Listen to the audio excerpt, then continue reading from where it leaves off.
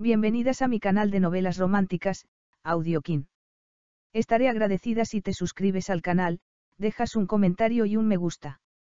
Comencemos con la narración de la novela cuyo título es Flores para la novia. Argumento. La primera vez que Eulalia se encontró con Feno Van supo que era una de esas personas que parecían eternamente enfadadas, y supuso que debía dedicarse a alguna profesión en la que la relación con otras personas no fuera imprescindible. Sin embargo, cuando su sobrino Peter fue atropellado, la joven descubrió que Feno no solo era médico sino que, además, era un cirujano excelente que trataba a sus pacientes con una ternura y comprensión poco comunes. Los cuidados que recibió Peter incluso cuando ya le habían dado el alta en el hospital fueron tantos que Eulalia empezó a preguntarse si no sería demasiado evidente que necesitaban ayuda. Capítulo 1. En la pequeña floristería, situada entre dos elegantes boutiques, había solo una chica que hacía un ramo, detrás del mostrador. Era un ramo muy bonito, de capullos de rosa, fresias y azucenas, apropiado para la pequeña dama de honor a la que estaba destinado. Era el último de los seis que la propietaria de la tienda le había encargado que preparase mientras estaba fuera. Estaba atándolo con una cinta rosa cuando se abrió la puerta y entró un cliente. Era un hombre gigantesco, elegantemente vestido y no demasiado joven, con cara de impaciencia. Se detuvo entre las flores, tendió una tarjeta y dijo con brusquedad. Quiero que envíen una docena de rosas a esta dirección. Rojas. No, desde luego que no. Amarillas, blancas, me da igual. Se quedó mirándola. La visión valía la pena. Era bastante alta y tenía curvas generosas, una densa mata de pelo oscuro y rizado, unos ojos enormes y una cara muy bonita. ¿Cómo se llama? Preguntó el hombre. Eulalia Barburton, ¿y usted? Envíe las rosas a esta dirección. ¿Cuánto le debo? Quince libras por las rosas, y dos más por el envío, miró la tarjeta. ¿Cuándo quiere que hagamos la entrega? Esta tarde, antes de las seis. Procure que las rosas estén frescas. Todas las flores de esta tienda están frescas, dijo indignada, pulsando los botones de la caja registradora con fuerza. Si lo duda, vaya a otro sitio. Por favor, querida, dijo él con enfurecedora cortesía. Es que ha tenido un mal día. Era un día perfecto hasta que ha entrado usted. Se alegraba de que la señora Pearce no estuviera allí, porque la habría despedido en el acto. Entregó una tarjeta al hombre. ¿Quiere escribir algún mensaje? Él escribió algo y le entregó la tarjeta. Eulalia le dio el cambio y le deseó con frialdad que tuviera un buen día, obteniendo un gruñido como respuesta. Contempló sus anchos hombros, que se alejaban por la calle, y miró la tarjeta. Era para una tal Úrsula Kendall, y leyendo con cierta dificultad su enrevesada escritura dedujo que el cliente quería disculparse. Desde luego, si había sido tan grosero con la otra mujer como con ella, haría mejor en regalarle una joya. Terminó el ramo de la dama de honor y empezó a preparar otro de rosas amarillas. Por algún motivo, no le parecía que el color rosa encajara con una mujer llamada Úrsula. La señora Pearce llegó, miró los ramos con aprobación, y como ya era hora de cerrar, dijo a Eulalia que entregara las rosas. Sé que no te pilla de camino, pero puedes tomar un taxi. Pídele la factura. Mañana por la mañana hay que entregar los ramos para la boda. Supongo que tendrás que tomar otro taxi, pero es un pedido importante. Había sido un agradable y cálido día de junio, pero ahora que caía la tarde soplaba una brisa fresca.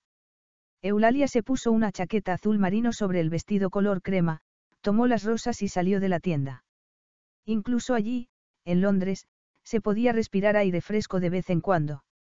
Tenía que entregar las rosas cerca de Eaton Square. Pagó al taxista, esperó a que le hiciera la factura y subió los escalones de una casa de estilo georgiano. La novia de aquel hombre, si era su novia, vivía rodeada de lujo. Eulalia llamó al timbre, y la puerta se abrió casi al instante. Una mujer joven se quedó mirándola, con el ceño fruncido. Estaba a punto de salir. Era muy guapa. Sus rasgos eran demasiado fuertes para que fuera una belleza clásica, pero tenía el pelo claro, elegantemente peinado, y unos ojos azules que la miraban con bastante frialdad. Además, iba vestida a la última moda. ¿Es usted la señorita Kendall? Me han pedido que le traiga las flores a esta dirección antes de las seis.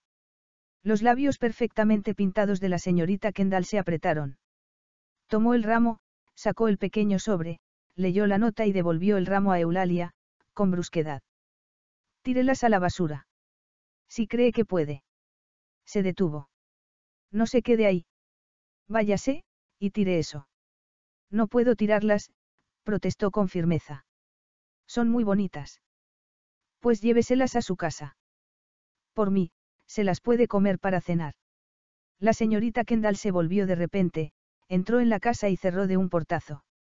Eulalia decidió que su novio y ella estaban hechos el uno para el otro. Caminó enfadada hacia la parada del autobús. La señorita Kendall le había caído tan mal como el hombre que le había encargado las flores. Una pareja perfecta. Los apartó de su mente y tomó el autobús.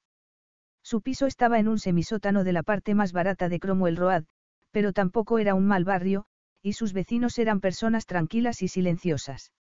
Era una casa bastante oscura, pero tenía un pequeño jardín en la parte trasera, y se consideraba afortunada. Estaba un poco preocupada, porque el contrato de alquiler de cinco años terminaría antes del otoño, pero había sido una buena inquilina y esperaba que la propietaria le renovara el contrato sin subirle el alquiler. Intentó no pensar en lo que haría si el aumento era excesivo. Bajó los escalones y abrió la puerta. El salón era de buen tamaño, y tenía una gran ventana en la parte trasera, además de la que había en la ventana. Estaba bien amueblado, con sillas, mesas y un aparador que debía proceder de una casa más grande. Tenía cortinas de encaje, y el suelo estaba cubierto con una moqueta. Había dos puertas en la pared interior. Una de ellas se abrió, y salió un niño de ocho años, seguido de una mujer madura de mejillas sonrosadas y rostro redondo, coronado por un moño blanco. Eulalia dejó las rosas en una mesa y abrazó al niño.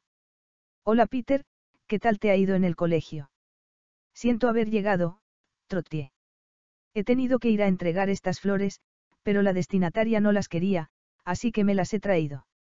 Ha venido el fontanero a arreglar la fuga del cuarto de baño. Y tanto.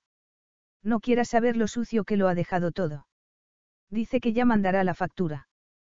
Puedo servir la cena cuando te apetezca. Un momento, dijo Eulalia, abriendo una puerta. Detrás había un pequeño distribuidor, con tres puertas más. Abrió una de ellas y entró en su dormitorio, seguida por Peter.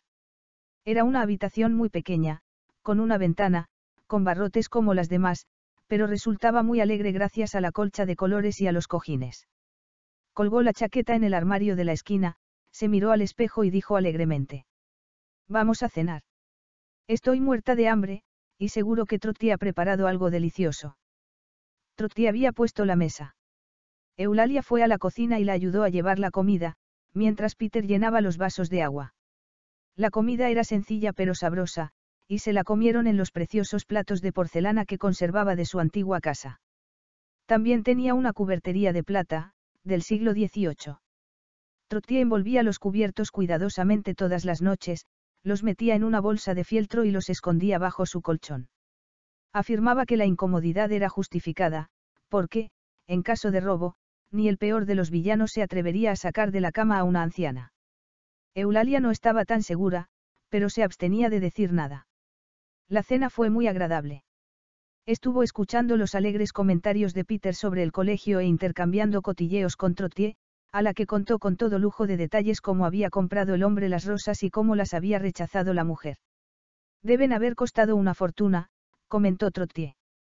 Estoy segura de que con lo que vale el ramo podríamos haber comido una semana como gallos de pelea. Como gallos de pelea repitió el niño, sorprendido. Aquello llevó inevitablemente a que recordara a su madre cuánto le gustaría tener un conejo, en una caseta en el jardín. Habían decidido mucho tiempo atrás que no podían, ya que el pobre animal tendría que pasar todo el día encerrado. Eulalia pasaba todo el día en el trabajo, Trottier ya estaba bastante ocupada con la casa, y Peter tenía que ir al colegio. Tampoco se atrevían a tener un gato, ya que había mucho tráfico en la calle. En cuanto tenga dinero ahorrado, dijo Eulalia, nos mudaremos a una casa tranquila, con árboles y un jardín grande, y podremos tener un gato, un perro y hasta un conejo. ¿No podríamos irnos a vivir al campo? Preguntó Peter con añoranza. Eulalia deseaba lo mismo. Le encantaría volver a su antigua casa, en el pueblo donde había nacido. Era una casa grande y antigua. Su abuela la había acogido en ella cuando sus padres murieron en un accidente.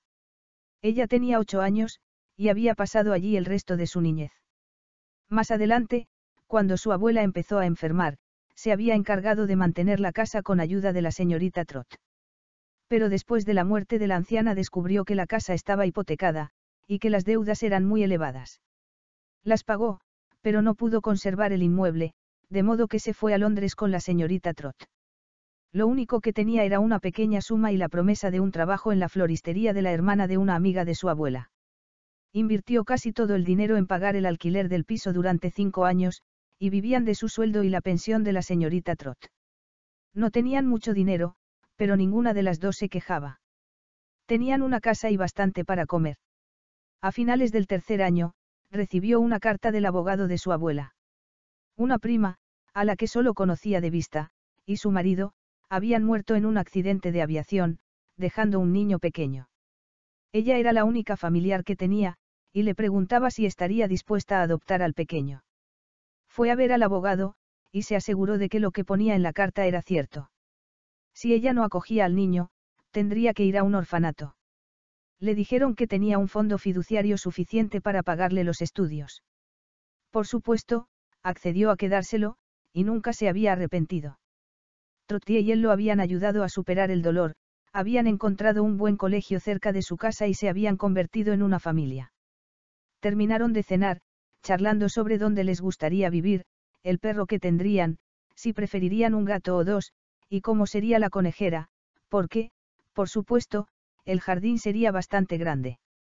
Era un juego al que jugaban de vez en cuando. Peter creía firmemente que un día todo se convertiría en realidad. Eulalia y Trottier no estaban tan convencidas, pero pensaban que, a fin de cuentas, los milagros ocurrían. Eulalia ayudó al niño con los deberes mientras Trottier recogía los platos y, cuando terminaron, leyeron los tres juntos un capítulo de un libro antes de que llegara la hora del baño. Peter se fue a la cama, y cuando se quedó dormido, Eulalia se sentó a hacer cuentas. Nunca le sobraba nada de dinero. Peter crecía deprisa, su fondo fiduciario apenas bastaba para comprarle ropa, y en cuanto a los zapatos. Se quedó sentada, mordiendo el bolígrafo, olvidando de momento las preocupaciones mientras admiraba las rosas que había puesto en un jarrón.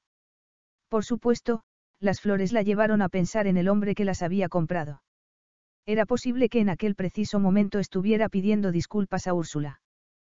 Pero no le parecía muy probable. No creía que supiera disculparse, aunque Úrsula tampoco sabría. Se estarían mirando con frialdad, ocultando el mal humor con buena educación. Allá ellos, dijo en voz alta. Trottier dejó la labor y se incorporó, sobresaltada. Al día siguiente, cuando fue a la floristería, Eulalia tuvo que explicar a la propietaria que la mujer había rechazado las rosas. Era demasiado tarde para traerlas de vuelta, explicó. No te preocupes.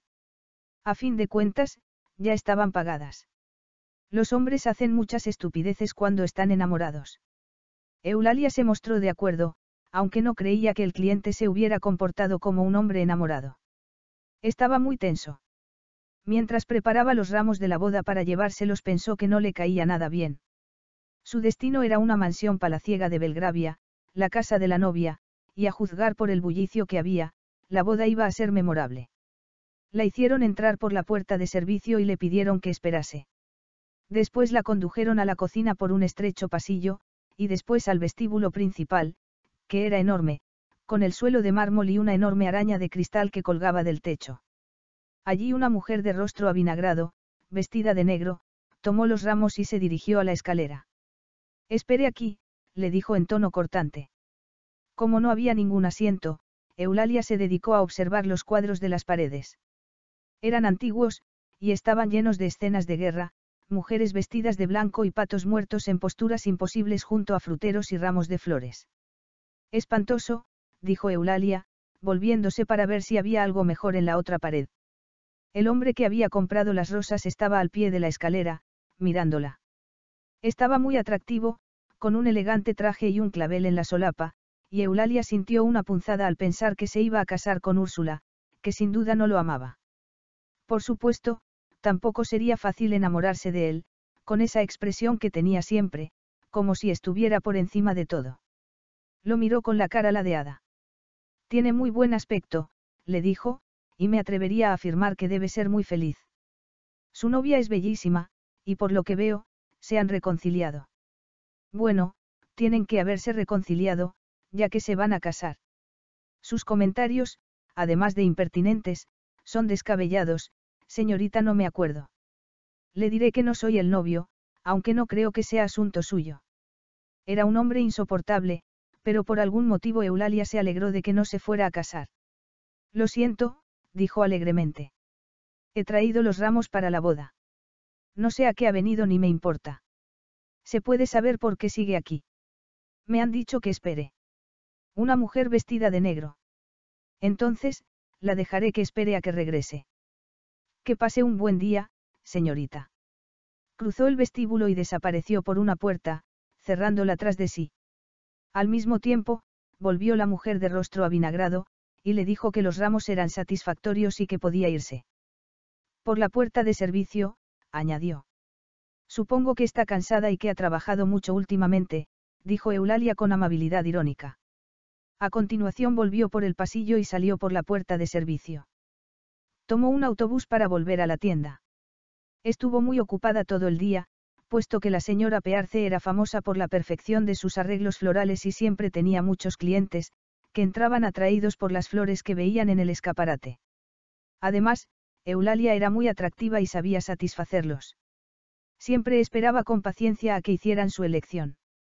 No fue a comer a casa, puesto que, para empezar, el autobús costaba dinero, y para seguir, si la tienda seguía abierta a mediodía, siempre entraban clientes que trabajaban en las oficinas cercanas, normalmente maridos que querían enviar un ramo de flores a sus mujeres para celebrar alguna ocasión. Eulalia, una romántica incurable, se esforzaba mucho con ellos. También trabajaba los sábados, lo que significaba que Peter tenía que quedarse en compañía de Trottier, pero pasaban juntos los sábados. Cuando hacía buen tiempo, se iban a pasear al parque, y cuando hacía frío visitaban museos. No era demasiado divertido, pero no podían hacer otra cosa. La señora Pearce cerraba los lunes, por lo que Eulalia se quedaba en casa a lavar la ropa e iba a las tiendas a hacer la compra semanal. Mientras iba a casa en un autobús abarrotado, planeaba lo que harían el fin de semana. Podían ir a dar de comer a los patos al parque de Saint James. Decidió que prepararía unos bocadillos el sábado por la noche, para comer allí. También podía llevar fruta, y un poco de chocolate. Resultaba muy fácil complacer a Peter, y era muy maduro para su edad, puesto que nunca pedía nada que supiera que no podían permitirse. El domingo, cuando salieron de casa, hacía un día precioso. El sol brillaba, y más tarde calentaría, aunque hacía un poco de fresco. El autobús estaba casi vacío, por lo que consiguieron sentarse en la parte delantera del piso superior. Había zonas de Londres que eran preciosas. No le importaría vivir en una de las elegantes casas que bordeaban las calles por las que transitaba el autobús. Me gustaría vivir aquí, dijo Peter, como si hubiera leído sus pensamientos. ¿Crees que lo conseguiremos algún día? En cuanto me haga rica, le prometió, pero es posible que tarde bastante. Podrías casarte con un millonario. Sí, es una buena idea. ¿Por qué no me lo buscas tú? Se estaban aproximando al parque. Bajaron al piso inferior del autobús, y se apearon en la siguiente parada. No había mucha gente, porque aún no eran las diez de la mañana. Caminaron lentamente, contemplando los macizos de flores. Dieron de comer a los patos, como habían acordado, y después se sentaron al sol. La gente iba llegando. Siguieron paseando y después se sentaron a comer. Como Peter quería seguir paseando y aún quedaba mucho tiempo antes de volver para la merienda, volvieron al lago y después cruzaron el parque, fueron hasta Green Park y después caminaron hasta Piccadilly, donde Eulalia propuso que tomaran un autobús. No obstante, Peter quería ir andando por la zona de las calles arboladas de casas grandes. Podemos ir a pie hasta Park Lane, y tomar allí el autobús, le dijo. Eulalia no tenía nada que objetar. Pocas veces tenía la oportunidad de dar un largo paseo, y aunque las calles de Londres, por elegantes que fueran, no se parecían nada a los caminos rurales de los Cotswolds, resultaba agradable ir por ellas. Seguro que aquí viven duques y duquesas, dijo Peter. ¿Cómo crees que serán las casas por dentro? Seguro que tienen cortinas de terciopelo, y alfombras, y arañas de cristal, y... Siguieron haciendo conjeturas sobre la decoración de las casas mientras caminaron, hasta que de repente vieron un precioso Bentley de color gris oscuro y Peter insistió en detenerse para echarle un vistazo. Rodeó el vehículo lentamente, admirándolo desde todos los ángulos. Cuando sea mayor, tendré uno como ese, dijo, acariciando el maletero. No lo toques. El dueño se enfadará si te ve. Una sabia advertencia, señorita lo que sea. Debería controlar mejor a su hijo, dijo una voz de repente. Estaban de espaldas al porche de una de las casas.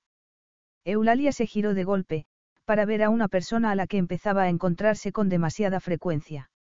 Usted. Dijo exasperada. Debería haberlo imaginado. ¿Por qué lo dice? Por nada. Siento que Peter lo haya molestado. No tenía intención de hacerlo.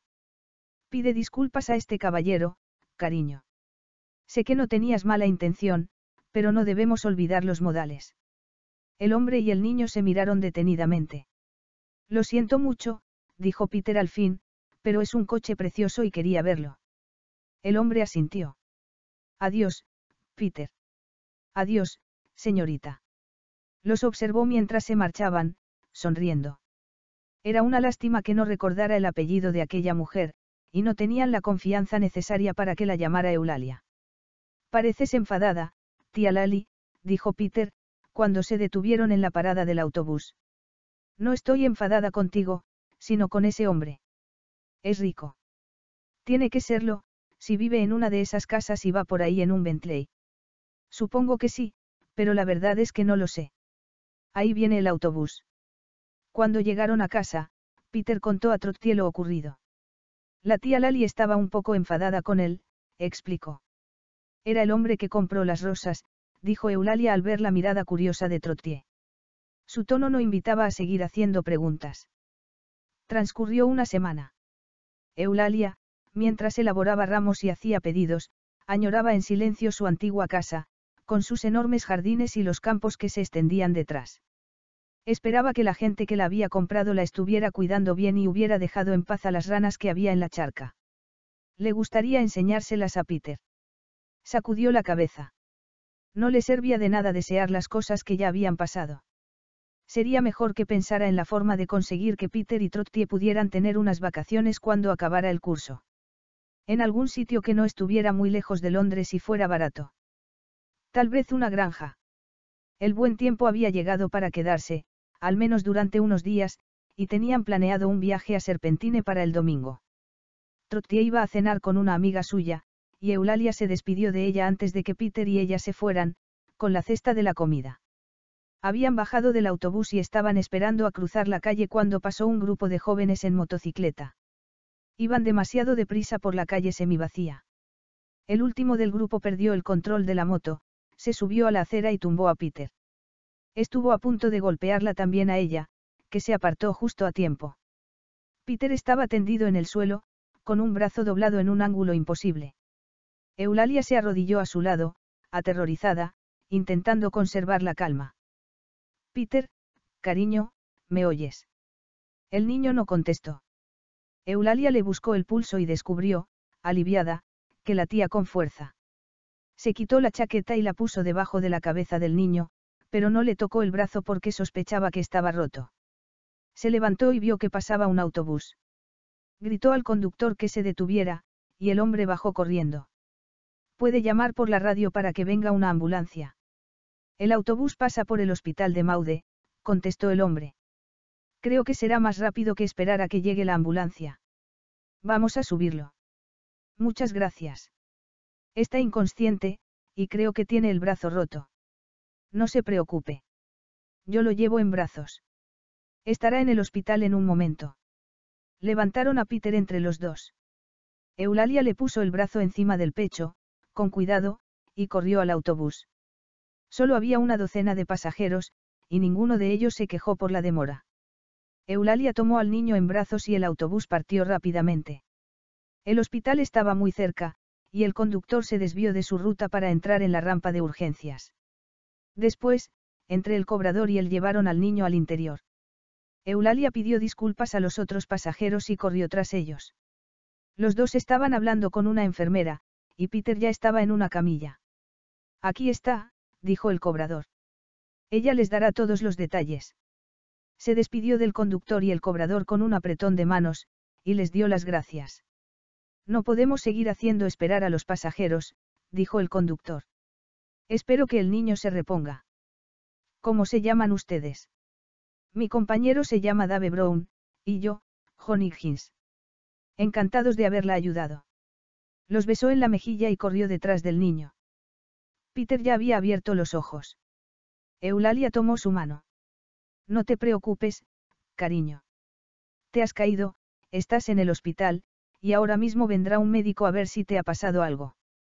Explique los detalles a la recepcionista, le dijo la enfermera. Mientras lo llevaremos a una sala de examen. Ha sido un accidente, no. Eulalia le contó rápidamente lo ocurrido y fue a recepción. Cuando terminó, Peter estaba en una camilla de examen. Lo habían desvestido, cortándole la manga de la camisa para verle el brazo. Intentaba no llorar. Eulalia le sujetó la mano buena, conteniendo las lágrimas. Hola.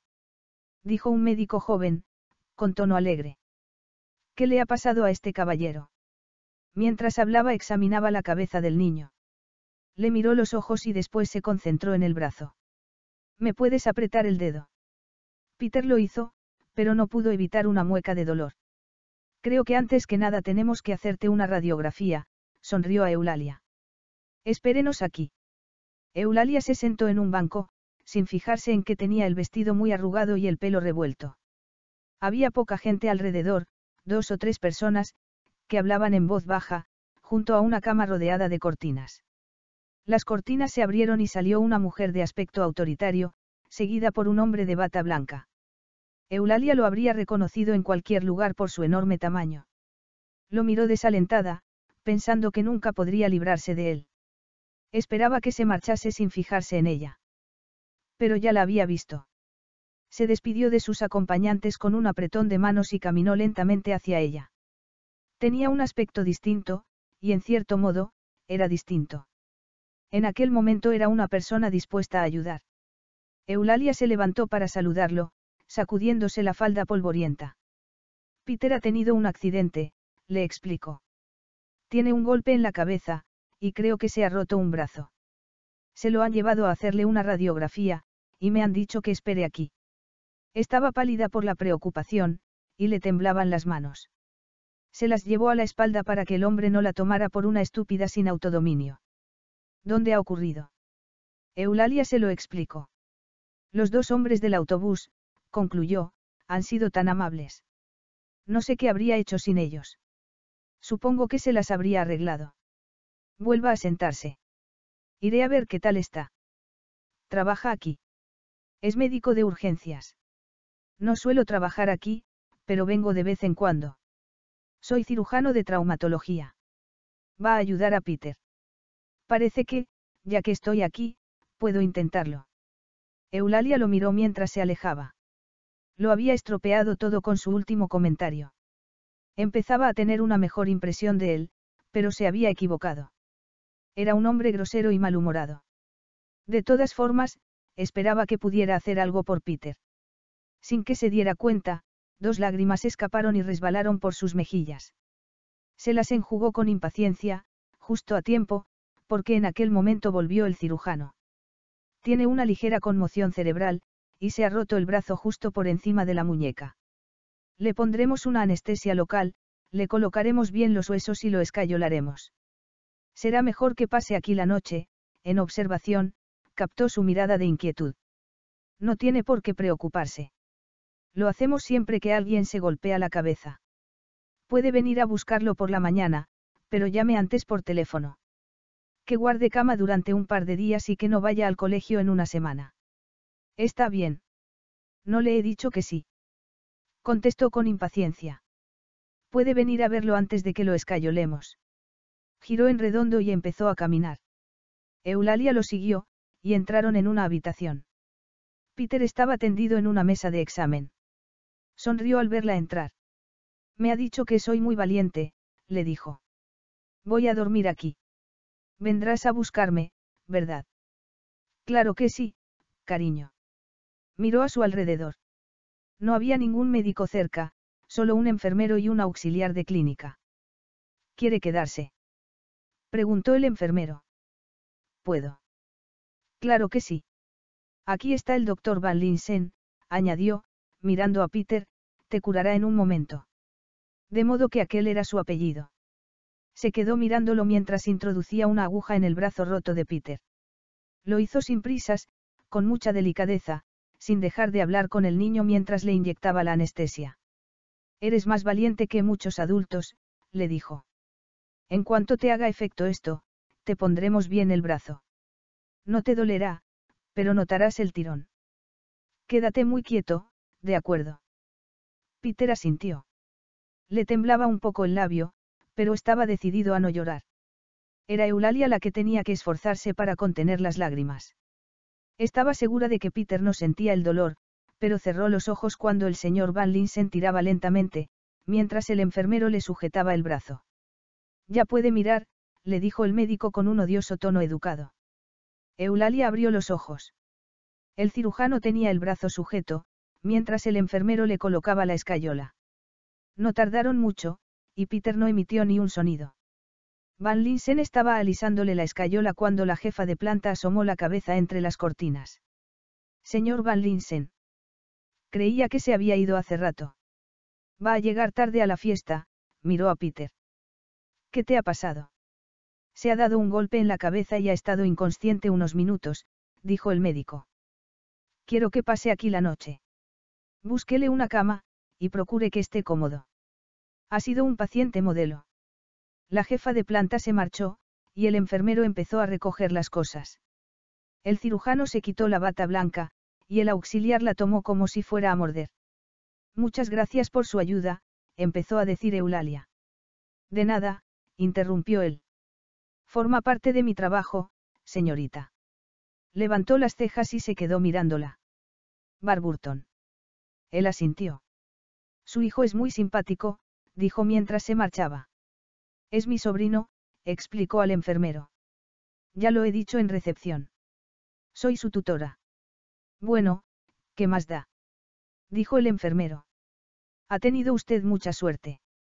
El doctor Van Linsen no estaba siquiera de servicio.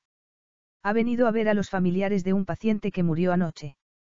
Tal vez no sea la persona más amable del mundo, pero no confiaría mis huesos a nadie más si me pasara algo. La jefa de planta volvió, y llevaron a Peter a la sección de pediatría. Estaba algo adormilado, pero parecía sentirse muy orgulloso de su brazo escayolado. Eulalia lo acompañó a la cama, y la enfermera le dijo que no hacía falta que volviera con un pijama y un cepillo de dientes. Solo va a pasar aquí una noche. Llame por teléfono antes de venir a buscarlo, y lo tendremos preparado. Eulalia le dio las gracias, se despidió de Peter con un beso y salió por la puerta de urgencias. En la parte superior de la rampa había un Bentley gris oscuro, ocupado por el señor Van Linsen, que abrió la puerta al verla acercarse. Entre. La llevaré a casa. No, gracias. Hay un autobús. Entre, señorita Barburton, y no finja que no le pasa nada. Sé cómo se sienten las madres cuando les pasa algo a sus hijos. ¿Dónde vive? Entró en el coche y le dio la dirección.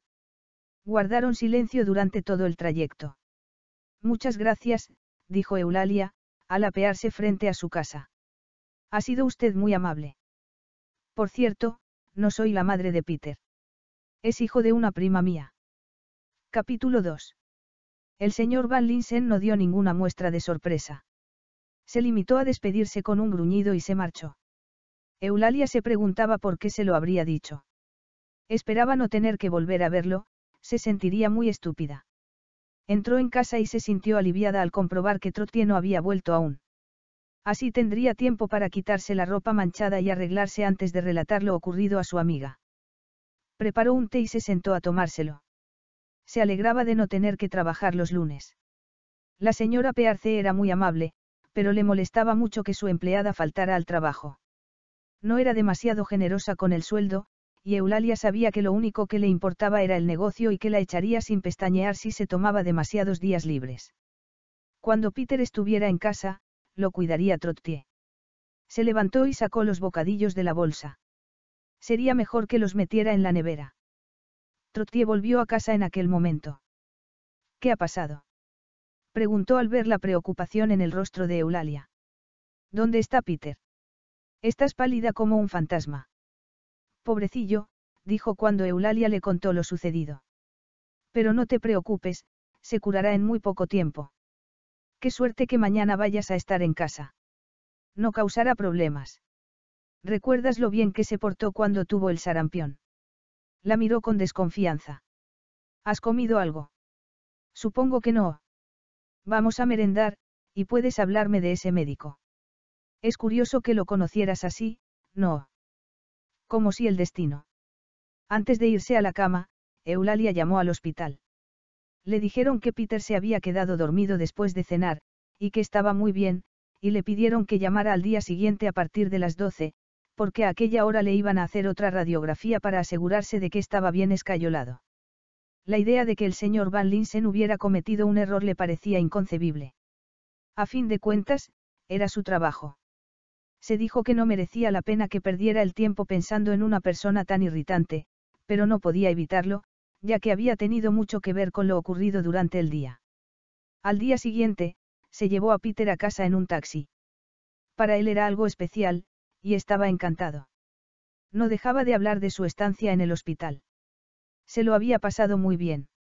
Los enfermeros eran muy divertidos, y el médico que lo había escayolado había ido a verlo por la mañana. No estaba solo, le explicó. Iba con la jefa de planta, con dos enfermeras, con otro médico y con un tipo que apuntaba en un cuaderno todo lo que decía. No es tan antipático como tú creías. Se puso a enseñarle el hospital a una niña, porque estaba llorando. Le estoy muy agradecida, y me alegro mucho de que no te haya pasado nada grave. Te ha dicho que tienes que pasar un par de días en la cama. Llamaremos al doctor Burns para que venga a verte y nos diga cuándo puedes volver al colegio, rodeó sus hombros con un brazo. Aquí estamos, otra vez en casa. Trottier nos espera. El niño no protestó demasiado por tener que volver a la cama, y se quedó haciendo un rompecabezas. Se encontraba bien, pero Eulalia no le dejó leer. Cuando se quedó dormido, Eulalia se puso a ocuparse de las labores domésticas. Empezó por planchar un montón de ropa mientras Trottier descansaba los pies.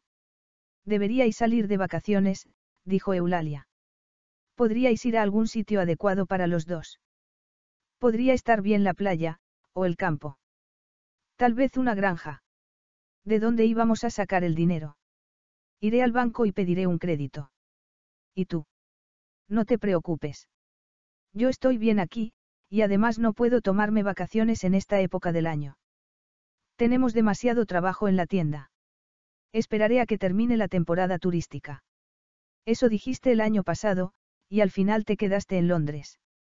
Bueno, las cosas se complicaron. Siempre hay facturas inesperadas.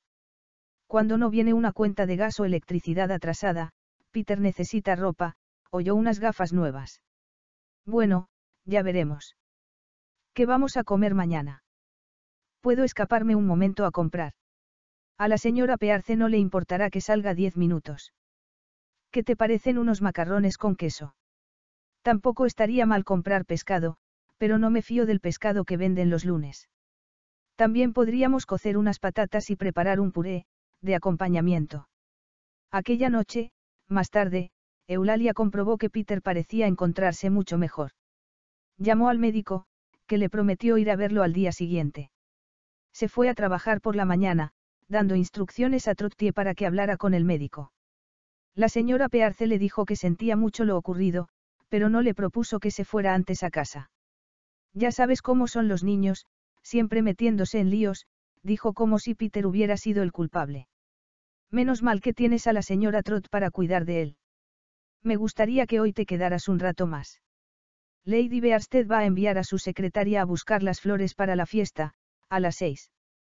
El día transcurrió muy lentamente, por culpa de la preocupación de Eulalia.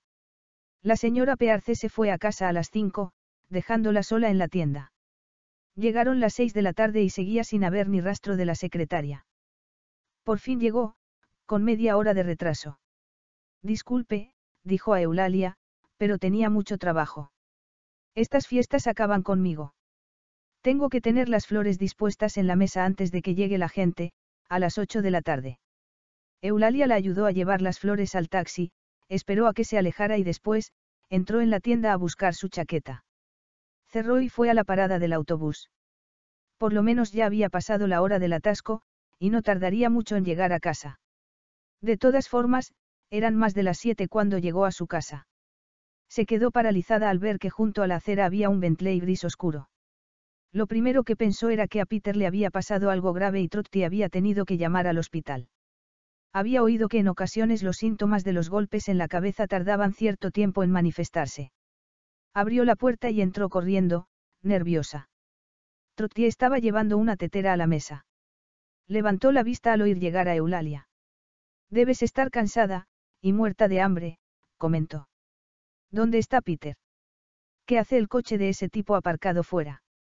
¿Dónde está? Hablaba en voz más alta de lo acostumbrado. Peter la llamó desde su habitación.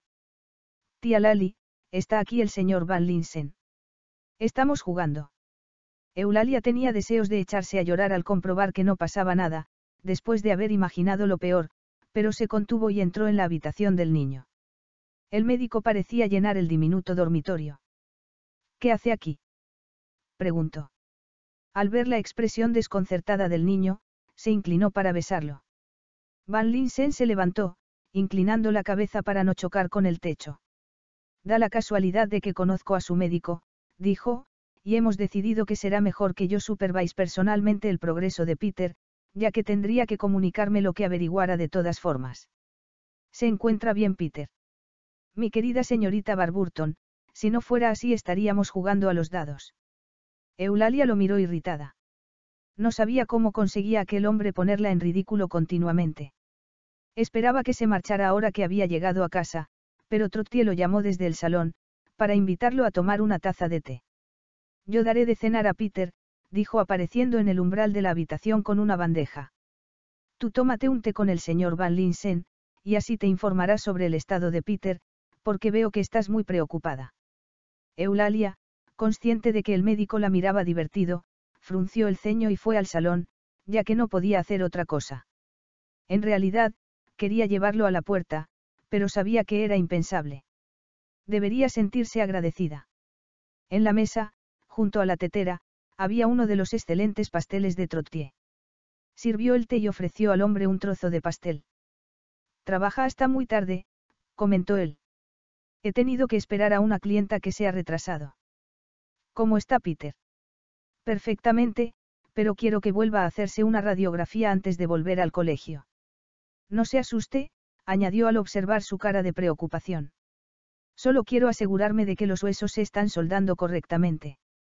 Vamos a ver, estamos a martes. Que se quede en casa el resto de la semana. Llévelo mañana al hospital a las 10 de la mañana. Ah, no, qué tontería, tiene que trabajar. Me encargaré de que vengan a buscarlo y lo traigan de vuelta. Si quiere, Trottier puede acompañarlo. Es usted muy amable. Me alegro de que Peter se encuentre bien. Es un niño encantador. Sí. Volvió a llenarle la taza y le dio otro trozo de pastel. ¿Se ha tomado el día libre? Le preguntó. Él pensó en el ocupadísimo día que había tenido. Había empezado con una operación de emergencia a las cuatro de la mañana, y no había terminado aún.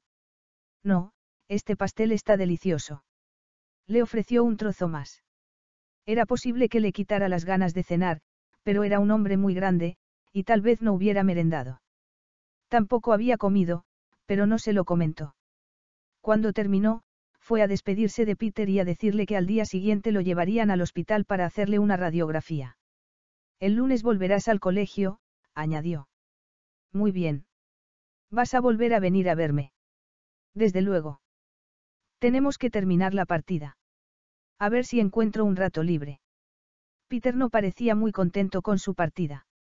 Siempre estás igual de ocupado. Sí, pero de vez en cuando tengo un día libre. Creo que de mayor seré cirujano. Una idea excelente. Estrechó la mano del niño y la de la señorita Trot, pero cuando Eulalia lo llevó a la puerta él se levantó y la besó. Después se marchó sin mirar atrás. Es indignante, dijo furiosa a la puerta cerrada. Eres muy guapa, y a los hombres les gustan las chicas guapas, el hijo Trottier. Eulalia la paralizó con la mirada. Van Linsen se fue a su casa. Le había gustado besar a Eulalia, pero no sabía por qué lo había hecho. Era muy guapa, de hecho, era una verdadera belleza cuando no estaba enfadada. Pero había conocido a otras mujeres guapas y no había sentido ningún deseo de besarlas. Cierto era que besaba a Úrsula de vez en cuando, pero siempre con precaución, porque le molestaba que le estropeara el maquillaje. Su compromiso marchaba bien, sin que lo interrumpieran las emociones. Había decidido casarse con ella porque le parecía adecuada para ser su esposa y, dado que ya no era joven, había decidido que su mujer ideal no existía. Había sabido desde el principio que Úrsula no lo amaba. Le tenía cierto cariño, y le gustaba la idea de casarse con él, porque tenía dinero, una posición importante y cierta fama en su profesión. Se llevarían bastante bien, aunque ella tenía un carácter endemoniado que no le había mostrado antes de que se comprometieran. Había perdido la paciencia en un par de ocasiones y se había disculpado con él, pero habían estado a punto de romper cuando él le dijo que vivirían en Holanda durante parte del año. Mi casa está allí, le había explicado. También trabajo en un par de hospitales holandeses. Es una casa de campo, y creo que te gustará. Úrsula se había puesto furiosa. No le gustaba la idea de enterrarse en vida en un pueblo pequeño, sin tiendas ni amigos. Se volvería loca. Por supuesto, iría a visitarlo, pero no estaba dispuesta a pasar allí más de una semana. Tal vez si pudieran acompañarla algunos de sus amigos. Él le había dedicado una larga mirada pensativa y se había marchado tan enfadado que no se atrevía a hablar, y después le había enviado un ramo de rosas.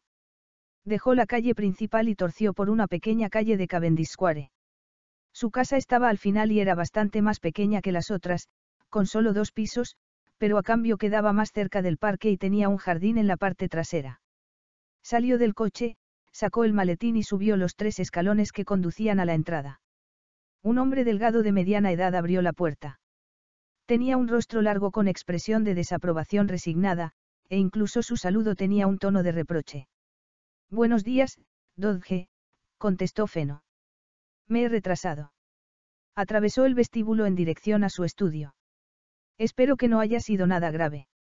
Me he puesto a jugar a los dardos y he perdido la noción del tiempo. Dodge lo miró atónito. A los dardos. ¿Quiere que le sirva ya la cena? Sí, por favor. La señorita Kendall ha llamado poco después de las siete. Parecía nerviosa al ver que no estaba en casa, de modo que me he tomado la libertad de decirle que se había retrasado por una urgencia.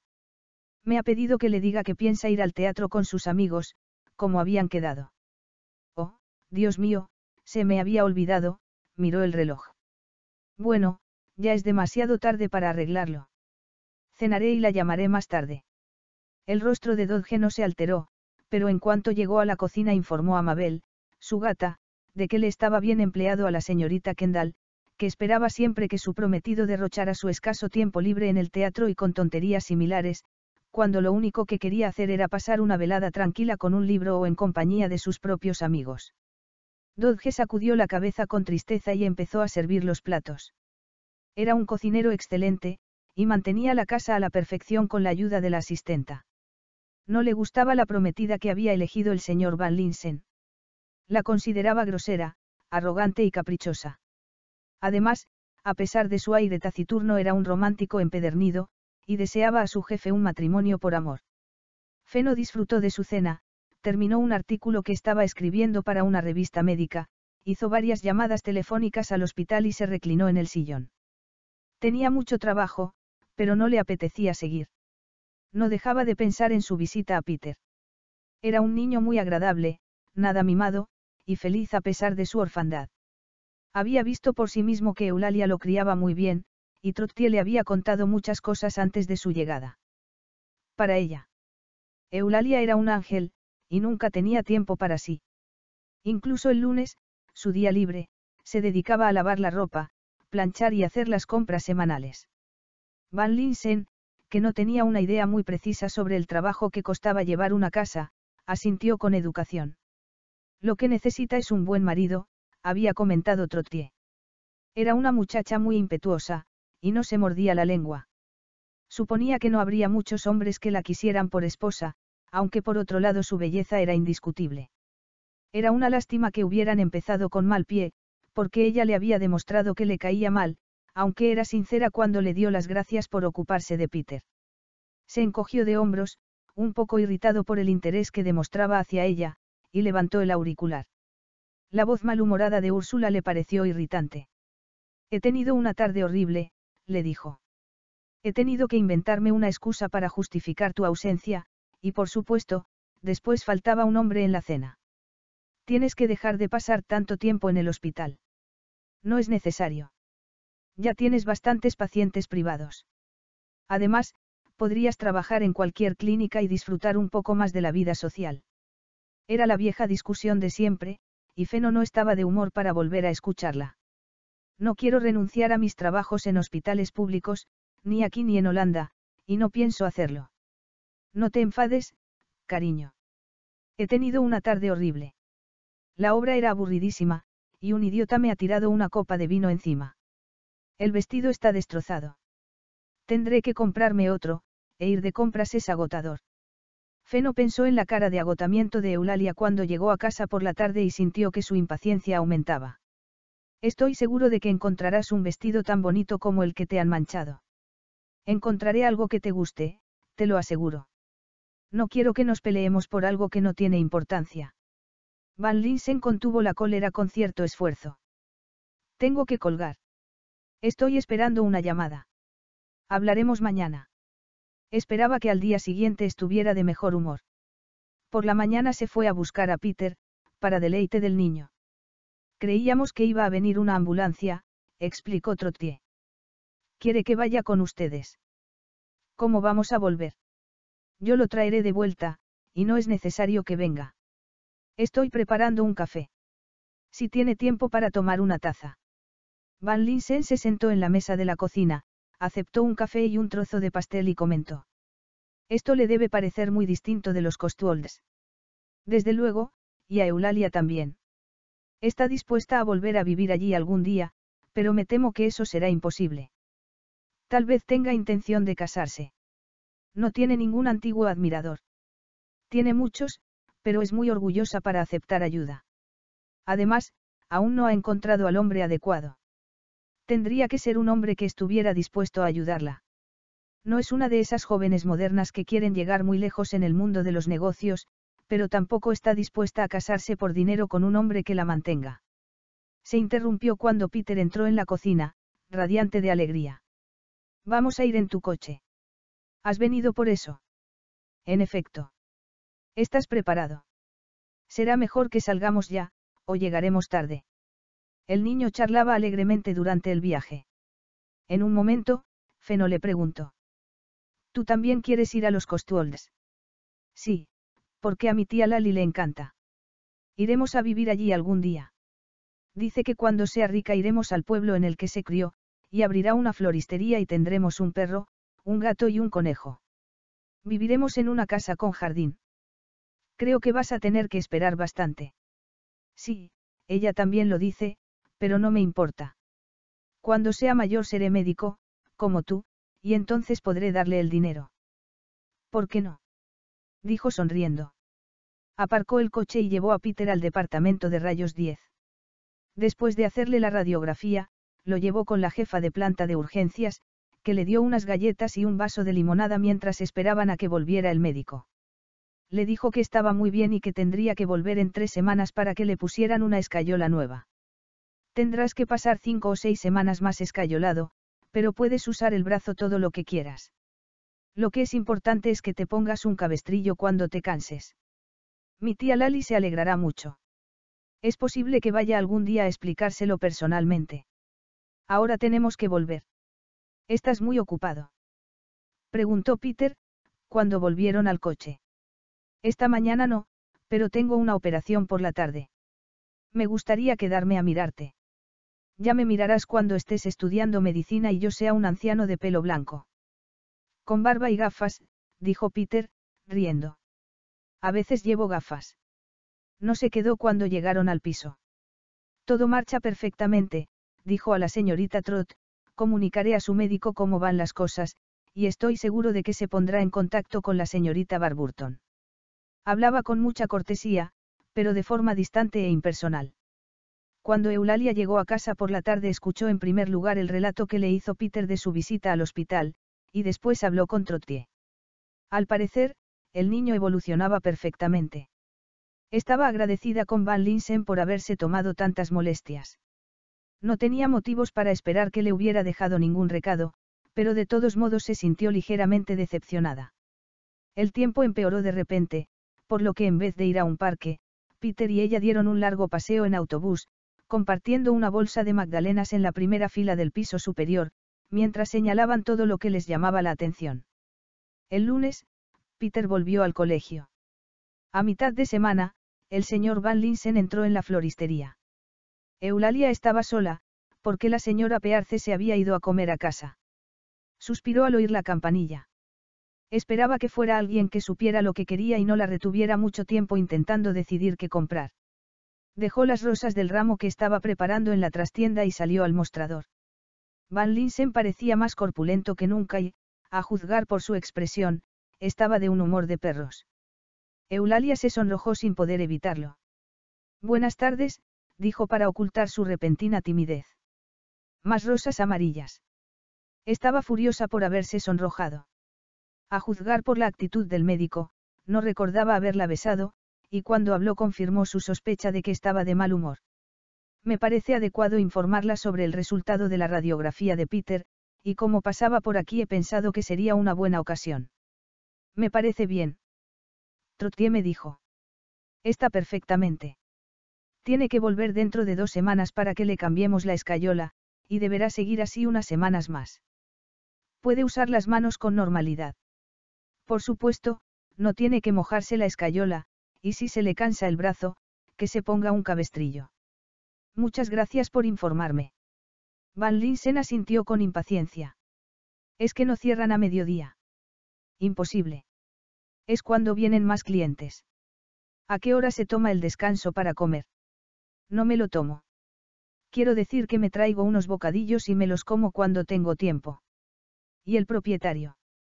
La señora Pearce se va a su casa, a comer con su marido. Además, tiene que visitar a los mayoristas, y suele hacerlo a mediodía. El rugido del cirujano fue tan fiero que Eulalia se preguntó qué había dicho para enfadarlo. Sin duda, tenía un humor endiablado. Me haría el favor de mandar un ramo de flores a la señorita Kendall. ¿Qué me propone? Depende. Si se trata simplemente de un gesto de amor, las rosas rojas simbolizan pasión, pero si lo que quiere es disculparse por algo, le aconsejaría una mezcla de flores. Rosas, claveles y una o dos orquídeas, por ejemplo. Quiere preparar un ramo y mandárselo. ¿Alguna flor en especial? No, elija usted. Escribiré una nota. Se quedó mirándolo mientras escribía algo en una tarjeta y la metía en el sobre. Es un desperdicio. La señorita Kendall estuvo a punto de hacerme tragar las rosas cuando se las llevé, ¿sabe? De verdad. Es que no tienen un repartidor. Imposible. Eso recortaría los beneficios. Le gusta su trabajo, señorita Barburton. Me gustan las flores, y se me da bien hacer ramos. Pero le gusta vivir en Londres y trabajar en esta tienda. En realidad no era una pregunta, y Eulalia no sabía muy bien cómo responder. Estoy satisfecha de tener un trabajo, y creo que no es asunto suyo, dijo con aspereza. La verdad es que no es asunto mío. Que tenga un buen día. Cerró la puerta con cuidado al salir. Cotilla además de malhumorado, dijo Eulalia en voz alta. Si la señorita Kendall no fuera igual de cretina, lo sentiría por ella. Al final de la semana siguiente, Peter corrió a su encuentro cuando llegó a casa. Tía Lali. Gritó el niño, emocionado. El señor Van Linsen me va a llevar el domingo por la tarde al hospital, para enseñármelo. Sabe que quiero ser cirujano, como él, y dice que me lo merezco por haber sido un buen paciente. ¿Puedo ir, por favor? Dice que vendrá a buscarme en su coche y que después me traerá a casa. Eulalia se quitó la chaqueta y los zapatos. ¿Cuándo te ha dicho todo eso? Se ha pasado por aquí a las dos, de camino a casa, y ha dicho que sentía que no estuvieras aquí, pero que espera que me dejes ir con él. Eulalia miró su cara emocionada. No podía concederle muchos lujos. Sus amigos tenían padres que se los llevaban al zoo y al parque de atracciones, y en verano se iban con ellos a la playa, pero Peter no había protestado nunca por el hecho de no poder hacerlo, aunque estaba segura de que lo deseaba. Tal vez le cayera mal el doctor Van Linsen, pero por algún motivo confiaba en él. Qué bien. Claro que puedes ir. El señor Van Linsen ha sido muy amable al proponértelo. ¿Le has dado las gracias? Claro que sí, pero le he dicho que antes tenía que pedirte permiso. Me parece muy bien. ¿Cómo le vas a decir que vas? Dice que vendrá mañana por la mañana. Como es sábado, estaré en casa. Será muy divertido, su rostro se ensombreció de repente. ¿Qué vas a hacer tú, tía Lali? ¿Por qué Trotty ha quedado el domingo para cenar con una amiga? Eulalia miró a su amiga, que estaba poniendo la mesa. Tengo muchas cosas que hacer, como coser botones, y aprovecharé para leer el periódico. Trotty la estaba mirando y, durante un momento, Eulalia pensó que iba a decir algo, pero se limitó a sonreír. Me parece bien. Nunca tienes tiempo libre. Siempre estás igual, dijo Eulalia, sentándose a la mesa para cenar. El domingo, el cielo estaba despejado y brillaba el sol. Eulalia y Peter acompañaron a Trotty a tomar el autobús, por la mañana. La comida está preparada, les dijo. No os retraséis, o haréis esperar al señor Van Linsen. Volveré sobre las siete, como de costumbre. La comida era deliciosa, pero Peter estaba demasiado nervioso para disfrutarla. A las dos menos diez ya llevaba un buen rato preparado, esperando. A lo mejor no viene, dijo por décima vez. Ha dicho que llegará a las dos y aún faltan diez minutos. No te preocupes. Feno llegó cinco minutos después. Eulalia fue a abrirle la puerta. Buenas tardes, señor Van Linsen, dijo con fría educación. Es usted muy amable. Es un placer. He pensado que sería conveniente que nos acompañe, observó que Eulalia fruncía el ceño. Siempre existe la posibilidad de que me llamen por una emergencia, y no puedo dejar solo a Peter. Tanto le molesta la idea. Eulalia lo pensó y descubrió que no le molestaba en absoluto. No quiero estropearle la tarde a Peter. No se preocupe. La dejaremos por ahí, en buenas manos. Eulalia estaba a punto de contestar con un comentario igualmente hiriente cuando Peter se unió a ellos. Nos vamos ya.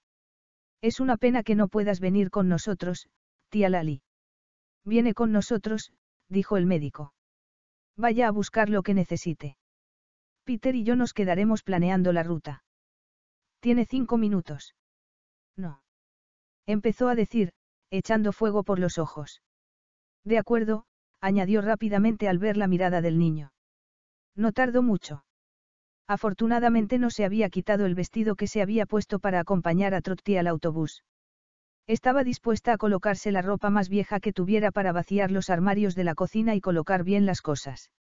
Se peinó, se pintó los labios, tomó el bolso y volvió al salón. El hombre y el niño estaban contemplando un papel que habían puesto en la mesa. Eulalia supuso que se trataría de un plano del hospital. No le va a molestar a nadie que metamos las narices por ahí. Preguntó mientras se sentaba en el coche. Si vienen conmigo, no. Fueron en primer lugar a urgencias, y después tomaron el ascensor hasta el primer piso para inspeccionar todas las secciones. En todas ellas les presentó al jefe correspondiente. Son amigos míos, explicaba siempre. A Eulalia le parecía insultante. Apenas lo conocía, y sus conversaciones nunca habían sido amistosas. Cuando llegaron a los quirófanos, ella se quedó en el despacho de la jefa de sección tomándose un té, mientras Peter, mudo de asombro, se fue con Van Linsen a ver uno de los quirófanos. Pasaron mucho tiempo fuera. Cuando volvieron, Van Linsen se tomó una taza de té, y Peter, un vaso de limonada. Por algún motivo, a Eulalia no le parecía normal que estuvieran tan tranquilos después de haber visitado una sala de operaciones. La jefa de sección era joven y bonita, y evidentemente era esclava de Van Linsen. Feno le había comentado que era jefa solo de una parte. La superintendente de los quirófanos, una mujer mucho mayor, se encargaba de aquellos en los que se realizaban las operaciones importantes.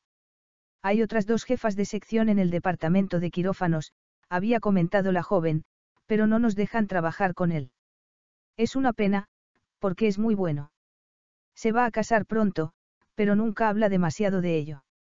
Volvieron sobre sus pasos, visitando por segunda vez algunas secciones, y al final regresaron a urgencias, donde Van Linsen explicó al niño con paciencia qué ocurría exactamente cuando llegaba un paciente, y contestó a sus incansables preguntas sin dar muestras de fastidio. Cuando fueron al coche, el médico dijo con naturalidad. Espero que vengáis a merendar conmigo. Estoy seguro de que Peter no ha terminado de hacer preguntas. Merendar. Repitió Peter emocionado, volviéndose hacia Eulalia. Podemos ir a merendar con él, tía Lali. Era imposible rechazar la invitación sin estropearle el día a Peter. Me parece bien, dijo con amabilidad. Vio que Van Linsen la observaba por el espejo. Suponía que iba a llevarlos a alguna de las cafeterías al aire libre que había en los parques, pero tomó una ruta distinta. Cuando se detuvo delante de su casa y salió del coche, Eulalia se quedó mirando paralizada. ¿Vives aquí? preguntó. Sí. Me pilla muy cerca del trabajo. Ayudó a Peter a apearse, cerró el coche y los condujo hacia la puerta, que estaba abriendo el mayordomo. He traído a merendar a unos amigos, Dodge. Peter tendió la mano al hombre. ¿Cómo está usted, señor Dodge? Soy Peter. Encantado de conocerte, Peter, dijo el mayordomo, estrechándole la mano. Veo que has estado en la guerra. Le presentó a la señorita Barburton y a su sobrino Peter. Sonrió divertido al ver que Eulalia también tendía la mano al criado. Capítulo 3. Eulalia suspiró mientras entraban en el salón. Era una gran estancia, que ocupaba toda la parte trasera de la casa, con una enorme puerta de cristal que daba al jardín. Estaba amueblada con sillones cómodos, un enorme sofá frente a la chimenea, gruesas alfombras en el suelo brillante y cortinas de seda que encajaban perfectamente con el color de la tapicería. También había pequeñas lámparas de mesa en lugares estratégicos, y un precioso buró antiguo.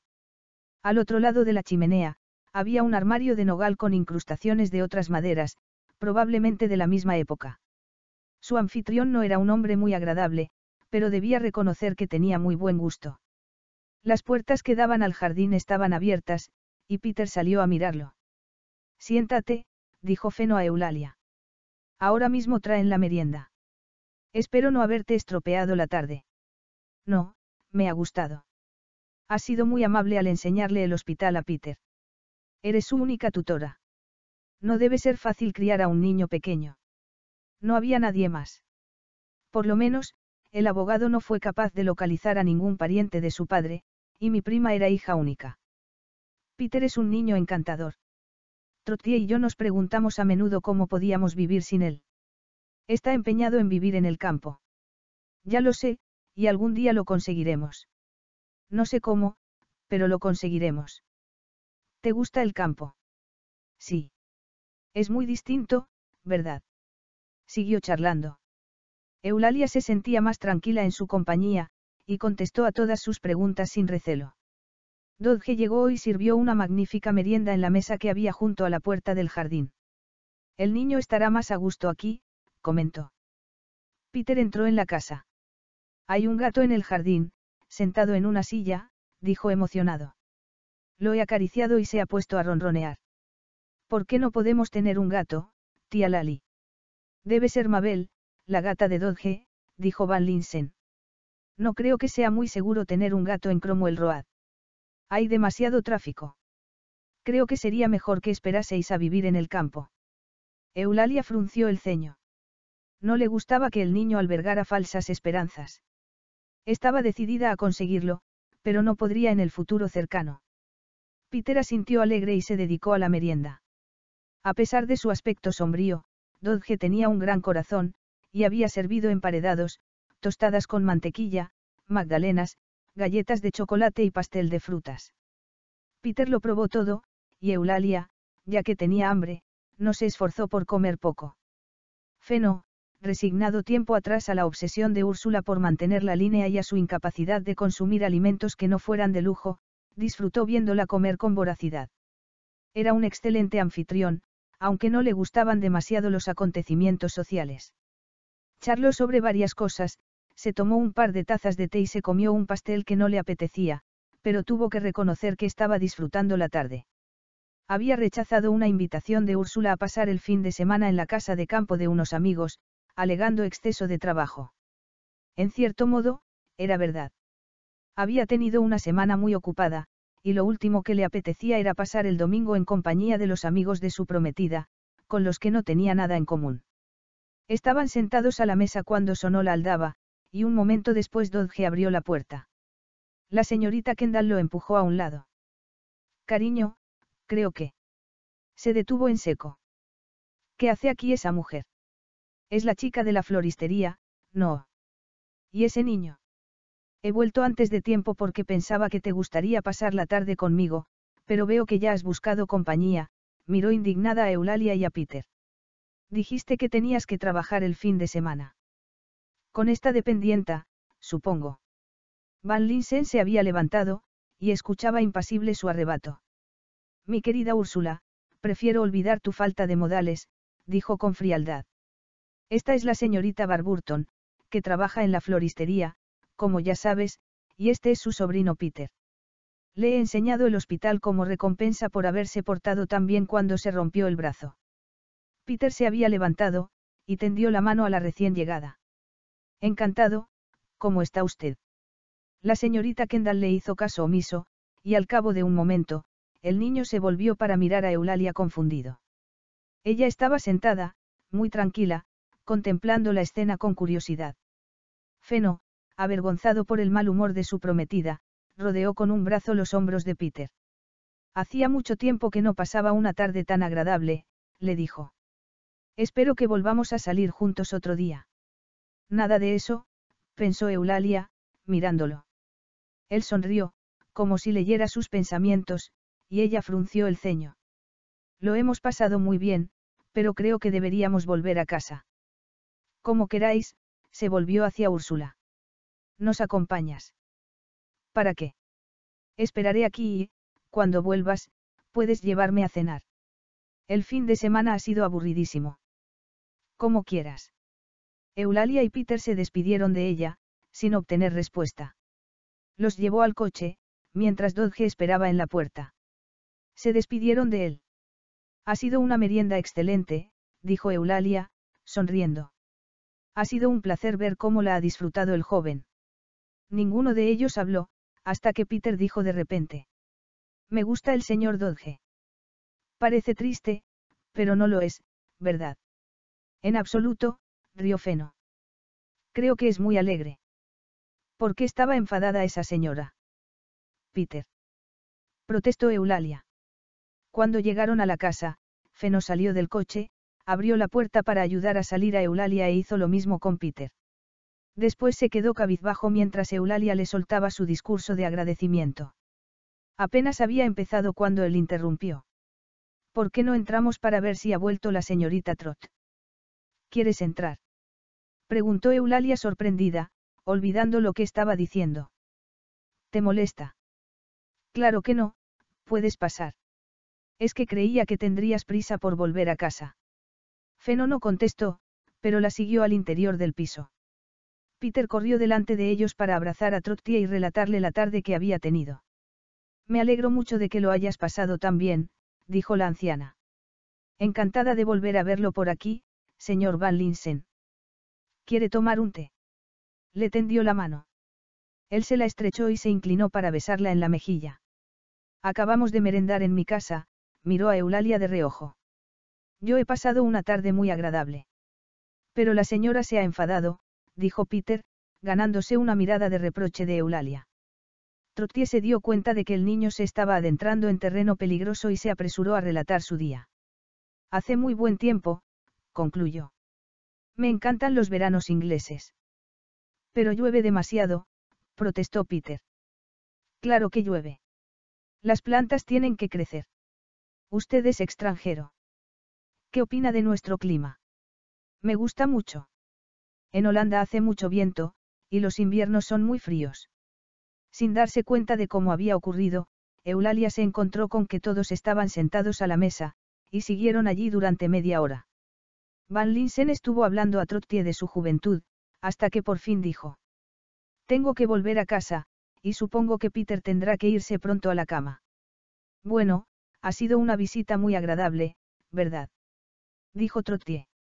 Voy a servir la cena, y mientras puedes preparar a Peter para irse a la cama.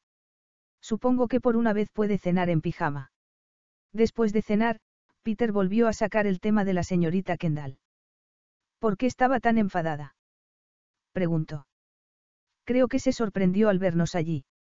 Quería que Feno la llevara a cenar, y creo que le hemos estropeado la tarde. Ha sido muy mal educada, insistió el niño.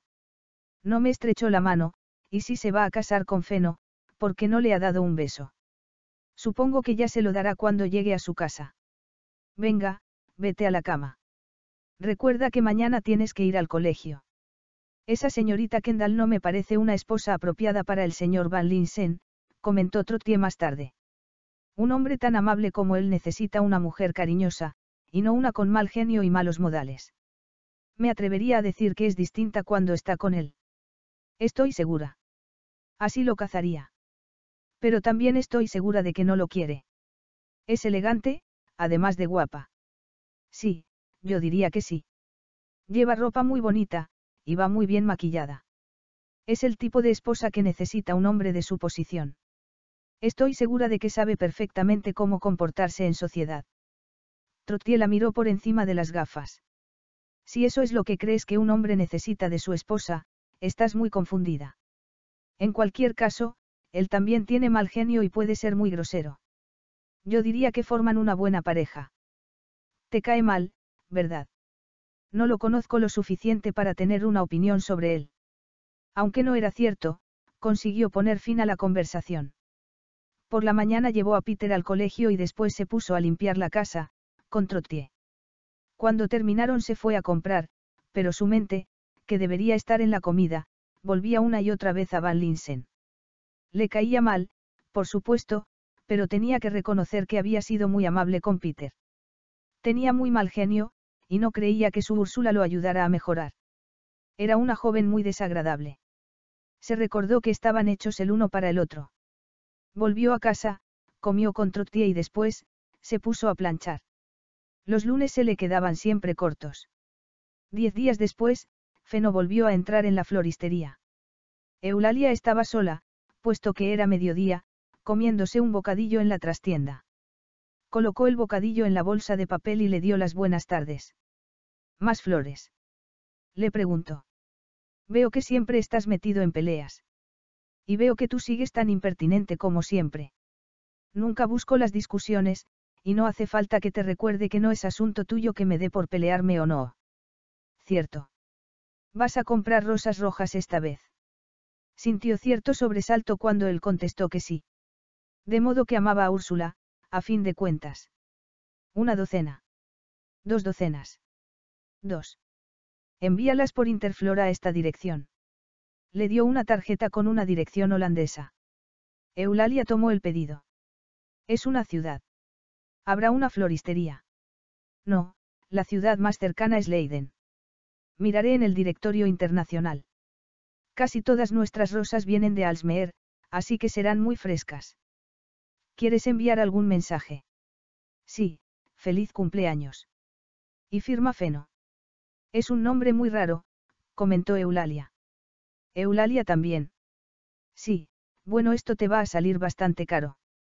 Eso tampoco es asunto tuyo. Tenemos por norma mencionar el precio antes de que el cliente pague, por si no puede permitírselo. Le dedicó una sonrisa encantadora, y él apretó los labios. En realidad, no sabía por qué sentía la necesidad de molestarlo siempre que se veían. Lo normal sería que lo tratara con fría indiferencia. Si la oyera la señora Pearce la echaría por tratar mal a los clientes. Empezó a calcular el precio, contando con los dedos. No tienes calculadora. No puedo quedarme aquí todo el día mientras sumas y restas como una colegiala. Nunca se me dieron bien las matemáticas, y no me interrumpas o tendré que volver a empezar. Me sorprende que aún no te hayan echado del trabajo. Mi jefa suele tomar los pedidos de Interflora, pero no está aquí. Le dijo la cantidad y la cargó en la tarjeta de crédito. Me encargaré de que transmitan el pedido inmediatamente, le dijo. ¿Prefieres que hagan la entrega por la mañana o por la tarde? Por la mañana, empezó a caminar hacia la puerta, pero se detuvo. ¿Qué tal está Peter? Muy bien. Tiene la escayola cubierta de firmas y chistes malos. Hemos recibido una carta del hospital, que dice que tiene que ir mañana a que le cambien la escayola. ¿Te viene bien? Lo miró sorprendida. No, pero nunca me viene bien, porque tengo que pasar aquí todo el día. Lo llevará Trottier. Iré a buscarlo yo y lo llevaré a casa. No quiero abusar de tu amabilidad. Trottier puede. He dicho que iré a buscarlo, interrumpió. Abrió la puerta, se despidió con frialdad y se marchó. Cuando llegó a casa por la tarde, les dijo a Peter a Trottier que Van Linsen iría a buscarlo al día siguiente. ¿Ves cómo es una buena persona? Es muy considerado. No se le ha olvidado que tú no podías llevar a Peten. Estupendo, dijo el niño. A lo mejor tiene tiempo para echar una partida cuando me traiga a casa. No es muy probable, dijo Eulalia. Tiene que trabajar, como todo el mundo. Su comentario arrancó miradas de sorpresa a sus dos interlocutores. Mientras volvía al hospital, Feno se decía que había ido a buscar a Peter para hacerle un favor a él. Desde luego, no lo hacía por complacer a Eulalia, que le parecía insoportable y demasiado grosera. No le resultaría fácil encontrar un hombre que pudiera aguantarla. Tenía que reconocer que adoraba al niño y era muy amable con la señorita Trot. Trabajaba duro y no era fácil de desalentar. Merecía cierto respeto, aunque probablemente se lo tiraría a la cara. Aparcó el coche y entró en su consulta, donde, en contra de su costumbre, reprendió severamente a sus dos ayudantes, a un montón de estudiantes y a una pobre enfermera que dejó caer un montón de notas. La consulta duró más de lo normal, y su humor no mejoró. Cuando recordó que tenía que llevar a Úrsula a la ópera empeoró sustancialmente. Irse a casa para vestirse bien, tragarse una ópera e irse después a cenar con los insoportables amigos de su prometida para llegar a casa demasiado tarde y trabajar en la preparación de una serie de conferencias era más de lo que podía tolerar, pero no podía evitarlo. No obstante, por una vez, el destino lo trató bien, aunque no podría decir lo mismo el hombre que fue atropellado cerca del hospital.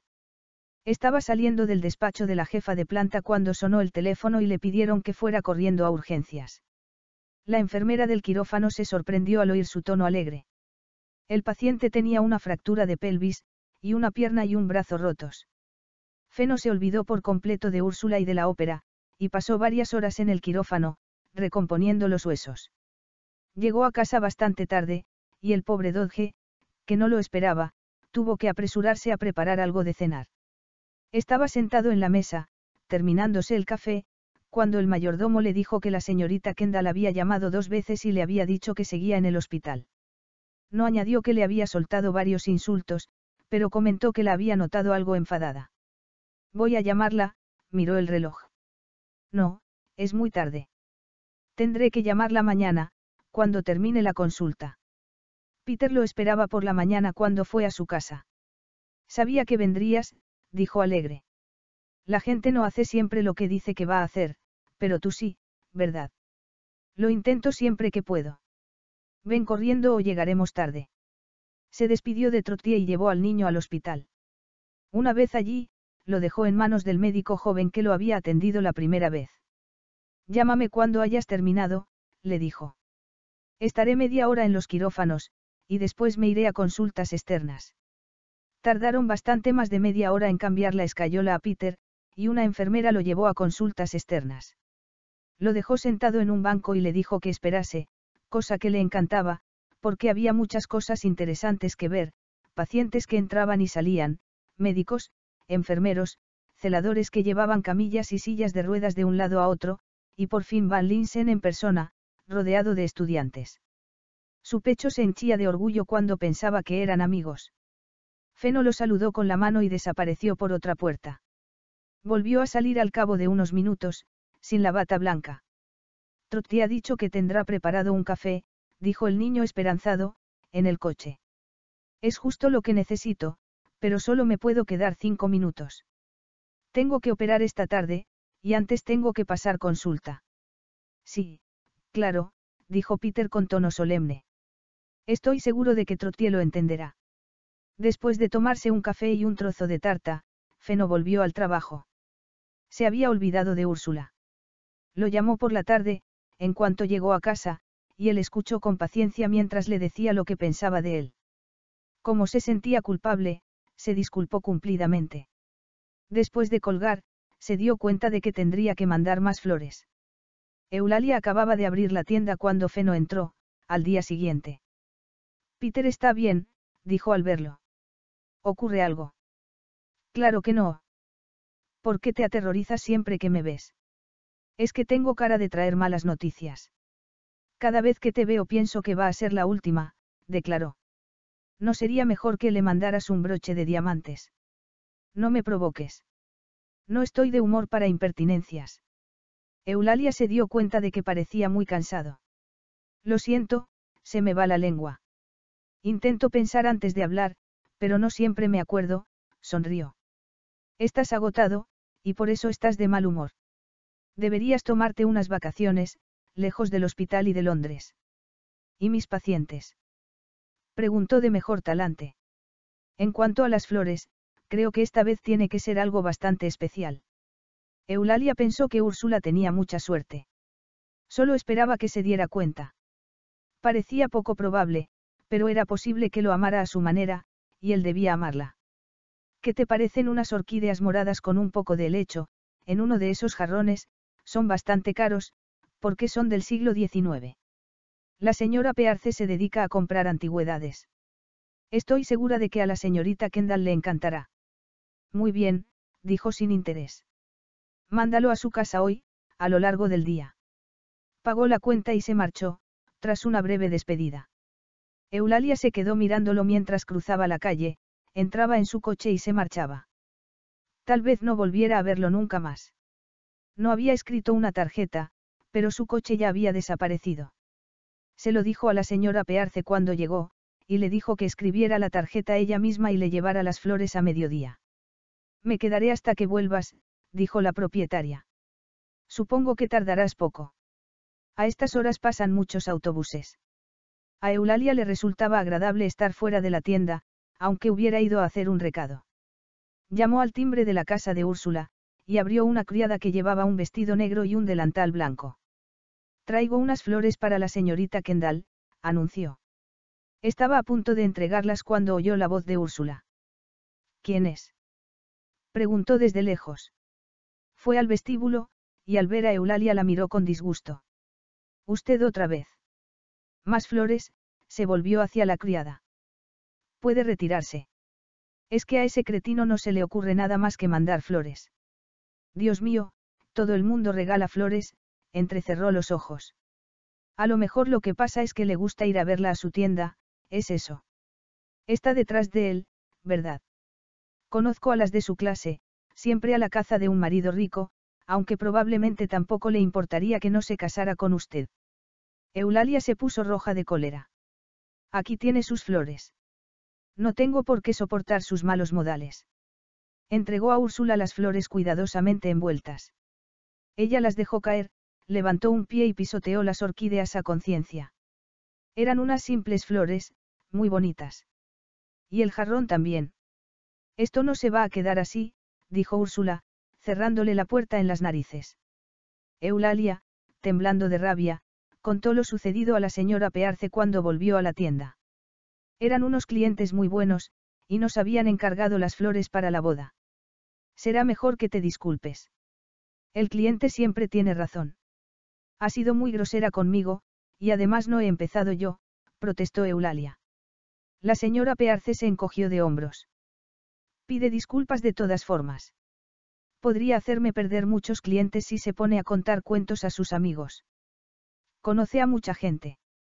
Lo siento, señora Pearce, dijo Eulalia con voz tensa. Cuando volvió a casa, después de que Peter se fuera a la cama, contó a Trottier lo sucedido. La señora Pearce se ha enfadado conmigo porque no quiero pedir disculpas a esa mujer, pero para empezar no tengo nada de qué disculparme, y para seguir, ¿cómo se ha atrevido a decirme algo así? No te disculpes, ocurra lo que ocurra. Y ocurrió. El jueves, cuando Eulalia fue al trabajo, se encontró con una carta de despido. Siento mucho que te vayas, le dijo la señora Pearce, pero no puedo arriesgarme a perder negocio. Te daré buenas referencias, y supongo que no te costará mucho encontrar otro trabajo. ¿Por qué no reflexionas y le pides disculpas? No, señora Pearce. La señorita Kendall fue excesivamente grosera, y es ella la que debería disculparse. Desgraciadamente, tiene el dinero y la influencia de su parte. La señora Pearce parecía incómoda. Si pudieras pasarlo por alto. Comenzó. La expresión de Eulalia le impidió seguir hablando. Trottier se tomó la noticia con mucha calma. Hiciste lo que tenías que hacer, así que no te arrepientas. Ya hemos pasado momentos difíciles otras veces, y los hemos superado. Encontrarás otro trabajo. ¿Cuánto dinero hay en el banco? Pasaron varias horas haciendo cuentas y planes. El dinero de la escolarización de Peter estaba a salvo en el fondo fiduciario. Tendrían que reducir su ya apretado presupuesto hasta que Eulalia encontrara otro trabajo. Durante la semana que le quedaba en la tienda no podía buscar trabajo, y no se atrevía a pedir tiempo libre para visitar las floristerías que pedían personal. Se fue a casa el sábado por la tarde, con la última nómina en el bolsillo, asustada y desafiante a la vez. Como había dicho Trottier, habían superado tormentas peores. No se lo había dicho a Peter, y no pensaba decírselo hasta que hubiera encontrado otro trabajo. Pasó la semana siguiente buscando un puesto parecido. Tenía buenas referencias, y había bastante oferta. Escribió cartas, hizo llamadas telefónicas e incluso recorrió grandes trechos en autobús con la esperanza de encontrar algo, pero la suerte estaba en contra suya. Siempre era demasiado joven, o demasiado mayor, o vivía demasiado lejos. Al final de la semana siguiente, encontró un trabajo consistente en hacer encuestas por la calle para una nueva marca de detergente, parando a los transeúntes e interrogándolos sobre las marcas rivales. Era un trabajo arduo y desagradecido. Los hombres no sabían nada de limpieza, las amas de casa atareadas no tenían tiempo para detenerse, las jóvenes se disculpaban con una sonrisa, y las ancianas la miraban con desconfianza. Además, acababa con los pies destrozados y llovía todo el tiempo, pero se alegraba de tener algo. Le habían asignado la zona de Southampton Row y Bloomsbury Bay. El agente que la había contratado había decidido que era atractiva y tenía un estilo clásico, por lo que sería apropiada para aquel vecindario. En su último día de trabajo estaba desesperada, con el bloc de notas y el bolígrafo en la mano, mirando a su alrededor en busca de alguien a quien preguntar, cuando Van Linsen pasó por allí. Deceleró el coche para ver qué estaba haciendo, y vio que se acercaba a una mujer que se detuvo brevemente, la miró con desdén y siguió andando. Se detuvo junto a la acera y siguió mirándola, sin fijarse en el guardia de tráfico que se acercaba a él. Eulalia había parado a otra mujer, al parecer con más éxito, porque estaba tomando notas mientras la mujer hablaba. El guardia dio unos golpecitos a la ventanilla del coche, pero en aquel momento vio la pegatina de médico de servicio y se marchó, dejándolo en libertad para seguir observando. No entendía qué hacía Eulalia tan lejos de la floristería, y por qué hacía aquello. Puso el coche en marcha y siguió. Ya llegaba tarde a la consulta. Tardó dos días más antes de poder volver a la tienda. Lo saludó una chica delgada, que contrastaba con la voluptuosidad de Eulalia. ¿Está la señorita Barburton? Preguntó. La señora Pearce salió de la trastienda. Quería ver a Eulalia. Lo siento, pero he tenido que despedirla. Una de mis mejores dientas se quejó por su grosería. A veces se iba de la lengua, pero es una buena trabajadora. No sería esa dienta por casualidad la señorita Kendall, mi prometida. La señora Pearce, intuyendo la posibilidad de un pedido importante, se apresuró a contestar. Sí, lo siento muchísimo, y le pido disculpas por la grosería de Eulalia. ¿Quiere comprar flores hoy? No, gracias, contestó con frialdad. Solo quería hablar con la señorita Barburton. Volvió al coche. Tenía mucho trabajo por la tarde, y no podría ir a buscar a Eulalia hasta la noche, pero tenía tiempo de ir a ver a Úrsula antes de ir al hospital. Estaba en casa, preparándose para salir a comer con unos amigos. Feno. Qué bien. ¿Tienes tiempo? Los Abbott me han invitado a comer, y estoy segura de que no les importará que me acompañes. ¿Has traído el coche? Estupendo, así no tendré que tomar un taxi, se detuvo y lo miró. ¿Qué te pasa? Pareces enfadado, pero espero que no sea conmigo. Pues sí, estoy enfadado contigo. Sabes que por culpa de tu queja sobre Eulalia en la floristería la han echado del trabajo. ¿Qué pasó exactamente? Oh, cariño, tanto lío por nada. Una chica tan impertinente. ¿Cuál fue su impertinencia, exactamente? Úrsula se encogió de hombros. La verdad es que no me acuerdo, y fue tan patosa que se me cayeron las flores y el jarrón, le puso la mano en el brazo. No te preocupes, Feno. Vámonos. Tengo trabajo, dijo mirándola con dureza. Ya estoy a punto de llegar tarde. Nos veremos alguna vez. Un minuto después, Úrsula se encogió de hombros y ordenó a la criada que pidiera un taxi. Tendría que mostrarse especialmente encantadora con él para que volviera a ser el feno paciente y tolerante de costumbre. No le daban miedo las rivales. Cuando estaba a punto de marcharse, Feno tuvo que volver al quirófano por una urgencia, y cuando llegó a su casa era muy tarde. Dodge, más cari acontecido que de costumbre, le sirvió la cena y le comentó que la señorita Kendall había llamado dos veces. También le recordó que necesitaba un poco de descanso. Mañana por la mañana no tengo que ir al hospital, le dijo. Me quedaré a repasar los papeles. Dodge sacudió la cabeza con tristeza y se fue a buscar el café. Por lo menos, su jefe no había expresado ningún deseo de llamar a la señorita Kendall. Feno desayunó a la hora acostumbrada, pasó una hora en el despacho y después, dijo a Dodge que volvería a comer y salió.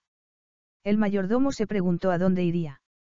Se había dado cuenta de que estaba enfadado, aunque no lo hubiera hecho notar. Feno se detuvo en Cromwell Road, delante de la casa de Eulalia. Llamó a la puerta y esperó con impaciencia. Trotty abrió al cabo de un momento. Oh, es un placer verlo por aquí. ¿Quiere pasar? Disculpe el desorden, pero estaba limpiando. ¿Qué ha pasado, señorita Trot? Preguntó tomando sus manos. El otro día vi a Eulalia haciendo encuestas por la calle. Fui a la floristería y me dijeron que la habían echado. Ya me han contado una versión de lo sucedido, y ahora quiero oír la otra. Voy a preparar un café y se lo contaré, prometió, invitándolo a entrar. Lali ha salido a buscar trabajo. Lo de las encuestas era solo por una semana. Le diré por qué la han echado, aunque tal vez no deba, porque se puede enfadar. Feno bebió un trago de café. Se dio cuenta de que no había pastel. No me enfadaré, se lo prometo. Bueno, no sé qué dirá Lali cuando se lo cuente. Se dijeron cosas sobre usted y ella, y fue su prometida la que las dijo. Feno sonrió. Si es lo que sospecho, necesito saberlo. Es algo que Eulalia no me contaría aunque se lo pidiera. Creo que no se lo diría por nada del mundo. Estaba tan enfadada. Trottier le contó lo ocurrido tal y como Eulalia se lo había relatado a ella. Como comprenderá, concluyó, no iba a disculparse por algo que no había hecho ella. Por supuesto que no. Siento que esto haya ocurrido, y tal vez sea mejor que no le digamos nada a Eulalia. Olvidaré que me lo ha contado, así que no tiene por qué saberlo, sonrió divertido, y lo más gracioso es que ni siquiera me soporta. Trottier contestó. En ocasiones era mejor no intervenir. Perdone que se lo pregunte, pero tienen suficiente para subsistir hasta que Eulalia encuentre otro trabajo. Bueno, el dinero de Peter está a salvo. Está en una especie de cuenta bancaria. La verdad es que no lo entiendo muy bien. Hemos cortado los gastos en la medida de lo posible, pero nunca pudimos ahorrar demasiado. Es muy amable por interesarse, pero no podría aceptar nada de usted, ¿lo entiende? Sí, señorita Trot. Claro que lo entiendo. Un plan ridículo se estaba formando en su cabeza. Era una pena que no tuviera tiempo para examinarlo. Se levantó, se despidió de Trottier con un beso y se marchó. Cuando volvía a casa se echó a reír. La idea era tan descabellada que podía funcionar. Capítulo 4. No pudo seguir planeando su idea hasta muy tarde, cuando terminó el trabajo y estaba en su casa, repasando una ponencia que tenía que presentar en un congreso en poco tiempo. Dejó el bolígrafo en la mesa y se reclinó en la silla, dejando vagar su pensamiento. Abrió la agenda y la estudió cuidadosamente. Con unos pocos ajustes, conseguiría tener un fin de semana entero libre. El viernes por la tarde dijo a Dodge que iba a pasar el fin de semana fuera. Muy bien, dijo el mayordomo, que parecía más infeliz que nunca. Va a irse con la señorita Kendall. Con la señorita Kendall. Repitió sorprendido. No, nada de eso. Me voy a los Costuolds. El sábado por la mañana partió muy temprano y condujo hasta Malmesbury, donde se detuvo para preguntar el camino. Después siguió por carreteras secundarias hasta encontrar el pueblo que buscaba. Brokenbell era bastante grande. Tenía una calle principal, un montón de casas y tiendas, y una antigua iglesia. Se detuvo frente a un bar, entró a tomar un café y preguntó si podía pasar la noche en la pensión del piso superior. El propietario le dijo que tenían una habitación libre y podía ocuparla. Viene de lejos, ¿verdad? De Londres. Estoy buscando a alguien, y no sé por dónde empezar. Aquí vivió una familia que creo que se apellidaba Barburton, y me gustaría ponerme en contacto con su abogado. ¿Sabe quién podría ayudarme? Pruebe a preguntar a la señora Tagge, que trabaja en la oficina de correos. Supongo que ella lo sabrá, porque ve todas las cartas. Van Linsen le dio las gracias, le dijo que volvería en un momento y cruzó la calle para ir a la oficina de correos. La señora Tagge era una anciana que no oía muy bien, pero le dio la información que buscaba. Es un abogado muy bueno, le aseguró. Eso tengo entendido. Muchas gracias, señora Tagge. Volvió al bar, buscó en la guía el número de teléfono del abogado y llamó. Cabía la posibilidad de que hubiera alguien el sábado por la mañana. En efecto, el abogado respondió al teléfono personalmente. Ahora mismo me iba a casa a pasar el fin de semana, le dijo. Si quiere verme, tendrá que ser algo muy urgente. Feno no desperdició palabras. Tengo entendido que usted era el abogado de la familia Barburton. Conozco a la señorita Barburton. Está atravesando un mal momento y me gustaría ayudarla, puesto que soy responsable en cierto modo de lo ocurrido. Necesito su ayuda. El señor Willy adoptó un tono más amable. Eulalia. Sí, por supuesto que lo recibiré, señor. No he entendido bien su apellido. Van Linsen. ¿Cuándo le viene bien? El lunes a las 8 de la mañana tengo que estar en Londres. Me alojo en el Boy Andor Sesoe. Puede venir esta tarde a mi despacho. A las dos en punto. Tiene la dirección. Muy bien. Debo advertirle que no tengo por costumbre hacer estas cosas, pero Eulalia es una joven encantadora y supongo que no habrá tenido una vida muy agradable desde que se fue de Brokenbell. Feno confirmó sus sospechas, se despidió del abogado y fue a comer. Después se fue a su habitación, que era espaciosa y con vistas al jardín, se puso una chaqueta ligera y fue a Cirencester, una localidad situada a algo más de 10 kilómetros. El señor Willett era un hombre de edad avanzada, muy serio. Le estrechó la mano y volvió a recordarle que no tenía por costumbre recibir a nadie los sábados por la tarde, pero que lo hacía por Eulalia. ¿Es usted amigo suyo? La verdad es que nos conocemos muy poco, pero soy muy amigo del pequeño Peter. Ah, sí, el niño que perdió a sus padres. Muy triste. Eulalia vino inmediatamente en su rescate, sin pensárselo dos veces. Antes de seguir, puedo preguntarle por qué desea ayudarla. Como le he dicho, soy el responsable indirecto de que haya perdido su trabajo. Peter se rompió un brazo hace poco, y yo lo he estado cuidando. Fue la señorita Trot la que me contó que están pasándolo mal. Por supuesto, Trottier. Una gran mujer. Se fue con Eulalia. ¿Es usted su médico? No, soy traumatólogo en un hospital. Así conocí a Peter. Ya veo.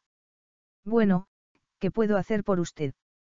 Esto le puede parecer bastante fuera de lo común, pero si me escucha. Dos horas después estaba en el bar, tomándose un té y comiéndose un trozo de pastel. Mi mujer es una cocinera excelente. Espero que le guste la merienda. Feno estaba satisfecho con el trabajo del día, y la merienda le supo a gloria. El día siguiente comprobó sorprendido que la gente estaba deseando hacer negocios con él si ofrecía pago al contado. El agente inmobiliario de Malmesbury se apresuró a atenderlo, a pesar de que también insistió en que nunca trabajaba los fines de semana. Ya había decidido mucho tiempo atrás que jamás conseguiría vender la casa que aquel hombre quería comprar, a no ser que encontrara a un estúpido que no tuviera ni idea de lo que costaría reformarla. Aunque aquel hombre no parecía ningún estúpido. Aún así, el negocio era el negocio. Cerró el acuerdo con la mayor rapidez posible y se guardó el cheque de Van Linsen antes de que cambiara de opinión. Feno sonrió para sí y volvió a Londres. Podía dejar el resto del asunto en manos del señor Willett. Dodge observó su mirada de satisfacción. ¿Ha tenido un buen fin de semana? Preguntó. Muy bueno, gracias. Se puso a mirar los mensajes que tenía en la mesa. No había nada que requiriese su atención inmediata, de modo que se fue a su estudio con la agradable perspectiva de una tarde tranquila y una de las magníficas comidas de Dodge. El teléfono sonó justo cuando se sentaba. Era Úrsula, que quería saber dónde había estado. Y no me digas que tenías trabajo, porque en el hospital me han dicho que no te han visto en dos días. Es cierto. He salido de Londres por un asunto de negocios. ¿Qué negocios? No necesitas preocuparte por algo tan aburrido como los negocios. Úrsula rió. Tienes razón. He pasado un día muy agradable en el campo, en casa de los Tornefold. La ciudad es muy aburrida en esta época del año. No podrías tomarte unas vacaciones. Podríamos pasar una semana o dos en las Bahamas. Los Tornefold me han dicho que nos prestan cuando queramos la casa que tienen allí. Podríamos estar solos. Feno no tenía ningún deseo especial de estar a solas con Úrsula. No puedo tomarme unas vacaciones, y mucho menos durante una o dos semanas. Tengo la agenda llena a rebosar, y además, volveré a Holanda dentro de una semana, aproximadamente. Puedes venir conmigo, si quieres. No digas tonterías. Holanda será tan aburrida como Londres, o puede que peor. No comen nada más que salchichas y queso. Feno pasó por alto el comentario.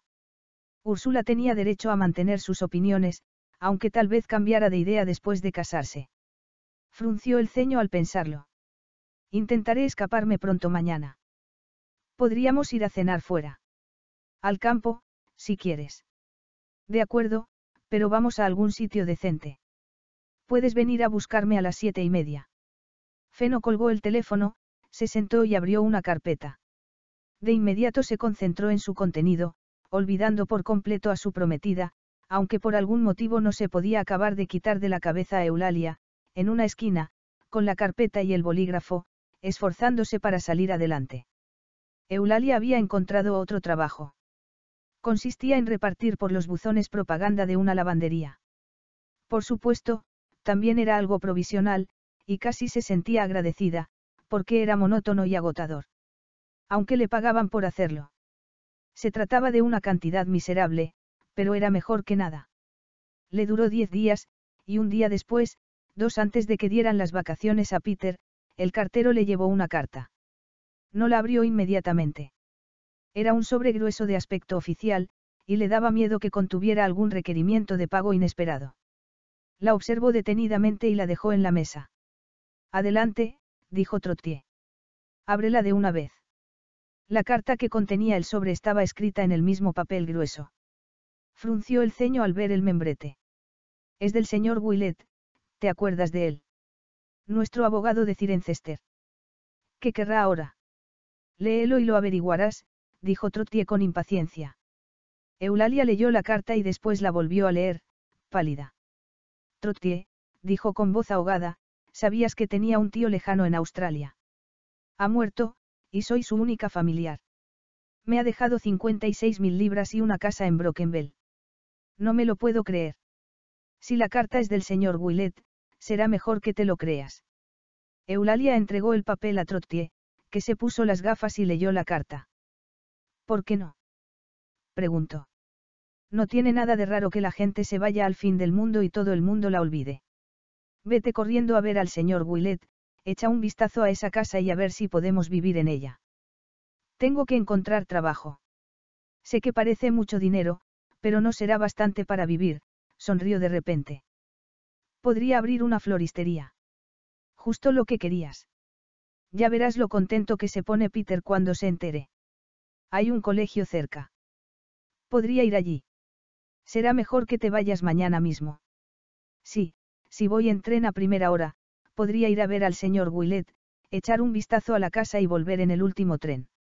Cuando esperaba a Peter en la puerta del colegio se preguntaba qué diría cuando se lo dijera.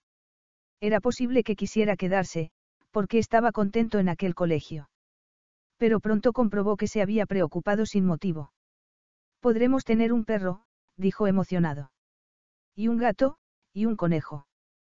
¿Tiene jardín la casa? No lo sé, pero supongo que sí. Mañana iré a verla. Si es habitable, creo que nos mudaremos muy pronto. ¿Se lo vas a decir a Feno? Preguntó el niño. Querrá enterarse. Es amigo mío, y me echará de menos. Está muy ocupado. Cuando sepamos que nos vamos a mudar, puedes escribirle una carta para decírselo y darle las gracias por todo lo que ha hecho por ti, ¿te parece bien? Sí, supongo que sí, aunque me gustaría despedirme de él. Seguro que quiere venir a vernos antes de que nos vayamos. Si tiene tiempo. Por supuesto, no iría a verlos. Era un hombre muy ocupado, y además, tenía a Úrsula y llevaba su propia vida. No podía dedicar los ratos libres a unos desconocidos. A la mañana siguiente tomó el primer tren a Cirencester, y cuando llegó fue directamente al despacho del señor Willett. El abogado la saludó con alegría, y le aseguró que en efecto era la propietaria de Ivy en Brokenbell, y de la suma de 56 mil libras y pico, que se encontraban depositadas en un banco. Por supuesto, si necesitas un adelanto, te prestaré el dinero con mucho gusto. Es posible que tengas bastantes gastos. Te lo agradecería mucho. Me he quedado sin trabajo, y estamos en apuros. Si la casa es habitable, quiero mudarme cuanto antes. Peter puede empezar a ir a Gormer a principio del curso que viene, si lo admiten, y voy a abrir una floristería. Es posible que consiga ganarme la vida. Buena medida, dijo Willett. La invitó a tomar un café, le dio las llaves de la casa y le propuso que fuera a Brokenbell en taxi después de ir al banco. Es una extravagancia, dijo sonriente, pero por una vez creo que te lo puedes permitir. Eulalia, con dinero en el bolso, salió del taxi y se quedó en la acera, mirando su propiedad. Era una casa baja, que se encontraba en el centro del pueblo. La pared exterior daba a un estrecho camino que acababa en el campo. La casa parecía sólida, aunque destartalada, con una puerta en el centro, una ventana a cada lado y tres ventanas más estrechas arriba. La puerta estaba al nivel de la calle. Después de dudar brevemente, introdujo la llave en la cerradura y entró. No había vestíbulo. La puerta daba directamente a un salón, con las paredes cubiertas de papel pintado descolorido y una gran chimenea. La puerta del otro lado daba a la cocina, que tenía un antiguo fogón de gas y un fregadero de loza blanca. La puerta trasera daba al jardín. Salió a echar un vistazo. Estaba muy descuidado, pero era bastante grande, con manzanos al final y rodeado de una valla de ladrillo. Suspiró encantada. Peter podría tener por fin su cachorro. Volvió a entrar en la casa y abrió la segunda puerta del salón. Daba a otra habitación, con una chimenea igual que la primera, un banco de obra junto a la ventana y una puerta entreabierta por la que se veía una estrecha escalera. Subió lentamente y comprobó que era bastante sólida. Arriba había un distribuidor con tres puertas. Las habitaciones eran pequeñas, pero las vistas eran preciosas. No había cuarto de baño, pero podía instalarlo. Salió a la calle principal y se dirigió a un taller. El hombre que le abrió la puerta era joven, bajo y robusto. ¿Qué ven mis ojos? Lali en persona. Así que sigues viva, ¿eh? Hola, Jacob, le estrechó la mano. Quería ver si tu padre puede hacer un trabajo para mí. Murió hace dos años. Ahora llevo yo el negocio. ¿Qué quieres? Vaya, lo siento mucho. He heredado y bicotaje, y quiero venirme a vivir al pueblo. No puedo gastar mucho dinero, pero quiero pintar la casa e instalar un cuarto de baño. ¿Podrías hacerlo tú? Claro que sí. Ahora mismo voy contigo y te doy un presupuesto. Pasaron un buen rato estudiando la casa.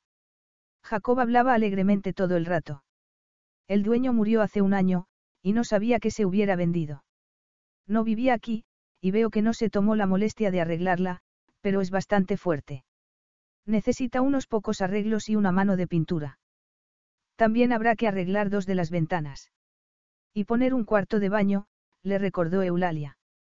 Bueno, para eso hace falta solicitar un permiso, pero lo concederán sin problemas. Creo que lo mejor sería instalarlo en la parte de atrás, quitando un poco de espacio al jardín.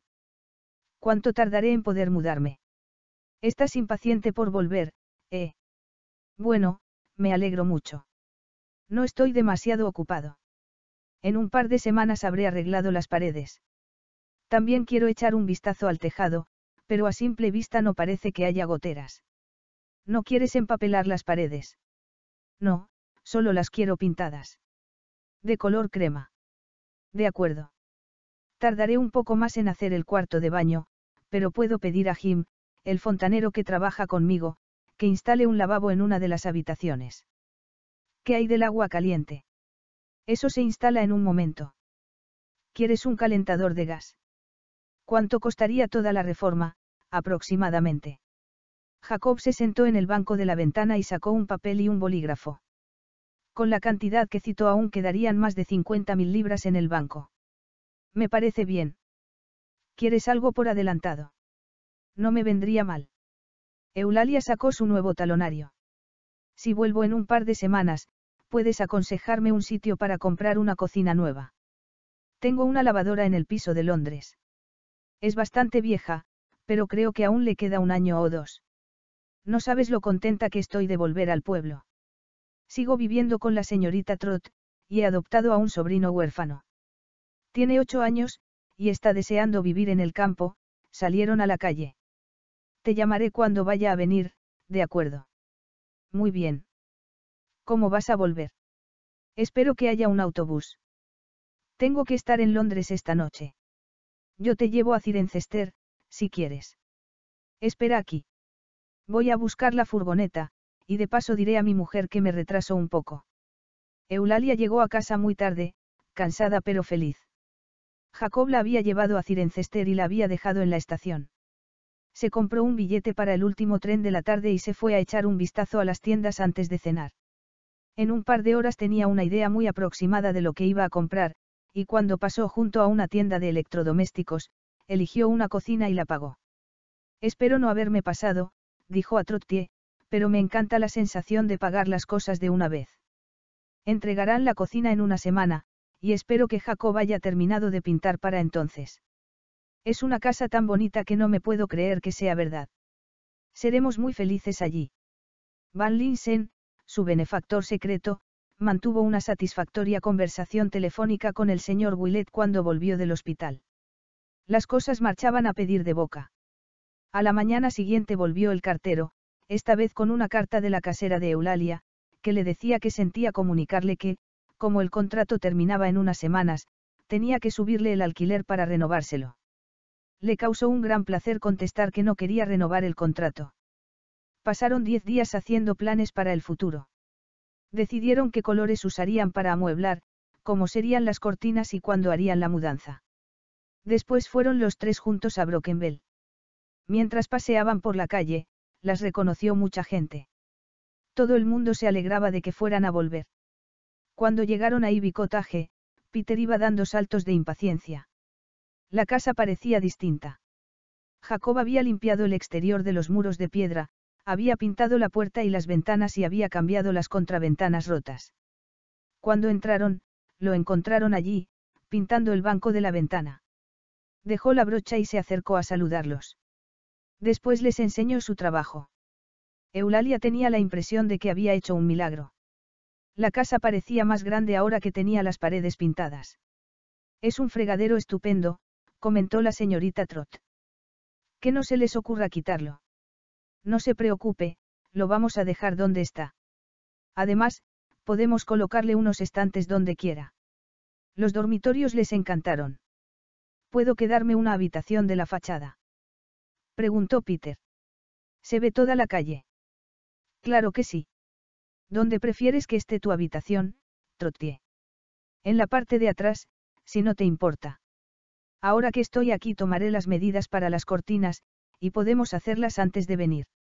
Sacó una cinta métrica y un cuaderno, y Eulalia se llevó a Peter al jardín. El niño guardó silencio durante un rato y luego la miró. Sí, cariño, en cuanto nos hayamos instalado, tendrás un cachorro. Peter la abrazó, emocionado. Y un gato y un conejo. De acuerdo. ¿Te gustan los animales, eh? Nuestra gata ha tenido gatitos. Estoy seguro de que estarán preparados para irse de casa cuando vengáis, se sacó unos papeles del bolsillo. Ya tengo el permiso para instalar el cuarto de baño. Me lo han concedido muy deprisa. Mira estos planos, a ver qué te parece. Lo haremos muy deprisa, pero saldrá un poco más caro. Creo que lo mejor es que el exterior sea de la misma piedra que el resto de la casa. El fontanero vendrá en cuanto estén hechas las paredes, y empiezo mañana. Ya está instalada el agua caliente. Si no os importa usar el servicio del jardín durante un par de días, podéis venir a vivir aquí cuando queráis. Eulalia asintió. Creo que vendremos dentro de cuatro o cinco días. Solo faltan la cocina y la lavadora. Prometieron que traerían la cocina el lunes. ¿Vas a estar aquí? Claro que sí. Necesitarás más dinero, dijo sacando de nuevo el talonario. Salió a explorar el jardín con Peter, y descubrieron varios rosales escondidos, un arbusto de peonías y un montón de matas de fresas. También había dos manzanos, y un ciruelo cargado de fruta. El muro de ladrillo también era sólido, aunque demasiado alto para que Peter viera por encima. El jardín daba al sur, y Eulalia pensó que en primavera estaría precioso, con narcisos y jacintos por todas partes. Peter rodeó su cintura con los brazos. Creo que vamos a estar muy bien aquí, ¿no crees, tía Lali? Sí, desde luego que sí. Podíamos invitar a Feno a venir. Estoy seguro de que prefiere estar aquí antes que en Londres. Bueno, no estoy muy segura. Él lleva una vida distinta. Es un cirujano famoso, tiene muchos amigos y se va a casar pronto. Dudo que tenga tiempo. Pero estoy segura de que le gustará que le mandes una carta, se apresuró a añadir al ver que a Peter le empezaba a temblar el labio inferior. De acuerdo. ¿Me ayudarás a escribirla? Nada de eso. Estoy segura de que puedes escribirla muy bien sin ayuda. Volvieron a Londres por la noche, cansados y felices, y al día siguiente, Eulalia fue a Oxford Street a comprar tela para las cortinas. La casa tenía muchas ventanas, aunque bastante pequeñas. Encontró bastantes retales baratos y volvió a casa con ellos. Trottier y ella se pusieron a cortar y coser rápidamente, y cuando terminaron ya era hora de empezar a empaquetar. Era el último día. El camión de la mudanza estaba lleno, y la casa vacía. Eulalia cerró la puerta por última vez e intentó olvidar la estúpida idea de que le habría gustado ver a Van Linsen una vez más. Aún no sabía si le caía bien o no, pero había sido muy amable con ellos. Además, lo sentía por Peter, que no había perdido la esperanza de verlo aparecer al volante de su Bentley. Pero ni siquiera había llamado, ni había escrito. Se dijo que no resultaba extraño que pasara por alto la carta de un niño entre el montón de correo que debía recibir, pero no le dijo nada a Peter. Los dos se habrían sentido mucho mejor si hubieran sabido que Feno estaba en Holanda, asesorando a unos compañeros sobre un infrecuente tumor óseo. Llevaba en el bolsillo la carta de Peter, pero nunca encontraba un rato para contestar. Hizo la operación, se quedó el tiempo suficiente para asegurarse de que el paciente se iba a recuperar, y volvió a Inglaterra cuatro días después de que Eulalia se hubiera mudado a Brokenville.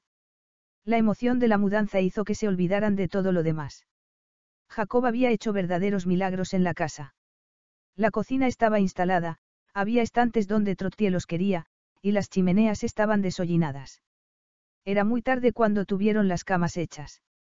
La vieja alfombra de la otra casa estaba en el salón, y habían sacado los artículos imprescindibles. Se sentaron en la mesa de la cocina a cenar unos bocadillos antes de mandar a Peter a la cama. ¿Cuándo podré bañarme? preguntó. Mañana. Iremos al Boy Andorsesoe. Jacob dice que el dueño nos dejará bañarnos allí hasta que tengamos nuestro propio cuarto de baño. Más tarde, Eulalia fue a inspeccionar la extensión que habían construido para el cuarto de baño. Era pequeña, con el espacio imprescindible, pero era todo lo que necesitaban para que la casa fuera perfecta. A la mañana siguiente colgaron las cortinas, colocaron los muebles y limpiaron hasta que Trottier quedó satisfecha. Después de que Peter colocara sus cosas en el armario de su dormitorio, fueron al jardín y pasaron una hora recogiendo la basura. Tengo que comprar herramientas de jardinería, comentó Eulalia. El sábado hay un mercadillo de segunda mano, comentó Jacob. ¿Te acuerdas del viejo Bob? Se dedica a estas cosas, y puede quitar las malas hierbas en un día. De verdad. Sigue viviendo en Waterlane. Iré a verlo. Fueron a la pensión a bañarse y a comer, y después Trottier volvió a la casa, y Eulalia se fue con Peter a ver a Bob. Ya me habían dicho que vuelves al pueblo. Muchos nos acordamos aún de tu abuela y de ti. Así que estás en Ibicotaje, ¿eh? Es una casa muy bonita. Me pasaré cuando quieras para echarte una mano con el jardín. Está muy descuidado, pero estoy seguro de que lo vas a dejar precioso. Si me ayudas a despejarlo, te aseguro que lo dejaré impecable. Hay varias cosas interesantes entre las malas hierbas. Boba sintió. Sí, recuerdo un par de manzanos. Y un ciruelo, y varias matas de fresas. Los dos asintieron entusiasmados. En dos días estaban prácticamente instalados, con cortinas en las ventanas, los muebles colocados en los lugares definitivos y los armarios llenos. Además, el cuarto de baño estaba terminado. Eulalia lo inspeccionó con orgullo. Sentía no poder alicatarlo de momento, pero ya había sobrepasado el presupuesto de la reforma. Se prometió que iría a Cirencester a comprar toallas de colores y una alfombrilla para alegrarlo un poco. Pagó a Jacobi al fontanero y se sentó a contar el dinero que le quedaba. Aún le sobraba un poco sin tocar las 50.000 libras que tenía en el banco. En una semana o dos, cuando se hubiera encargado de los asuntos más importantes, como el de tramitar la matrícula de Peter, pediría a Jacob que la ayudara a convertir el viejo cobertizo que había en el jardín en un sitio medianamente decente, donde pudiera instalar su floristería. La vida estaba llena de posibilidades. Trottier estaba feliz, renovando viejas amistades, y Peter estaba en el séptimo cielo. En cuanto a ella, también era feliz. Se sorprendió deseando poder contar a Van Linsen lo feliz que era. Su deseo se iba a convertir en realidad. Van Linsen, de vuelta en casa, se sumergió en el trabajo. Pasaba largas horas en el quirófano, y cuando tenía un rato, veía a los pacientes que había tenido que dejar en manos de otros compañeros para irse a Holanda. Cuando terminó con el trabajo atrasado, se permitió volver a pensar en Eulalia. Por supuesto, ya se habría mudado. Llamó al señor Willet, que le confirmó que estaba instalada en Ibicotaje. Ha dejado la casa preciosa. Sabe exactamente lo que quiere. Se parece mucho a su abuela. Úrsula, al comprobar que su prometido seguía empeñado en concentrarse en el trabajo, había ido al sur de Francia con unos amigos, de modo que era libre para ir a pasar unos días a Brokenbell. Tenía que explicar a Peter por qué no había contestado a su carta, y además tenía un regalo para él. Partió una mañana soleada. El tráfico era denso, porque estaban a sábado, pero llegó a Ibicotaje poco después de las 10 de la mañana. Peter, que estaba mirando por la ventana de su dormitorio, lo vio llegar y corrió escaleras abajo. Está aquí, tía Lali. Gritó. Sabía que vendría. Abrió la puerta de la casa y se lanzó a los brazos de Feno. Eulalia no pudo evitar mirarse en el espejo de la cocina y sentir tener tan mal aspecto, pero solo tenía tiempo para apagar la plancha e ir a su encuentro. Buenos días. Dijo con tono agradable. Hola, Eulalia, Feno se inclinó para besarla en la mejilla. ¿Cómo has sabido dónde estábamos? Me han dado la dirección en tu casa antigua.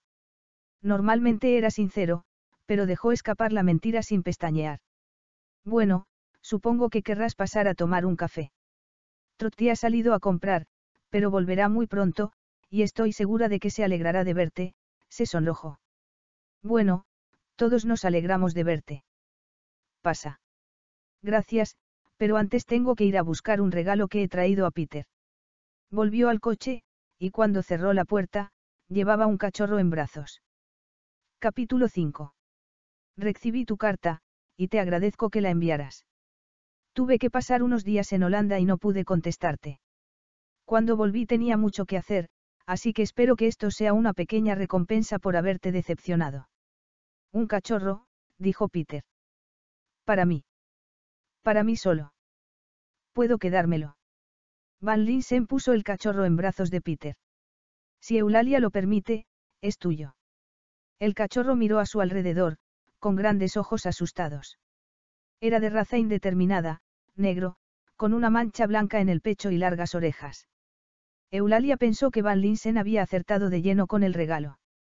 Otras personas habrían sido capaces de regalar un perro con pedigrí, en un gesto algo snob, en cambio, aquel hombre sabía exactamente qué tipo de perro desearía un niño. Por supuesto que puedes quedártelo, dijo. Muchas gracias. Es exactamente el perro que habría escogido. ¿Cómo se llama? Aún no tiene nombre. He pensado que sería mejor que lo decidiera el niño. He traído su cesta, y un libro para que sepáis cómo alimentarlo y cuidar de él. Van Linsen estaba de pie en la puerta, así que Eulalia se apresuró a decir. Por favor, entra. Gracias. Podría tomar un café. Aunque ahora que lo pienso, iré a buscar la cesta antes que nada. Cuando volvió a la casa llevaba una bolsa. No sabía si podríais comprar la comida de perros adecuada, así que he traído un saco de pienso.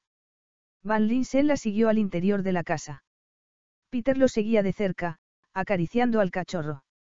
Trottier, que regresaba de hacer la compra, llegó pocos segundos más tarde.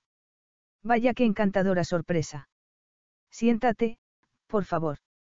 El café estará enseguida, y de paso, un pedazo de tarta. Van Linsen besó a Trottier en la mejilla y dijo. Tan encantadora como la bienvenida. Eulalia se ruborizó al pensar que tal vez había sido un poco fría con el recién llegado.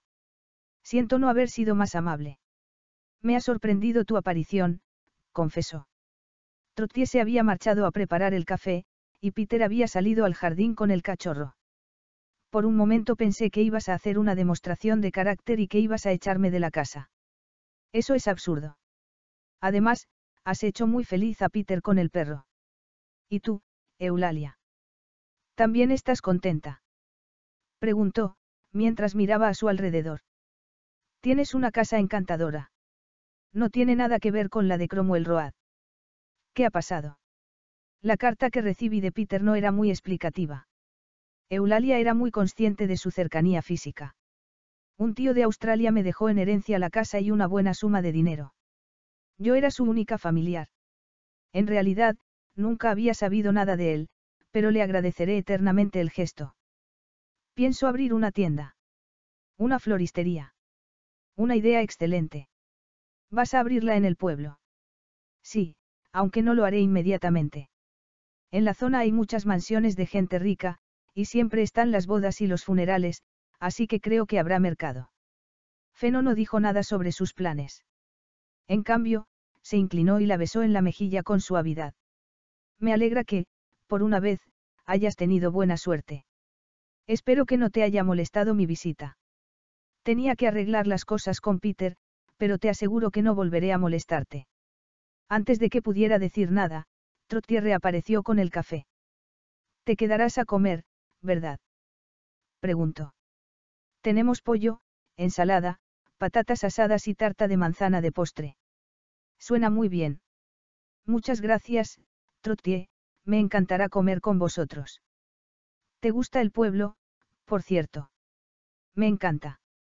Ten en cuenta que nací aquí y conozco cada piedra del lugar. Vaya, no lo sabía, dijo, sorprendido, volviéndose para mirar a Eulalia. Así que por eso decidiste venir a vivir aquí. Pensé que podrías haber vendido la casa de campo para marcharte a otro lugar. Eulalia le dio un plato con un pedazo de tarta. De hecho, yo también viví aquí. Entonces, estarás igualmente encantada. El pueblo está bastante lejos de las carreteras principales, ¿verdad? Estuvieron charlando sobre la zona durante un buen rato, hasta que Van Linsen dijo. ¿Os importa que vaya a hablar con Peter sobre el cachorro? Es un chico muy inteligente, pero creo que sería mejor que le explique cómo debe alimentarlo. Van Linsen salió para ver al niño, que estaba sentado junto a su perro mientras devoraba un trozo de tarta. El jardín aún estaba algo descuidado, pero Peter había encontrado un viejo banco de madera, y Feno se sentó a su lado. El banco crujió bajo su peso, aunque no se rompió. Los dos estuvieron allí un buen rato hasta que Trottier los llamó para que fueran a comer. Lavaos las manos, dijo. Tenemos un cuarto de baño precioso, así que no tenéis ninguna excusa. Mientras se lavaba las manos, Van Linsen observó el cuarto de baño. No era muy especial, pero resultaba agradable. Eulalia había reparado y pintado la casa, sin gastar demasiado dinero en muebles que no fueran necesarios. No estaba seguro de que fuera una buena idea abrir una floristería, pero no tenía intención de mencionarlo, al menos por el momento. A fin de cuentas, se suponía que no estaba muy interesado en el asunto. Además, Eulalia no había dicho nada cuando él había comentado que no volvería a molestarla. Poco después de comer se marchó. Dio las gracias a Trottier por la comida y la besó en la mejilla. Estrechó la mano de Peter y saludó a Eulalia con cierta frialdad, su despedida hizo pensar a la mujer que no volvería a verlo. Y aquello era precisamente lo que Feno pretendía. Mientras observaba cómo desaparecía su precioso Bentley en la distancia. Eulalia pensó que no podía haber sido más claro. Solo había ido a despedirse por el chico. De hecho, había pasado un buen rato con él en el jardín, y sentía curiosidad por saber de qué habían estado hablando. Entró de nuevo en la casa y ayudó a Trotti a lavar los platos. Después, salió al jardín a pasear. Peter estaba jugando con el perrito. Tengo que ponerle un nombre, dijo el niño. Cuando lo haya elegido escribiré a Feno para decírselo. Bueno, cariño. ¿Es que no te parece bien? Sí, claro que sí, pero creo que el perrito ha sido algo así como una manera educada de despedirse, ¿no crees? El niño negó con la cabeza. No es cierto. Feno es mi amigo. Tener amigos está bien. Bueno, entonces tienes que buscar un nombre bonito para el perro. Yo también pensaré, mientras arregló un poco el jardín. Sin embargo, Eulalia no estuvo pensando precisamente en nombres de perro. Pensó en la despedida de Van Linsen, y en los motivos por los que le había molestado tanto su frialdad. Mientras recortaba uno de los arbustos, se dijo que no merecía la pena que perdiera el tiempo pensando en alguien que no le importaba en absoluto, cuando tenía tantas cosas importantes en la cabeza. El domingo por la mañana salieron a dar un paseo, dejando al perrito dormido en su cama, en la cocina. Se encontraron con bastantes personas del pueblo, y tardaron bastante en volver. El niño no dijo nada, pero de vez en cuando apretaba la mano de Eulalia para recordarle que quería volver a la casa, con su cachorro. Así que al final dejó a Trottier con sus viejos conocidos y se marcharon. Cuando estaban a punto de llegar a la casa, el niño comentó. Ya tengo un nombre para el perro. Lo llamaré Charlie. Me parece muy bien. Anda, ve a ponerte unas zapatillas, sácalo al jardín y díselo. Charlie se convirtió en un miembro más de la familia, y cada vez que miraba al animal, Eulalia pensaba en Van Linsen. Un día de la semana siguiente apareció Jacob. Llevaba un gatito. En realidad, es una gatita. He oído que tienes un perro pequeño, así que he pensado que podían hacerse amigos. Peter se puso muy contento.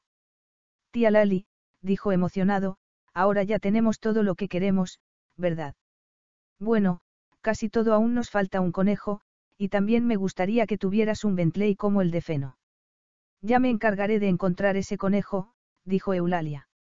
Eulalia inscribió a su sobrino en el colegio, para que empezara a estudiar en otoño, y se encargó de conseguir su uniforme. Tuvo que hacer dos o tres viajes a Cirencester, y Peter siempre estaba impaciente por regresar con sus cachorros. Había llamado Blossom a la gatita, y ahora era completamente feliz. Es una lástima que nunca pudiera darle las gracias al tío de Australia, dijo a Trottier un día. Imagínate si aún estuviéramos en Cromwell Road, intentando encontrar un lugar donde vivir, y yo buscando un trabajo desesperadamente. Eso me recuerda que, cuando Peter haya empezado con sus clases, tendré que tomarme en serio el asunto de la floristería. ¿A ti qué te parece? Creo que merece la pena intentarlo. Empieza poco a poco para ver qué pasa. Pasado un año, cuando veas cómo marcha el negocio, podrás pensar en ampliarlo. Eulalia la abrazó. ¿Qué haría yo sin ti? Oh. ¿No te parece que la vida es maravillosa? Desde luego. Y ahora solo hace falta un joven encantador del que te enamores. Pues tendrá que ser alguien muy especial, porque tendría que hacerse cargo de Peter, de ti, de mí, de Charlie y de Blossom. No creo que sea fácil de encontrar. Puede ser, pero necesitas a alguien. Soy muy feliz, dijo Eulalia, y casi lo creyó. No tenía derecho a pensar de otro modo. Todo lo que deseaba se había hecho realidad, pero deseaba volver a ver a Van Linsen. Salió al jardín para seguir arreglándolo.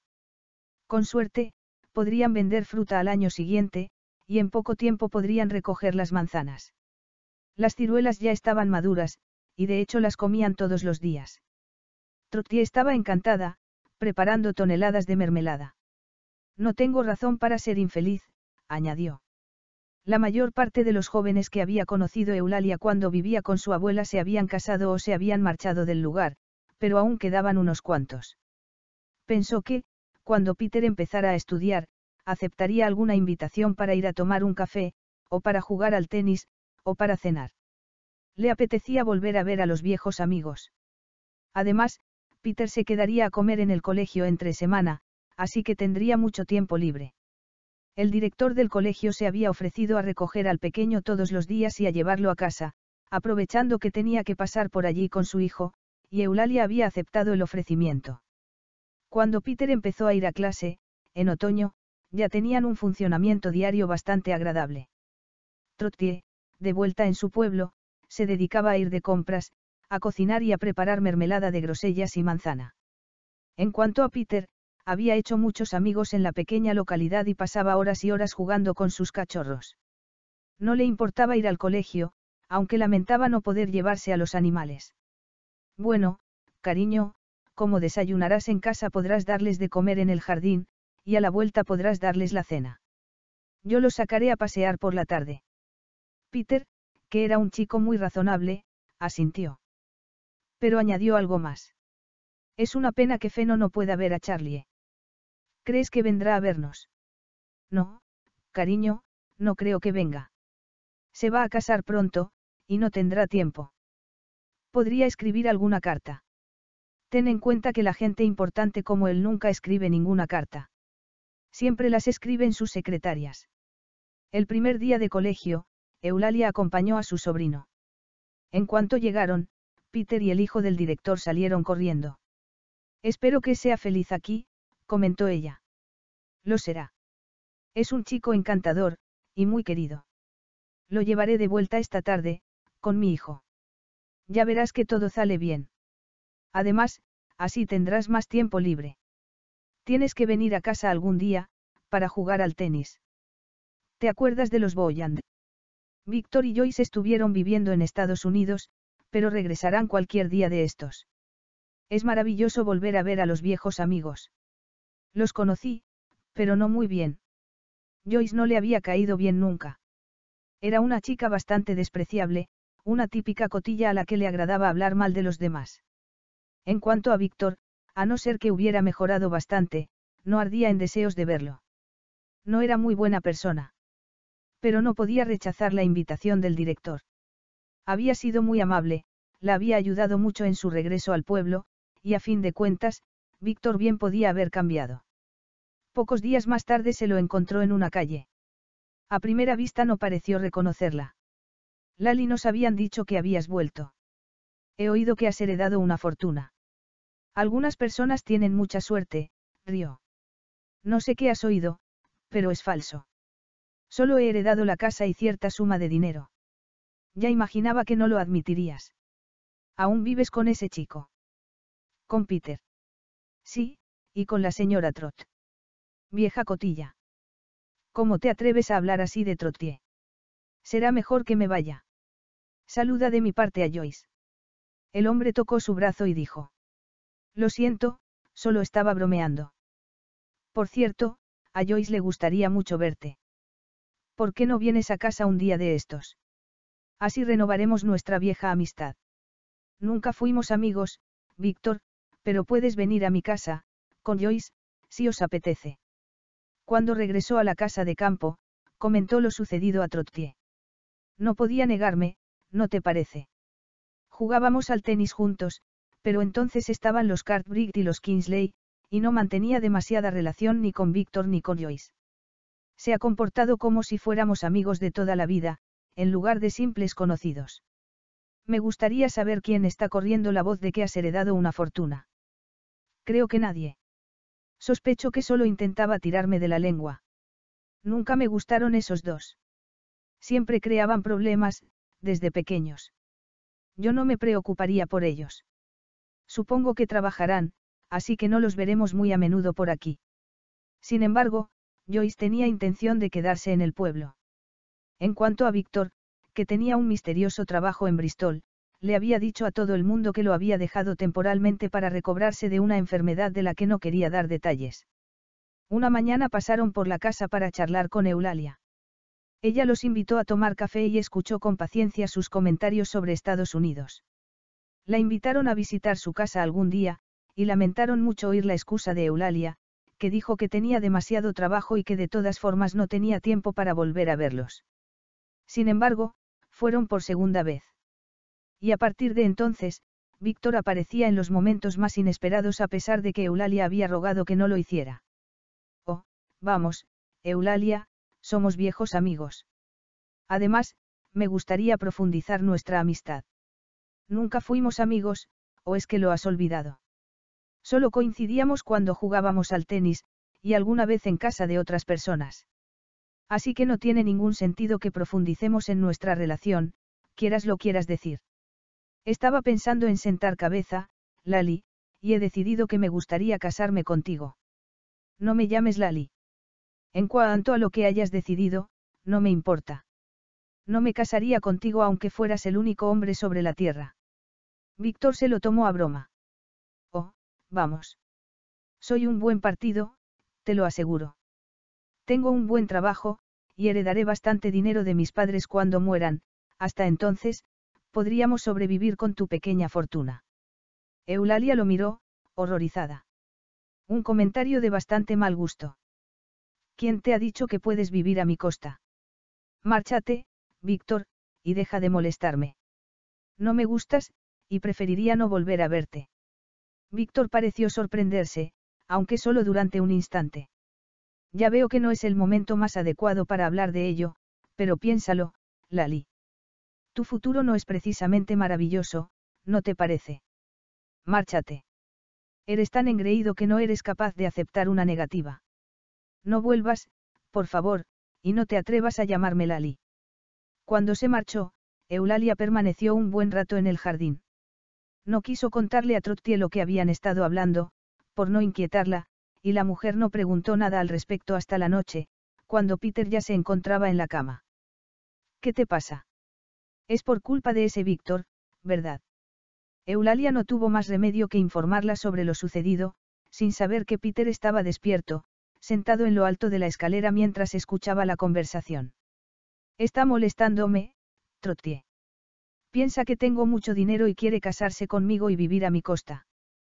Hasta es probable que pretenda vivir en esta casa. No sé qué hacer. Peter, sin embargo, lo sabía muy bien. Regresó a su cama y permaneció despierto, acariciando a Charlie. Ahora tenía una magnífica razón para escribir a Van Linsen, Feno le había dejado una tarjeta con su número de teléfono y su dirección.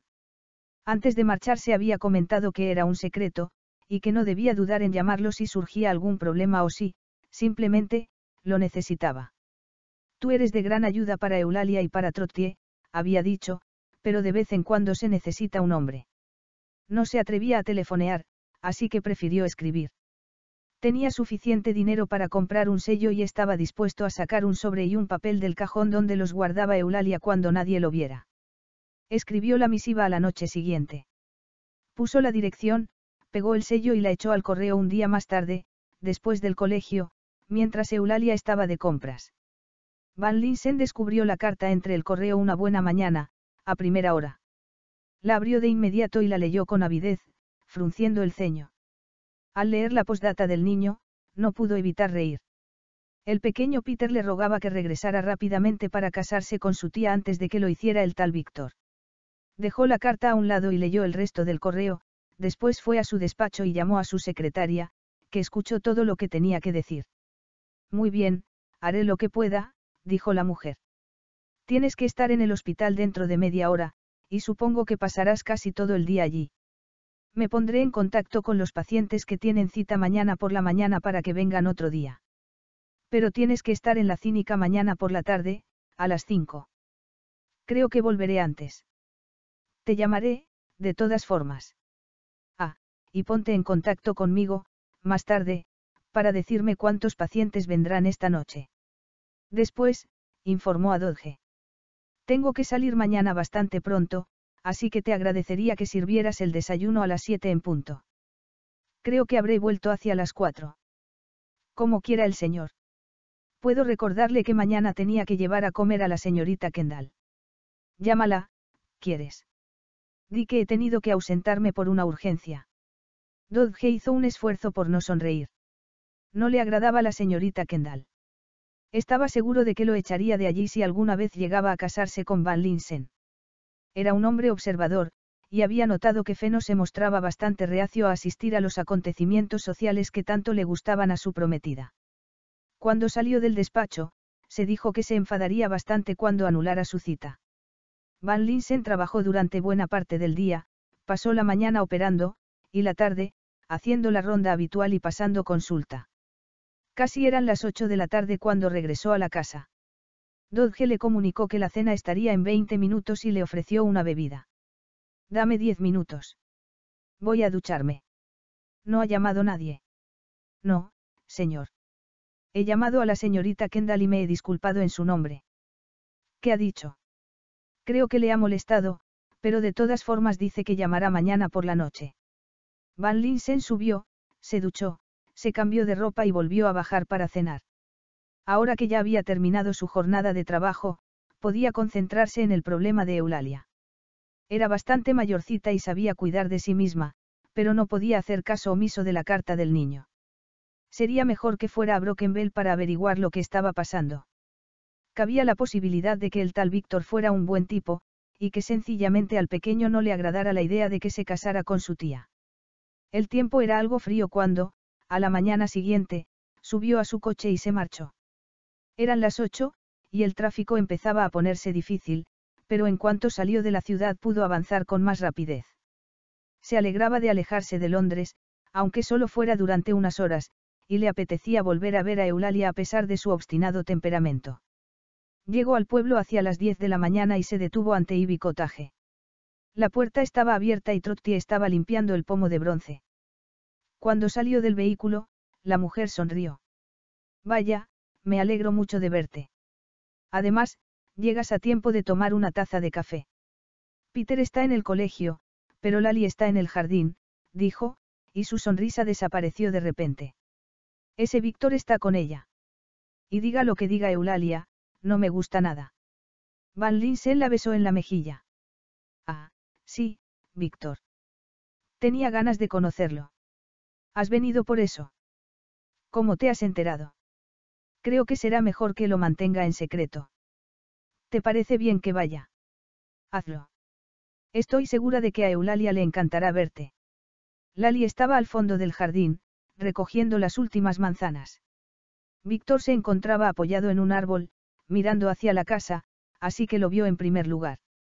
Eulalia estaba diciendo en aquel preciso instante lo que pensaba de él, y cuando vio su gesto de sorpresa se dio la vuelta para ver quién se acercaba. Antes de que pudiera reaccionar, Van Linsen ya se encontraba a su lado.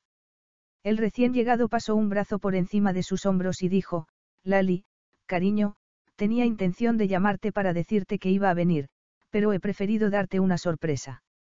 Después, la besó en la mejilla y añadió, haciendo un gesto negativo con la cabeza. Tú debes de ser Víctor. Tengo entendido que te has excedido un poco con tus atenciones. Creo que, a estas alturas, deberías saber que no eres bienvenido en esta casa, jovencito.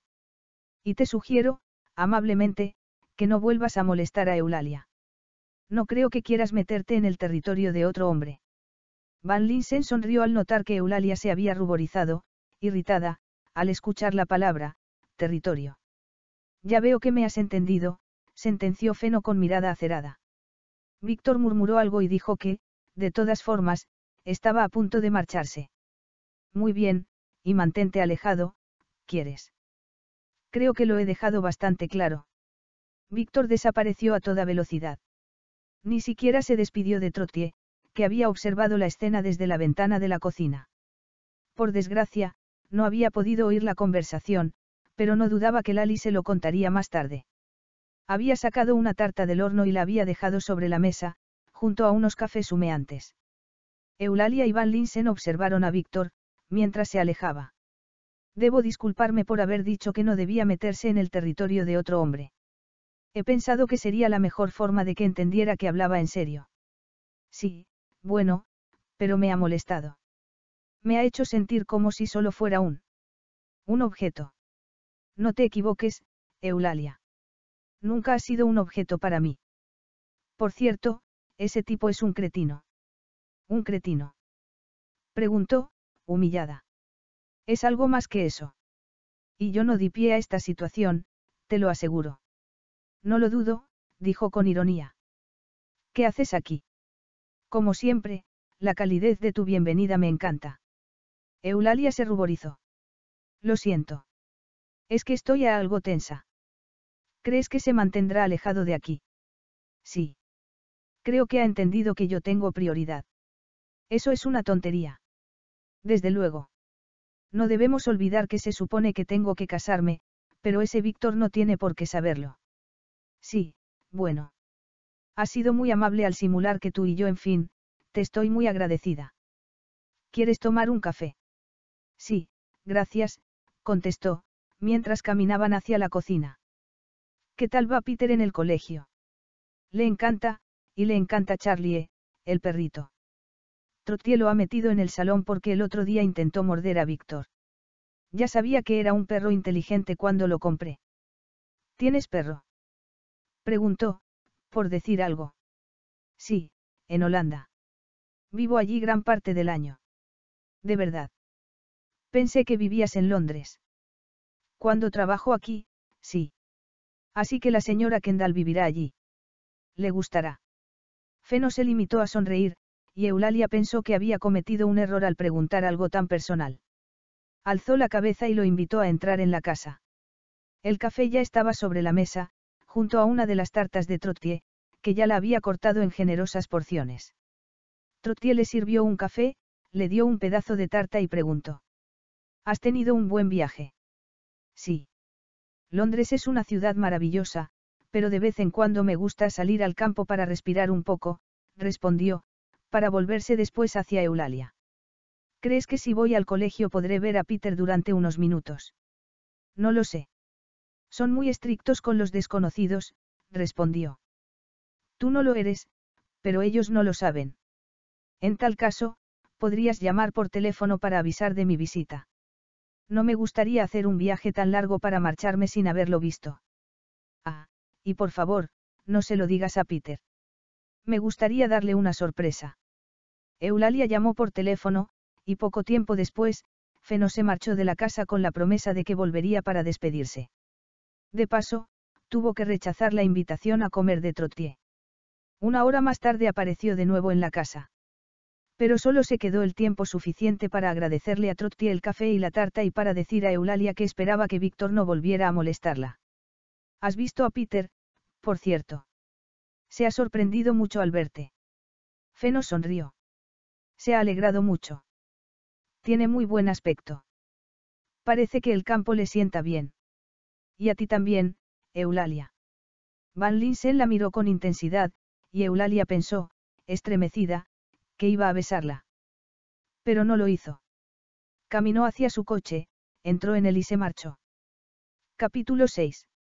Aquella tarde, cuando Peter regresó del colegio, Eulalia le preguntó, ¿te ha sorprendido ver a Feno? Sí, aunque sabía que volvería a verme. Van Linsen había dicho que había actuado de forma correcta al escribirle, que no quería que nadie molestara a su tía y que no dudara en volver a ponerse en contacto con él si surgían más problemas o si su tía lo necesitaba. Después, sonrió y preguntó. ¿Eres feliz aquí? He visto a Charlie, y tiene muy buen aspecto. Creo que Blossom es una buena acompañante para él. El chico había contestado que era feliz, aunque de vez en cuando su tía Lali parecía algo triste. Y supongo que tú no puedes hacer nada al respecto, ¿verdad? Preguntó el niño. Van Linsen lo miró con gravedad. Creo que tal vez haya llegado el momento de que lo haga. Feno se marchó unos segundos después, no sin antes dar una libra al niño. Y el chico no estaba dispuesto a contar a su tía la conversación que habían mantenido.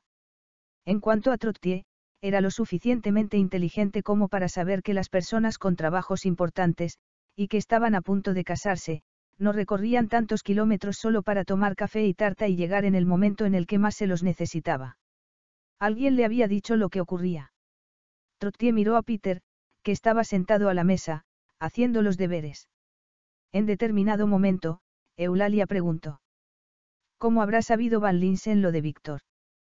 Trottier se apresuró a contestar. El mundo es un pañuelo. Seguro que se encontró con alguien de aquí que le comentó lo que estaba pasando. Ya sabes cómo es la gente.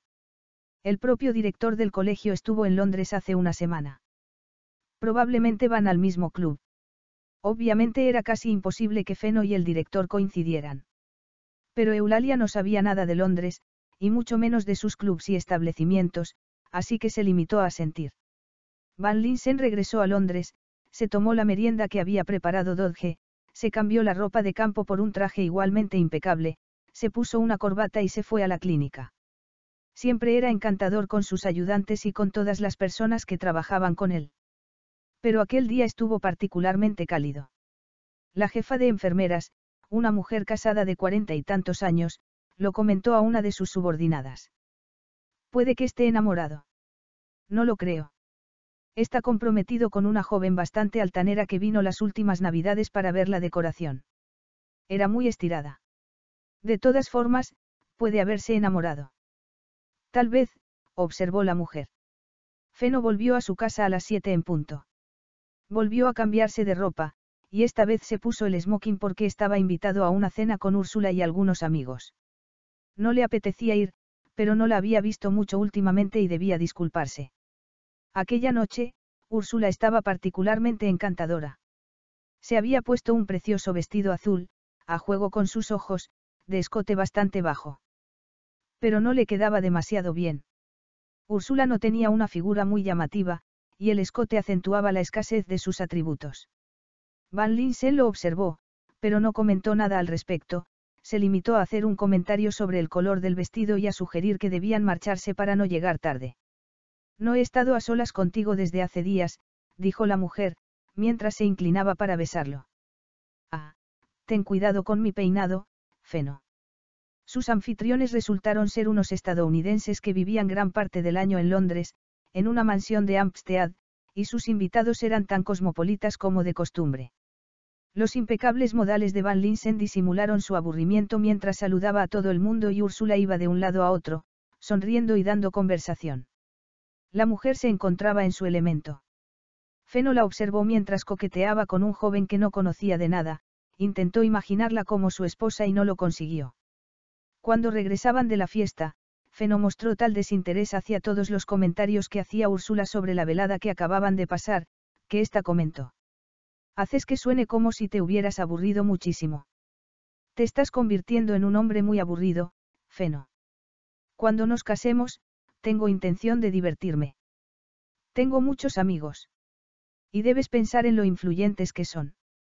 Conseguirás que te conozcan en todas partes. Hasta es posible que logres un título nobiliario. Feno no comentó que ya era muy conocido entre los médicos, en el único mundo que realmente le importaba. Además, sabía que nunca ofrecerían un título nobiliario a un holandés. Si su trabajo como médico lo merecía, su propia reina lo recompensaría. De repente, se sintió cansado, demasiado cansado para discutir con Úrsula. La dejó en su casa, se despidió de ella y rechazó el ofrecimiento de una taza de café. Después, regresó a su hogar. Por fortuna, tenía varias citas en Holanda y tendría que regresar al continente al día siguiente, para pasar una o dos semanas. Cuando llegó a Holanda, llamó a Úrsula. La mujer se quejó de que no la hubiera advertido antes sobre el viaje. Aquel encantador hombre con el que estaba hablando la otra noche nos ha invitado a comer con él el domingo. Es de Chicago. Ha alquilado una casa en Richmond. Le he prometido que asistiríamos, pero lo has estropeado todo. Lo siento mucho. Olvidé decírtelo. Además, no hay razón para que tú no vayas. Discúlpate en mi nombre. No puedo anular las citas que tengo en Holanda. Sí, claro, iré yo sola. A fin de cuentas seremos muchos invitados. Pero te aseguro que no podrás comportarte de este modo cuando nos hayamos casado. Úrsula colgó y Feno caminó a su despacho para continuar con el papeleo. Después, tras un largo día de trabajo, tomó un avión a Chipol, donde lo recibió un hombre de pelo gris que estrechó su mano y lo llevó hasta un jaguar de color azul oscuro que estaba aparcado en el aeropuerto. Van Linsen comentó que le agradaba mucho estar de vuelta en su país y añadió. ¿Qué tal va todo, Pete? Tu madre llegó esta tarde. Espera verte mientras se encuentre en Holanda, y que tengas tiempo para ver al resto de tu familia. Voy a estar bastante ocupado, pero pasaré todas las noches por casa para ver a mi madre, y sacaré tiempo de donde sea para visitar a mis hermanas. Pero ¿qué tal estás tú? Y Anneke. Me alegra decir que estamos bien. Esperamos que te quedes en los Países Bajos una temporada. Solo podré quedarme diez días. Te quedarás más tiempo aquí cuando te hayas casado. A mi prometida no le agrada la idea. Debo traerla unos días para que conozca a la familia. Pete no dijo nada. Había estado trabajando con su familia desde que Feno era un niño, siempre había sido el mayordomo, y su mujer se encargaba de llevar la casa. Después de años de servicio se había convertido en un amigo para ellos. Tras unos segundos de silencio, comentó. Debería sentirse feliz de vivir aquí, en un lugar tan tranquilo, junto al lago, y al mismo tiempo tan cerca de Ámsterdam y de Utrecht.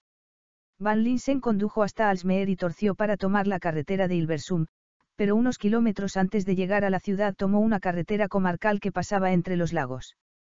Era una zona tranquila, en la que no podía apreciarse la cercanía de Ilversum y Utrecht. Dos filas de árboles flanqueaban la carretera, había casas de campo junto a los lagos, y de vez en cuando divisaban algún pueblo. Viajaban hacia el sur, pero, poco antes de llegar a Utrecht, entraron en la propiedad familiar y tomaron el camino que llevaba a la mansión. Era un edificio de ladrillos rojizos con multitud de ventanas. Las del piso bajo eran altas y grandes, pero las del piso superior eran más pequeñas, y tenían contraventanas pintadas. Feno salió del coche y se dirigió a la entrada mientras Pete se encargaba de recoger su equipaje. Van Linsen abrió la puerta principal y entró en un amplio vestíbulo, con paredes recubiertas de paneles de madera y techo alto. Una mujer delgada, de ojos marrones y pelo castaño, aunque algo canoso, lo recibió. Comentó algo, estrechó su mano y sonrió abiertamente cuando se inclinó para besarla. Anneke, cuánto me alegro de verte de nuevo. ¿Estás solo? Tu joven prometida no ha venido. Esperábamos conocerla por fin. He venido solo, Anneke. Está mi madre, por cierto. Sí, te está esperando. Os llevaré un café. Y, desde luego, te espera una buena comida. Me alegro, porque estoy hambriento. Van Linsen sonrió y se dirigió hacia unas puertas dobles, que abrió. Su madre se levantó para recibirlo. Era una mujer alta, de pelo plateado con un peinado bastante clásico y un rostro que debía haber sido muy bello en su juventud. Tenía los ojos de color azul, y brillaban de alegría. Feno, cariño, ¿qué tal estás? Espero que no te moleste que haya venido antes de que tú llegaras. Quería verte tanto como fuera posible, y sé que estarás ocupado la mayor parte del día.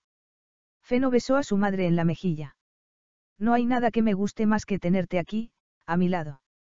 Apenas tuve tiempo de verte cuando estuve en Holanda por última vez. ¿Has venido solo? ¿No has traído a tu prometida? No, no quiso venir, respondió, brevemente. Su madre lo miró con intensidad. Lo comprendo. Imagino que se aburriría bastante si tienes que estar trabajando todo el tiempo, sonrió. Ya veo que tendré que esperar hasta el día de la boda. Feno salió al jardín trasero, y el perro corrió a darle la bienvenida. Pocos segundos más tarde apareció Anneke, con el café y con la información de que la comida estaría servida en 20 minutos. ¿Me esperabas? Claro que te esperaba. Puede que te hayas marchado mañana por la mañana, cuando me levante, y probablemente estarás demasiado cansado por la noche, y no querrás hablar. Tienes que operar. Sí, en Leiden. Estaré allí tres días, después iré a Utrecht y finalmente a Ámsterdam. Te quedarás aquí. Por supuesto. Su madre lo miró con cierta ansiedad. Conocía muy bien a Feno. Era reservado hasta el punto de resultar frío en ocasiones, generoso, hasta el exceso, era magnífico como amigo, y tomaba en consideración los sentimientos de sus pacientes, además, bajo sus perfectos modales se escondía un romántico. Notaba que pasaba algo malo, y suponía que tenía que ver con Úrsula. Aunque aún no la conocía, ya sentía cierto desprecio hacia ella, siempre se excusaba para no acompañar a Feno, y resultaba evidente que no ardía en deseos de conocer a su familia. Cuando empezaron a cenar, la mujer habló sobre su hermana más joven, que acababa de tener otro hijo, y sobre las andanzas de amigos y familiares varios.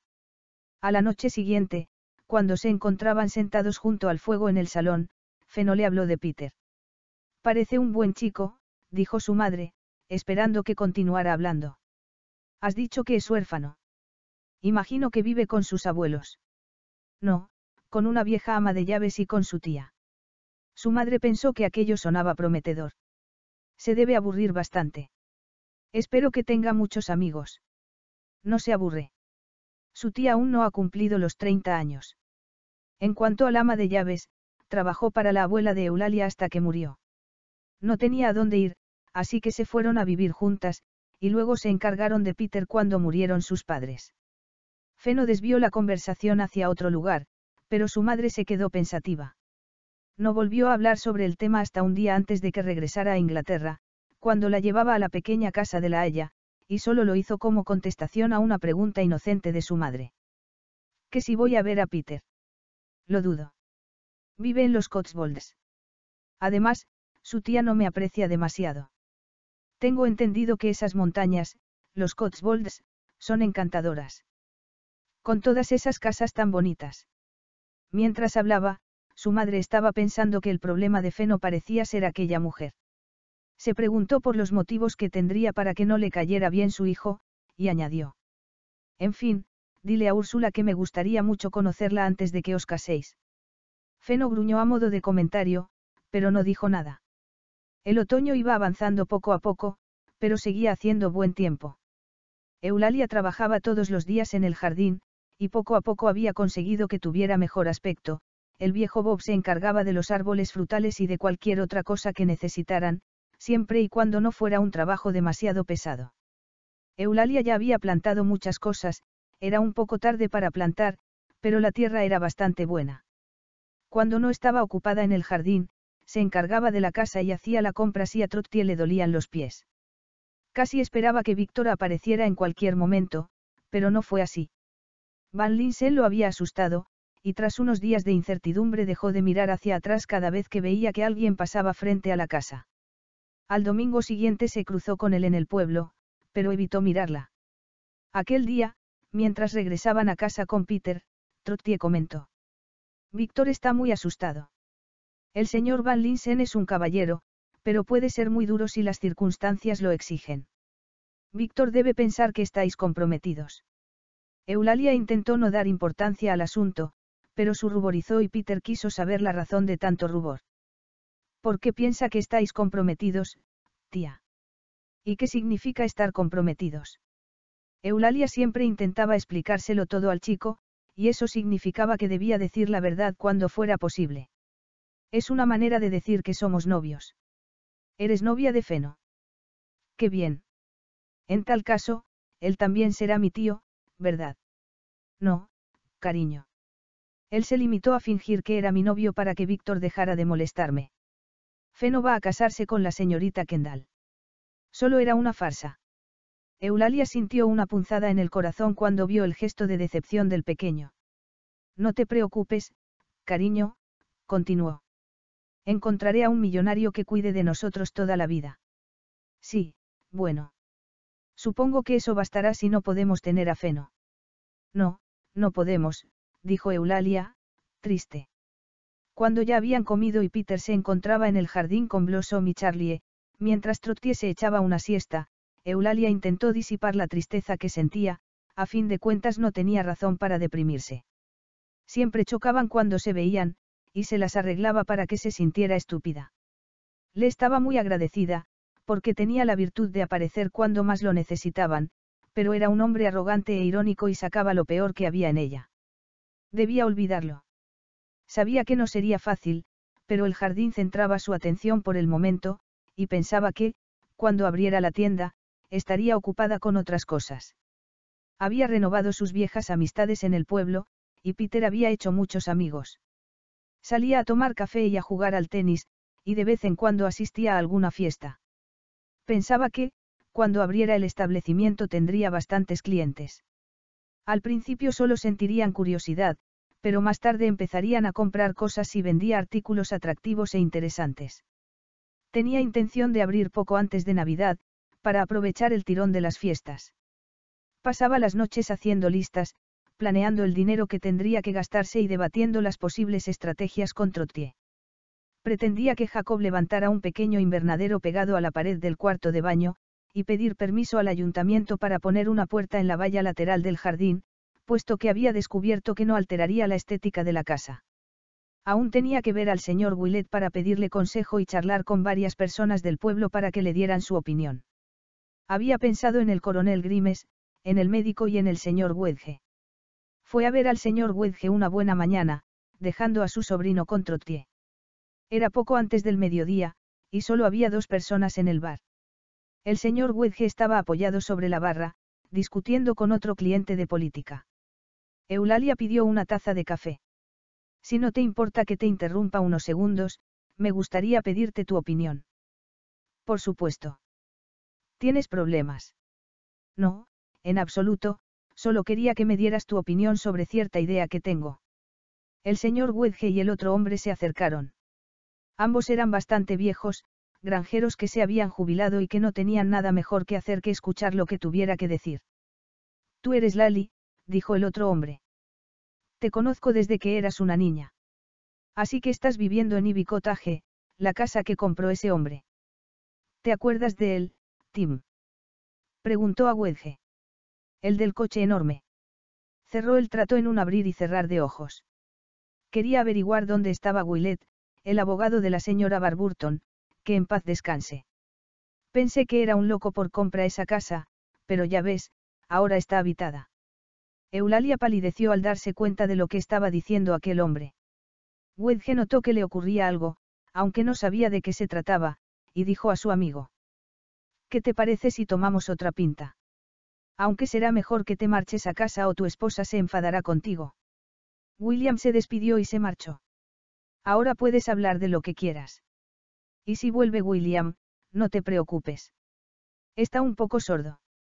Si no te importa, creo que volveré más tarde. Acabo de recordar una cosa. Eulalia siguió a William y lo alcanzó. ¿Puedo acompañarte? Me gustaría preguntarte algo. Claro. Tengo todo el tiempo del mundo cuando mi mujer no está. ¿Tiene algo que ver con lo que dije en el bar? Sí, sobre el caballero que compró Ibicotaje. Dijo cómo se llamaba.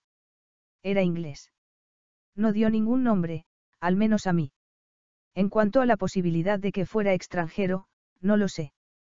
Hablaba inglés mejor que yo. Era un hombre amable, y bien parecido, diría. Tenía mucho dinero, y un buen coche. Un Bentley, como el que tiene Sir Percy en Bowle House. ¿Lo conoces? Oh, sí, respondió, asombrada. Lo conozco. Eulalia se despidió y regresó a su casa a toda velocidad, empujada por la rabia que sentía. Trottier salió a su encuentro. ¿Qué te pasa? No me digas que Víctor. No se trata de Víctor, sino de Van Linsen, dijo entre dientes. ¿Cómo se ha atrevido a? Bueno, cuéntamelo. Ha comprado la casa. William Torpe me lo ha dicho. Estaba charlando con Wedge y le pregunté. No lo comprendes. Esta casa es suya. Ya sabía yo que había algo raro en todo esto, me engañó. ¿Crees que se la compró a ese, tío, de Australia? No, claro que no. No entiendo nada. Será mejor que vayas a ver al señor Willett. Él podrá decirte algo más. William a veces no sabe lo que se dice. Sí, puede que tengas razón. Iré a Cirencester esta tarde. Buena idea. Pero no culpes a Van Linsen hasta que sepas lo que ha pasado. Si ha comprado realmente la casa, no volveré a dirigirle la palabra. De todas formas no quieres verlo, ¿no es así? Preguntó con cierta brusquedad. En fin, voy a terminar de preparar la comida. Ve a arreglarte un poco. No puedes ir a Cirencester con ese viejo vestido. Eulalia llegó al despacho del señor Willet a media tarde. No tuvo que esperar mucho tiempo para que la recibiera. El señor Willet salió y estrechó su mano con amabilidad. El hombre notó su enfado y prefirió rebajar un poco la tensión charlando un rato sobre su salud, sobre la salud de Trottier, sobre Peter y sobre el placer de vivir en un lugar tan maravilloso después de haber vivido en Cromwell Road. Eulalia contestó educadamente a todas sus preguntas y esperó un rato para preguntar lo que quería saber. Sabía que el señor Van Linsen compró ibicotaje. ¿Y qué hay de todo ese dinero? ¿Existía realmente ese tío de Australia? El señor Willett se echó hacia atrás en su silla y la miró con seriedad.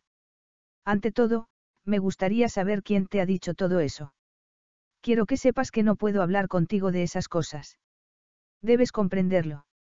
No puedo hablar sobre cuestiones privadas de mis clientes. Eso es absurdo.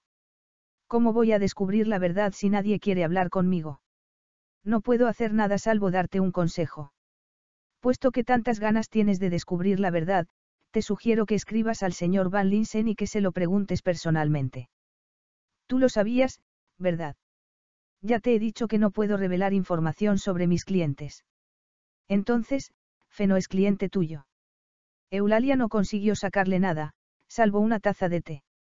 El señor Willett le caía muy bien. Había hecho todo lo que había podido por ella cuando murió su abuela, así que dijo. De acuerdo, le escribiré. Gracias por tu consejo. Te haré saber lo que me conteste. Willett la acompañó a la puerta y le estrechó la mano de nuevo. Estoy seguro de que todo se arreglará. Habrá sido un malentendido. Willett regresó a su despacho y se sentó para pensar. Tuvo que resistirse al impulso de llamar al señor Van Linsen para comentarle lo que había sucedido. Sospechaba que tenía bastante interés por Eulalia, y no quería entrometerse. Eulalia regresó a Ivy Cottage y aseguró a Peter, que acababa de regresar del colegio, que solo había ido a ver a Willett para charlar de cosas sin importancia. Después de cenar ayudó al chico a hacer sus deberes, y cuando se quedó dormido, en compañía de su perro y su gato, habló con Trottier y le contó lo que había dicho el señor Willett. Iré a Londres mañana por la mañana, declaró. Si puedo tomar algún tren a primera hora, estaré allí hacia las once. Iré al hospital, y si no puedo encontrarlo iré a su casa y lo esperaré. Y fue él quien compró la casa, ¿qué piensas hacer? Podrías devolverle casi todo el dinero, pero no la casa, a menos que quieras que vivamos en la calle. ¿Y Peter? Tiene que vivir en alguna parte. Es tan feliz aquí, con su jardín y con sus animales. Ya lo he pensado. Le devolveré todo el dinero que no he gastado y conseguiré trabajo, cualquier trabajo, para que podamos seguir viviendo aquí. Pero, ¿por qué habrá hecho una cosa así? Trottier lo imaginaba, pero no dijo nada. Se limitó a dar su aprobación y a preguntar qué tipo de trabajo tenía en mente. Cualquier cosa, aunque sea en un supermercado. Creo que para eso no necesitaré experiencia, solo referencias o en un bar, o en un restaurante, no sé. Lo siento, Trottier. Todos los sueños que teníamos. Al menos no estamos en Londres. Eres joven, y Peter es feliz, y yo estoy muy contenta de no tener que vivir en Cromwell Road. Eulalia la abrazó. Eres un ángel. Iré a preparar algo caliente de beber y nos iremos a la cama. A la mañana siguiente, Eulalia dijo al niño que iba a ir a Londres. Es por cosa de negocios, pero no te preocupes. Te traeré algún tebeo. Gracias, tía. Tendrás tiempo de ver a Feno. No sé dónde está. Tal vez esté en Holanda, pero si lo veo le daré un saludo de tu parte. En cuanto lo dejó en el colegio, tomó el autobús y se bajó en la estación. Subió al tren, y al llegar a Londres se detuvo a tomar un café antes de ir a la parada del autobús que pasaba por el hospital de Maude. Por el camino no había dejado de pensar en lo que le diría. Intentaría hablar con tranquilidad, con frialdad. Creía que ya había controlado la rabia que sentía y el sentimiento de humillación. Por hiriente que fuera la situación, no estaba dispuesta a ceder al mal humor. Sabía que, si todo era un malentendido se exponía a hacer el ridículo, pero merecía la pena correr el riesgo. Cuando bajó del autobús fue directamente al hospital y preguntó al recepcionista por Van Linsen. ¿Es usted paciente suya? Ha entrado por la puerta equivocada. De todas formas, no empieza a trabajar hasta la una. Será mejor que regrese dentro de una hora y que entre por la puerta que hay al fondo a la derecha. El recepcionista llamó por teléfono a alguien y ella se dirigió a la salida. Si entraba como paciente tendría que recibirla. Aquello significaba que volvería tarde y que perdería el último autobús que iba de la estación a su casa, pero siempre podía volver en taxi. Cerca del hospital había un parque y una pequeña cafetería donde podría comer algo. Le agradó pasear, y estuvo sentada media hora mientras comía. Después, salió a caminar un rato. Hacía un día bastante bonito, aunque algo fresco, y pensó que debería haberse puesto algo más abrigado. Llevaba un vestido y una chaqueta con buen aspecto, así como un sombrero de terciopelo que había conocido tiempos mejores, pero que resultaba bastante elegante. No sabía por qué había tenido tanto cuidado con la ropa, supuso que tal vez lo había hecho para impresionar a Feno y no dar la impresión de que estaba sin blanca y de que necesitaba su caridad. Mientras caminaba hacia el hospital repitió mentalmente lo que pensaba decir. La sala de espera estaba llena de gente, y en un tablón de anuncios se indicaban los médicos y sus horas y lugares de consulta. Los bancos de la consulta del doctor Van Linsen estaban casi llenos cuando entró y la detuvo una enfermera que le pidió su tarjeta de la seguridad social. No soy una paciente. He venido a ver al señor Van Linsen por un asunto personal. No tenía tiempo de ir a su casa. Puedo esperar aquí por si puede recibirme cuando haya terminado de pasar consulta. Es algo poco normal. No sé qué dirá la jefa de planta. Si no soy una paciente, no creo que merezca la pena que la moleste por algo tan poco importante. Eso es cierto. ¿Conoce al médico? Sí, desde hace unos meses. Es amigo de mi sobrino. En tal caso, no hay problema.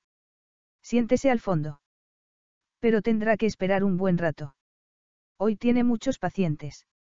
Eulalia se sentó donde le habían dicho y miró a su alrededor. Dos jóvenes cruzaron la habitación y desaparecieron por una puerta, seguidos por una mujer con bata blanca que llevaba un montón de papeles debajo del brazo. Cinco minutos más tarde se armó un pequeño revuelo y apareció el doctor Van Linsen. Con su bata de trabajo tenía un aspecto muy distinto. Estaba hablando con un joven, y no miró a su alrededor. Cuando desapareció tras la puerta sintió un súbito ataque de miedo ante la perspectiva de tener que enfrentarse a él. Pasaron más de tres horas, que se hicieron interminables. Le apetecía tomar un café o una taza de té, pero no se atrevía a salir de la sala de espera. Poco a poco se fueron vaciando los bancos del lugar. Quedaban pocos pacientes y no faltaba mucho para que tuviera su oportunidad. Cuando llamaron al último de los pacientes, se cambió a la primera fila mientras se repetía, por enésima vez, lo que iba a decir. El hombre salió al cabo de diez minutos, seguido por dos auxiliares, una enfermera y la jefa de planta, que se acercó a Eulalia y dijo. Es muy tarde. ¿Dónde está su tarjeta? Dudo que el doctor pueda verla. No soy una paciente, pero tengo que ver al doctor antes de que se marche. Eulalia pasó a su lado, sin hacer caso alguno, y entró en la habitación dejando completamente sorprendida a la mujer. Feno estaba detrás de la mesa, escribiendo algo, y no levantó la mirada. Enfermera, haga pasar al último paciente. Entonces, la miró. Sus ojos azules denotaron sorpresa durante unos segundos. Después, la observó con detenimiento y se levantó, lentamente. Vaya, vaya. Feno sonrió de tal forma que toda la tranquilidad y la frialdad de Eulalia se desvanecieron de golpe. De repente, no recordaba ni una sola de las cosas que planeaba decir. Capítulo 7. Feno se acercó y le ofreció una silla. Siéntate, por favor. Por tu aspecto parece que te gustaría golpearme con una silla, dijo, mientras miraba su reloj. Muy bien, tienes diez minutos. Eulalia intentó decir algo. Estaba muy nerviosa, pero lo consiguió. No me importa que no tengas tiempo. He venido a decir algo y no me marcharé hasta que lo haya dicho, aunque tarde más de diez minutos. Feno la observó con aprobación. El mal genio hacía que pareciera más hermosa. Sus preciosos ojos grises brillaban, y sus mejillas adquirían un encantador tono rojizo. Eulalia se sentó, dejó el bolso en el suelo y se cruzó de brazos. Van Linsen notó que estaba temblando ligeramente, y se sentó a su vez. Su visita lo había sorprendido, pero pensó que la próxima media hora iba a resultar muy divertida. Entonces, dijo en el tono más impersonal que pudo, típico de un médico. Te escucho, Eulalia. No me llames Eulalia. No deberías decir eso. Podría sentir la tentación de llamarte de otro modo. Oh, Cállate, espetó. Me has engañado, ¿verdad? No existía tal tío en Australia. ¿Cómo conseguiste que el señor Willett se prestara a un engaño? Y sobre todo, ¿por qué lo hiciste? Pareces muy segura de lo que dices, pero no tienes ninguna prueba. Puede que estés cometiendo un error, y en tal caso tu viaje habrá sido una pérdida de tiempo y dinero. Eulalia lo miró, de repente insegura, pero recordó lo que William había dicho. Tengo una prueba. William me dijo que. Bueno, William es un vecino del pueblo. Estaba en el bar de Wedge cuando fuiste allí, y te recordaba porque tienes un Bentley. Van Linsen rió. Ya veo. Y ahora que tienes una prueba, ¿qué piensas hacer al respecto? Devolverte el dinero, claro está. No puedo dártelo todo de golpe, pero no he gastado mucho y lo que me haya gastado te lo devolveré poco a poco, aunque tarde el resto de mi vida. Y nos marcharemos de la casa. ¿Y a dónde piensas ir? A cualquier parte. Encontraré algún sitio, no soy tonta. No, pero eres obstinada hasta extremos ridículos. Sería mejor que adoptaras una actitud más razonable. ¿Qué hay de Peter, y de la señora Trot? ¿Quieres que sufran ese destino solo por salvar tu dignidad? Feno se comportaba con tanta tranquilidad que la irritó aún más. Encolerizada, hizo todo lo posible por hablar con cierta frialdad. No soy obstinada.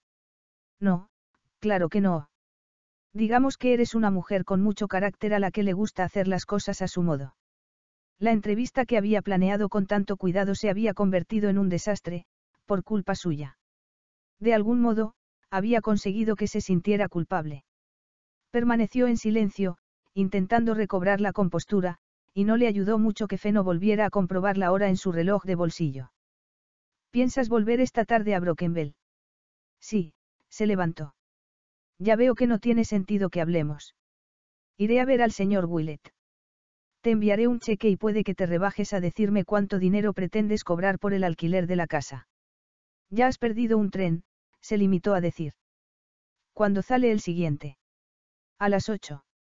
En tal caso no llegarás a casa hasta medianoche. Siéntate, Eulalia. Eulalia obedeció. Estaba muy cansada y algo decepcionada. En aquel instante no le importaba gran cosa lo que pudiera suceder. Van Linsen marcó un número de teléfono. Dodge, ¿te importaría mirar en mi agenda y darme el número de teléfono del señor Wedge, en Brokenbell? Muchas gracias. Pasados unos segundos colgó y volvió a marcar. Señor Wedge. Soy Van Linsen. Sería tan amable de enviar un mensaje a la señora Trot, de Ivy. Dígale que la señorita Barburton se quedará en Londres a pasar la noche, como invitada mía, y que regresará mañana. Gracias. No puedes hacer. Ya lo he hecho, dijo el médico, mientras colgaba. Eulalia respiró profundamente. De todas formas, tengo intención de regresar a casa esta noche. La joven se levantó, y Feno hizo lo mismo. Tengo que devolverte sana y salva a Brokenbell, aunque solo sea por Peter y por Trottier, así que será mejor que hagas lo que he dicho. Eres un hombre abominable, y te odio. Te desprecio más de lo que desprecio a Víctor. Eres engreído, sarcástico, poco amable, y si tuviera todo el dinero que te debo te lo arrojaría a la cara con tu casa. El médico no pareció sentirse demasiado afectado por el comentario, por ofensivo y absurdo que fuera. Volvió a levantar el auricular, pulsó un botón y dijo, Geoff. Podrías recoger las notas de los pacientes. Las veré más tarde. Sí, dentro de una hora o dos. Acto seguido tomó a Eulalia del brazo y salieron del hospital, dejando bastante sorprendidos al recepcionista y a una enfermera. Eulalia permanecía en silencio. Quería decir muchas cosas, pero estaba tan enfadada que no conseguía abrir la boca. Se sentó en el coche a su lado, tan estirada como una tabla, y de repente, dijo. Estoy haciendo esto contra mi voluntad, y debo protestar. No seas tonta, observó Feno con tranquilidad. Aquella fue toda la conversación que mantuvieron hasta que llegaron a su casa. Dodge abrió la puerta y no demostró sorpresa alguna. Se limitó a inclinar la cabeza a modo de saludo, y escuchó con atención a Van Linsen cuando dijo que preparara la habitación de invitados para que Eulalia pasara la noche. La señorita Barburton ha perdido el tren. Pasará la noche aquí y regresará a Brokerville mañana por la mañana. Podríamos tomar un té dentro de unos minutos, y cenar a la hora habitual. Encárgate de que la señorita tenga todo lo que desee, se volvió hacia Eulalia. Baja cuando estés preparada. Estoy seguro de que te gustará tomar una taza de té. Creo que en este país el té lo cura todo. Eulalia siguió a Dodge escaleras arriba. Feno se dirigió a su despacho y llamó al hospital para advertir que regresaría dos horas más tarde. El mayordomo llevó a Eulalia a una habitación encantadora, en la parte trasera de la casa, con vistas a un pequeño jardín. Eulalia miró el paisaje que se contemplaba desde la ventana y después inspeccionó la habitación. Era pequeña, pero elegante, con una cama, un tocador, dos pequeñas sillas y una alfombra de color crema. También había una puerta que daba a un cuarto de baño. Había toallas, jabón, gel de baño, e incluso un cepillo de dientes, otro para el pelo y un peine. Eulalia no podía saber que Dodge se preciaba que no olvidar un solo detalle en lo relativo a los invitados, y pensó que seguramente Úrsula pasaba algunas noches allí. Se peinó el pelo, se empolvó la nariz, se pintó los labios y bajó las escaleras, más tranquila. El salón era tan bonito como recordaba, o tal vez, más, habían encendido la chimenea y sobre la mesa descansaba un exquisito juego de té, con preciosas tazas y platillos y una bandeja con pasteles. Van Linsen le ofreció una silla y la invitó a sentarse. El ambiente era muy acogedor, y la presencia de Mabel, que estaba tumbada junto al fuego, aumentaba el efecto. Todo era muy normal. Casi parecía lo más natural del mundo que estuviera allí, sentada frente a él mientras tomaba té y comía pastelitos. Pero se dijo que debía reaccionar. Si se dejaba seducir por el ambiente, cabía la posibilidad de que Feno se aprovechara de la situación para conseguir algo relativo al dinero y a la casa de campo. No obstante, Feno se limitó a charlar con ella. Le ofreció los pasteles y una segunda taza de té y luego se excusó para hacer una llamada telefónica, dejándola a solas con Mabel y con un montón de periódicos y revistas. Eulalia se levantó para examinar los cuadros y los libros que había en la estantería. Eran libros antiguos, probablemente primeras ediciones, y muchos estaban escritos en holandés. Después se dirigió a la ventana y miró al exterior. Estaba oscureciendo, y se respiraba un ambiente tan pacífico como el de Brokenbell. Aún se encontraba de pie cuando Feno regresó. Volvieron a sentarse a la mesa. Eulalia contestaba a todas sus preguntas con educación, pero con cierta brusquedad. Van Linsen no pareció afectado por su actitud, y siguió charlando con ella hasta que regresó Dodge para decir que la cena estaba servida. Eulalia estaba hambrienta, y devoró con cierta ansiedad los cangrejos, el pollo y el flan de chocolate. Se dijo que no importaba que estuviera a la mesa de un hombre que le desagradaba. Tenía hambre y quería comer. Siguió la conversación de Feno con la misma actitud y repitió postre. Acto seguido tomaron un café, y cuando terminaron. Van Linsen se levantó. Me perdonarás si te dejo al cuidado de Dodge. Tengo que volver al hospital, y puede que llegue tarde. Si no te veo por la mañana, dile qué tren tienes que tomar y él te indicará el camino. Feno no esperó a que hablara. Se marchó y se despidió con un escueto, buenas noches, mientras se alejaba.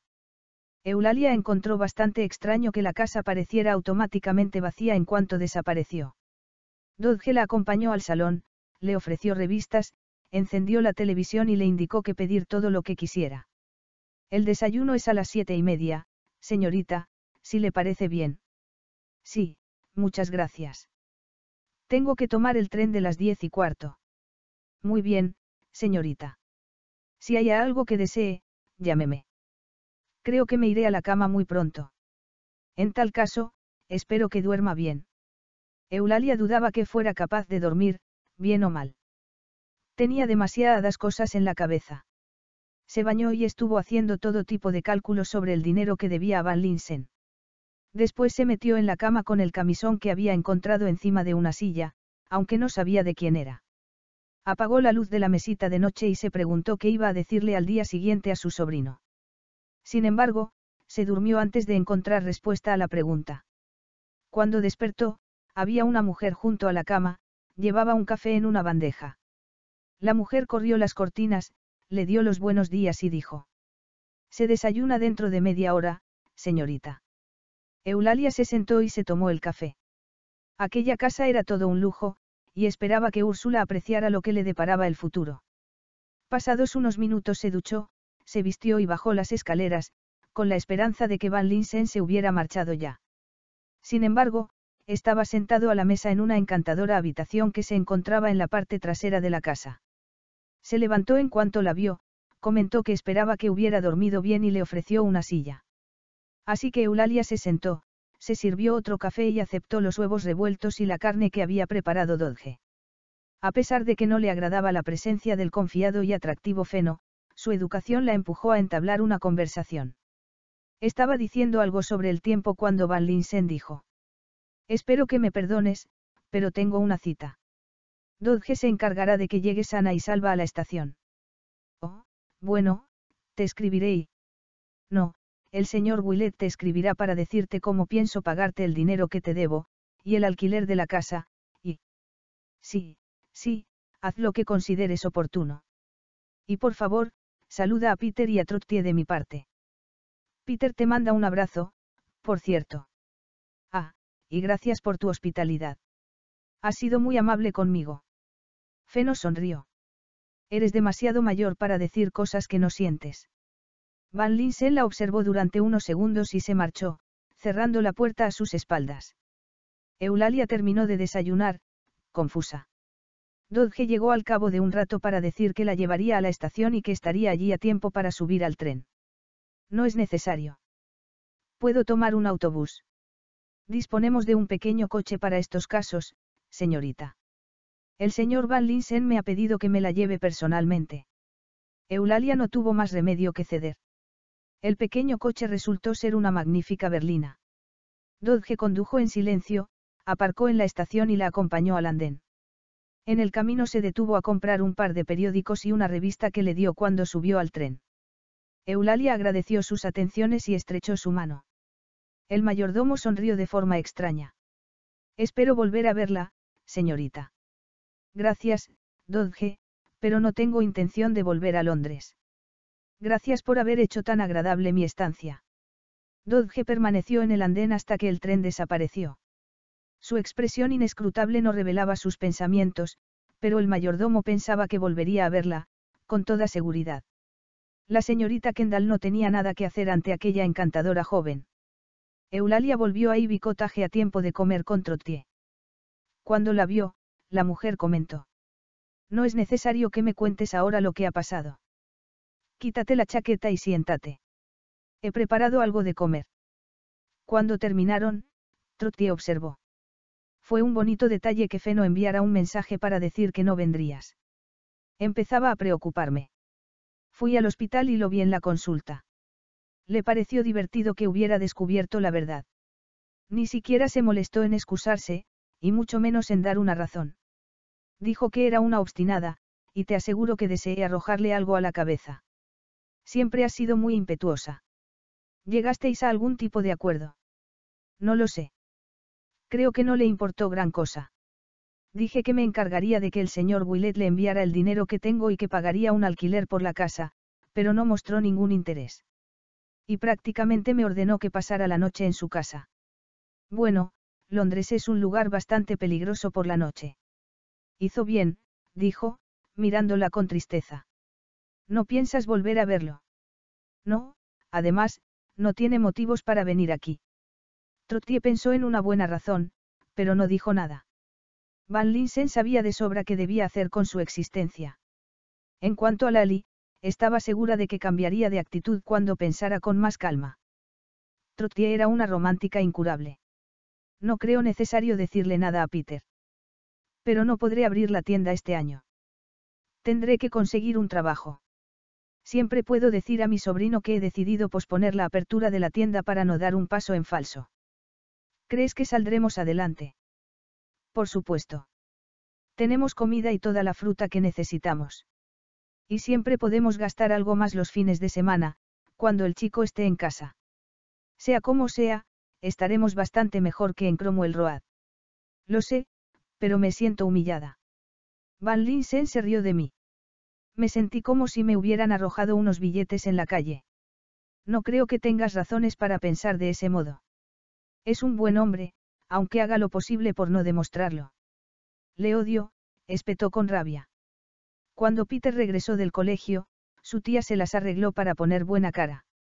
Le contó una versión bastante cambiada de lo sucedido, le dio los saludos de Feno y contestó a todas las preguntas que pudo. Dijo si vendría a verme. No, cariño. Tiene una vida muy ocupada. Aunque pasé la noche en su casa solo estuvo allí un rato, porque tenía que volver al hospital. Y por la mañana, apenas hemos tenido la oportunidad de hablar durante unos minutos. Cuando se case, su esposa y sus hijos no lo verán muy a menudo. Eulalia imaginó a Van Linsen sentado a la cabecera de la mesa del comedor, con una esposa sonriente y niños a ambos lados. Muchos niños, porque tenía la impresión de que era un hombre al que le gustaban las familias grandes. Si se casaba con Úrsula tendría suerte si tenía un solo hijo, y casi sintió lástima de él. Fuera como fuese, debía dejar de pensar en él. Y cuando lo hiciera, tendría que ser con desagrado. La lástima que sentía Eulalia no tenía demasiado sentido. Feno sabía de sobra lo que hacía y controlaba su vida aunque tuviera que hacer algunos cambios en ella. Ni siquiera la aparición de Úrsula, la noche siguiente, alteró su tranquilidad. La mujer pasó por delante de Dodge como si no existiera y entró en el comedor, mientras él cenaba. ¿Dónde estuviste anoche? preguntó. Dulcie Chow te vio en el coche con una chica. ¿Quién era, y qué hacía contigo? Feno dejó la servilleta sobre la mesa y se levantó. Querida Úrsula, qué placer más inesperado. No te importa que termine de cenar. Hoy no he tenido tiempo para comer. ¿Quieres que Dodge te traiga algo? Ya he cenado, en casa de los Chow. Dulcie estaba allí, desde luego. Debiste venir conmigo. Si no recuerdo mal, ayer rechazarse mi invitación para ir al cine porque te aburría. Dijiste que preferías la compañía de los Chow. Eso no tiene nada que ver. Es una película aburrida, y no quería pasar una velada terrible cuando podía divertirme un poco. ¿Me encuentras aburrido, Úrsula? Preguntó, mientras la observaba. Bueno, sí, un poco. Pero aún no me has dicho con quién estabas. No tengo intención de hacerlo. ¿Quieres que vayamos al salón a tomar un café? Úrsula lo miró con irritación. Me voy, y espero que te arrepientas por haber sido tan grosero conmigo. Y no te molestes en intentar tranquilizarme con un estúpido ramo de rosas. La mujer salió disparada hacia el vestíbulo. Dodge abrió la puerta y se despidió de ella antes de regresar a la cocina, donde empezó a silbar mientras limpiaba los platos y arreglaba un poco la estancia para que la mujer de la limpieza no tuviera que esforzarse demasiado por la mañana. Pensó que la aparición de Úrsula había resultado muy satisfactoria. Ahora, solo hacía falta un golpe de suerte. El sábado por la tarde, Trottier y Peter se habían marchado de compras al pueblo, dejando a solas a Eulalia, que estaba contestando a las ofertas de empleo que había encontrado en un periódico local. Trottier no tenía intención de comprar gran cosa, solo carne, y comida para el perro y para el gato. Además, todos los fines de semana daban una pequeña paga al niño, apenas media libra, pero suficiente para que Peter pudiera comprarse unos cuantos dulces.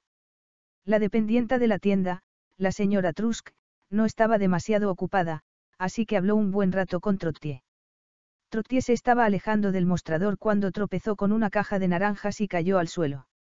Era bastante pesada, y se hizo daño. Peter corrió a ayudarla, pero la mujer rechazó su ayuda. No, no, déjame, me he hecho daño en la pierna. Acto seguido, sonrió y se desmayó. Dios mío, dijo la señora Trusk. Se ha desmayado. ¿Y ahora qué hacemos? Llamar al médico, y darle un vaso de agua, respondió el chico, mientras tomaba la mano de Trottier. Trottier, no te preocupes, te cuidaremos. La voz de Peter se rompió ligeramente. A fin de cuentas, solo tenía ocho años y se emocionaba con facilidad aunque intentaba imitar a su ídolo. Van Linsen. Trottier abrió los ojos. Sé que lo harás, Peter, pero no dejes que nadie me mueva. El médico había salido con su esposa, y nadie sabía dónde localizarlo. Para entonces se había reunido un nutrido grupo de personas. Hay que llamar a una ambulancia, dijo el señor Wedge. Que alguien traiga un cojín para que pueda apoyar la cabeza y que avisen a Lali. Peter corrió al teléfono. Llevaba encima la tarjeta de Feno, así que marcó su número. Cuando contestaron, dijo a toda prisa. Tengo que hablar con el señor Van Linsen, es muy importante. Dígale que soy Peter. Peter, ¿qué ocurre? Preguntó una voz conocida. ¿Qué ha pasado? Es Trottier.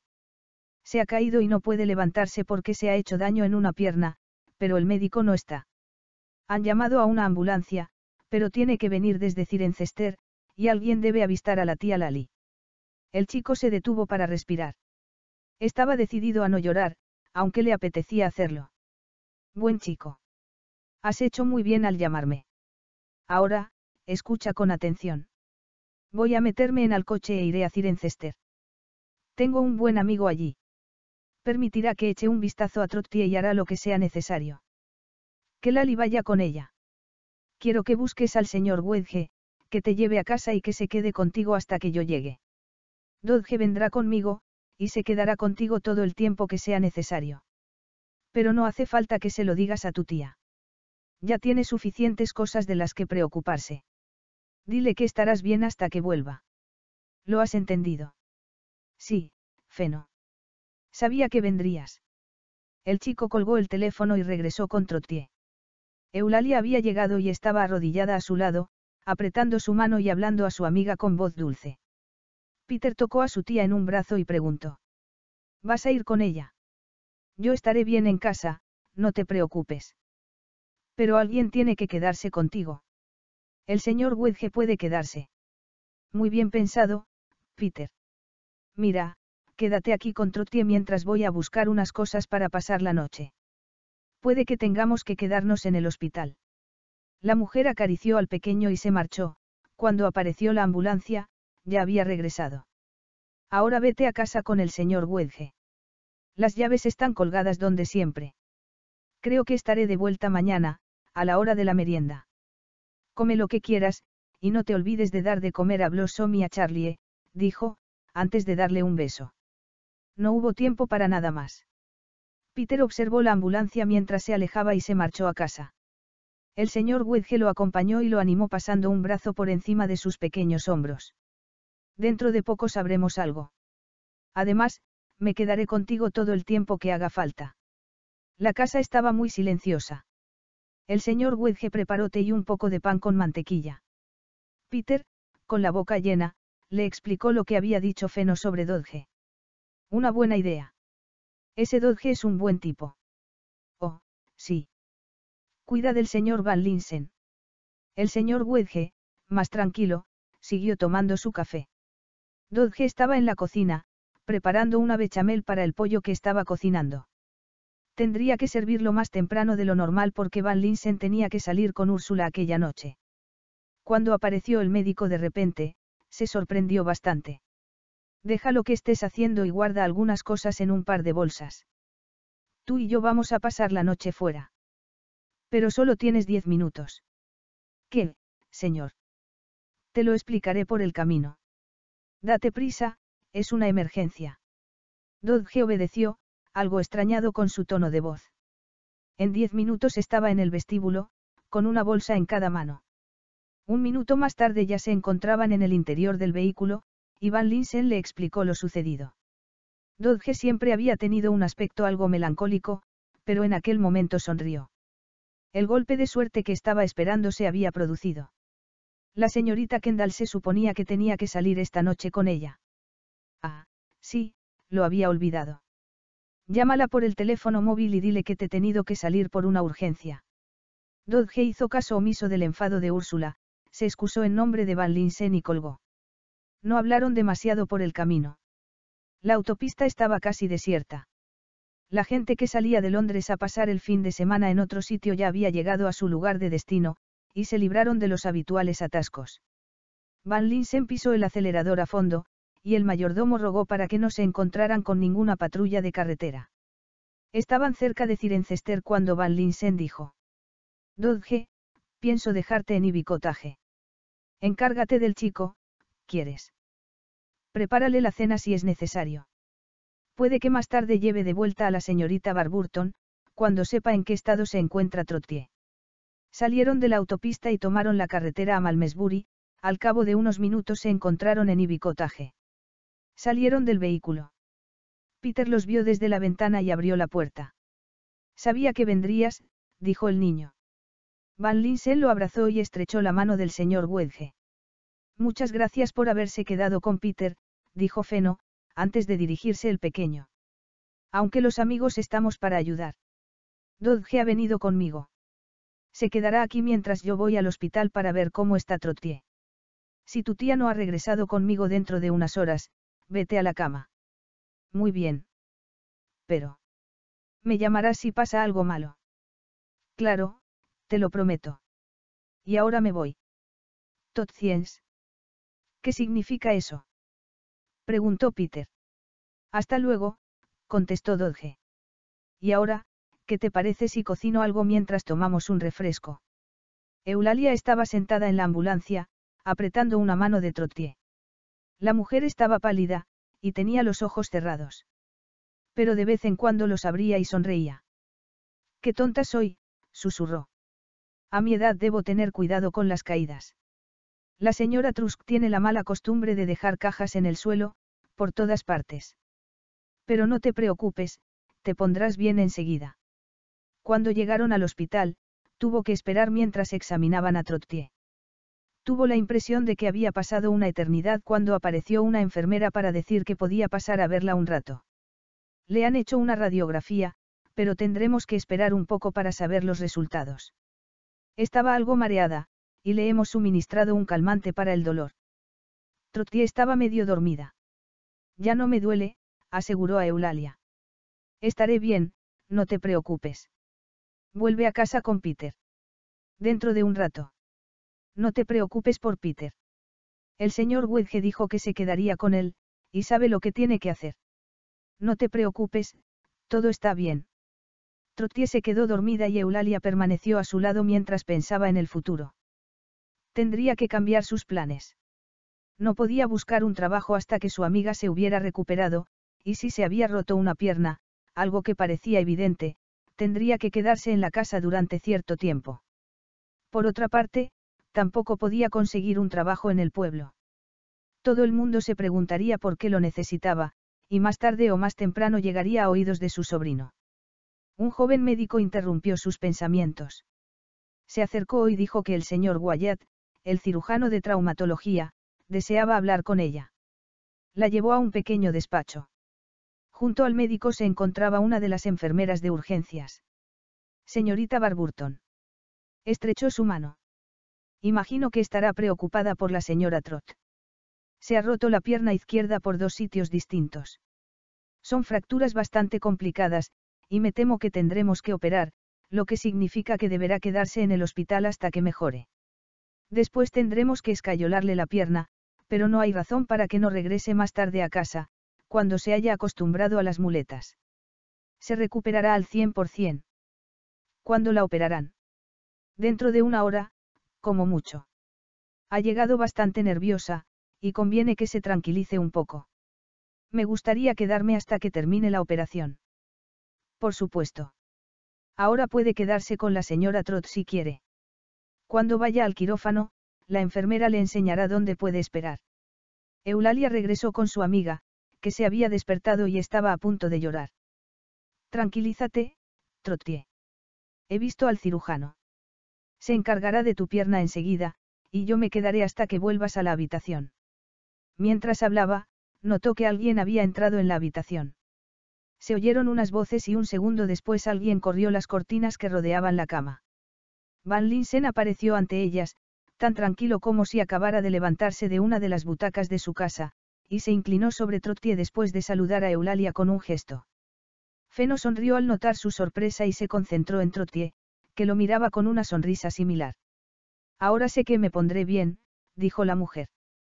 Capítulo 8. Van Linsen tomó su mano. Por supuesto que te pondrás bien. El señor Wyatt y yo vamos a ocuparnos de esa pierna. Soldaremos las fracturas y te pondremos una escayola. Eulalia puede esperar en el hospital durante el tiempo que dure la operación. Eulalia se inclinó y besó a su amiga, pero no miró al recién llegado.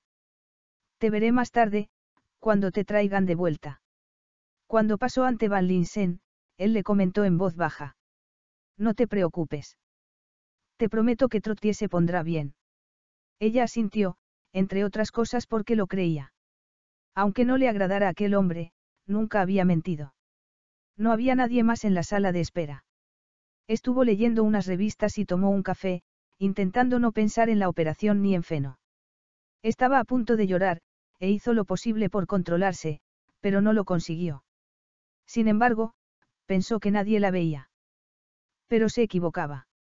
Van Linsen, que aún llevaba la bata verde de cirujano, y la mascarilla colgando del cuello, la miró desde el umbral y dijo. Será mejor que te seques las lágrimas. Trottier ya se ha despertado, y se te ve así insistirá en que vuelvas a casa.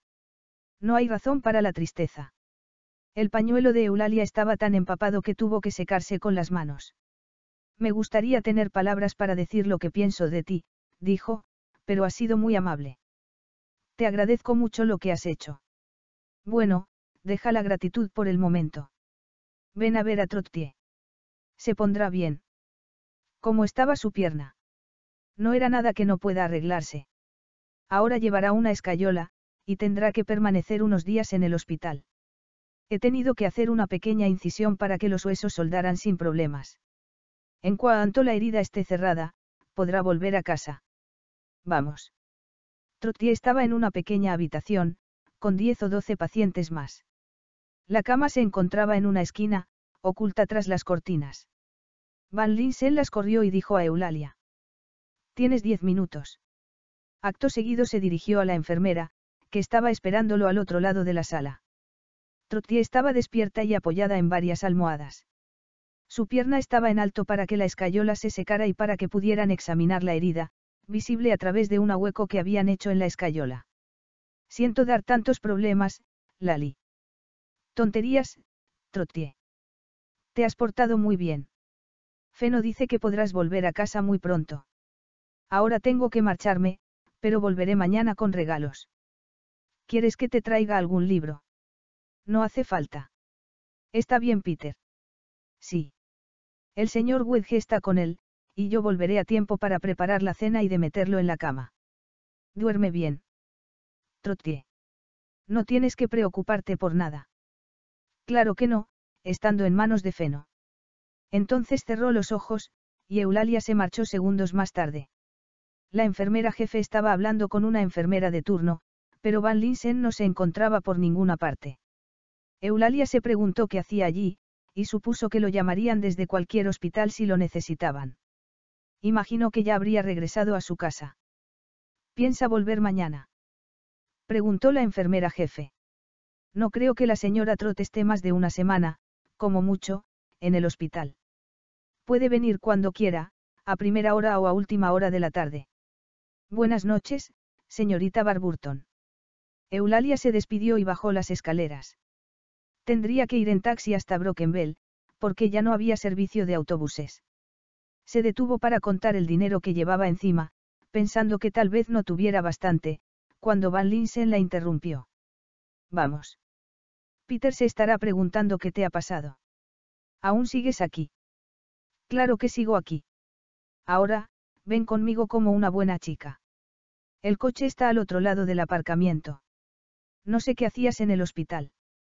Me he sorprendido mucho al verte, pero me alegro por Trottier. Sin embargo, no es necesario que me lleves a casa. No te pilla de camino. Al contrario. Dodge está con Peter, y espero que haya preparado una buena cena. Dodge. Preguntó. Está en ibicotaje. Los dos entraron en el coche. Sí, acompañando a tu sobrino. No lo comprendo. Peter ha tenido la sensatez suficiente para llamarme antes de que llegara la ambulancia. ¿Te ha llamado? Frunció el ceño. Pero si no tenemos teléfono. Además. En la tienda hay teléfono. ¿Y has venido así como así? Sí. Pero ¿cómo sabía tu número? Se lo di yo. ¿Por qué? Por varias razones. Minutos más tarde habían llegado a Ivy Cottage. Peter salió corriendo de la casa en cuanto los vio. ¿Qué tal está Trottier? La has operado. Me lo explicarás más tarde. El niño abrazó a su tía y dijo. Has estado llorando bueno, no importa. El señor Dodge ha preparado una cena fenomenal. Bueno, vamos a entrar. Feno debe tener hambre, y está deseando hablar contigo, dijo, dirigiéndose al médico. Feno la observó con atención, pero ella apartó la mirada y súbitamente se sintió aliviada al encontrar a Dodge. He preparado la cena, señorita, y espero que no lo considere una intromisión por mi parte. El joven Peter me ha ayudado bastante. Se lo agradezco mucho, Dodge. Además, estoy segura de que Feno tendrá hambre. La tengo. Peter, si quieres sentarte a mi lado te explicaré todo sobre Trottier mientras Eulalia se arregla. ¿Quieres decir que será mejor que vaya a secarme las lágrimas? No. Preguntó Eulalia, directamente. Eulalia se marchó al servicio y permaneció allí más tiempo del necesario, intentando recobrar la compostura. Cuando regresó, Dodge estaba lavando los cacharros que habían ensuciado, y el médico charlaba animadamente con Peter. Se ofreció a ayudar al mayordomo, que aceptó con tanta dignidad como de costumbre.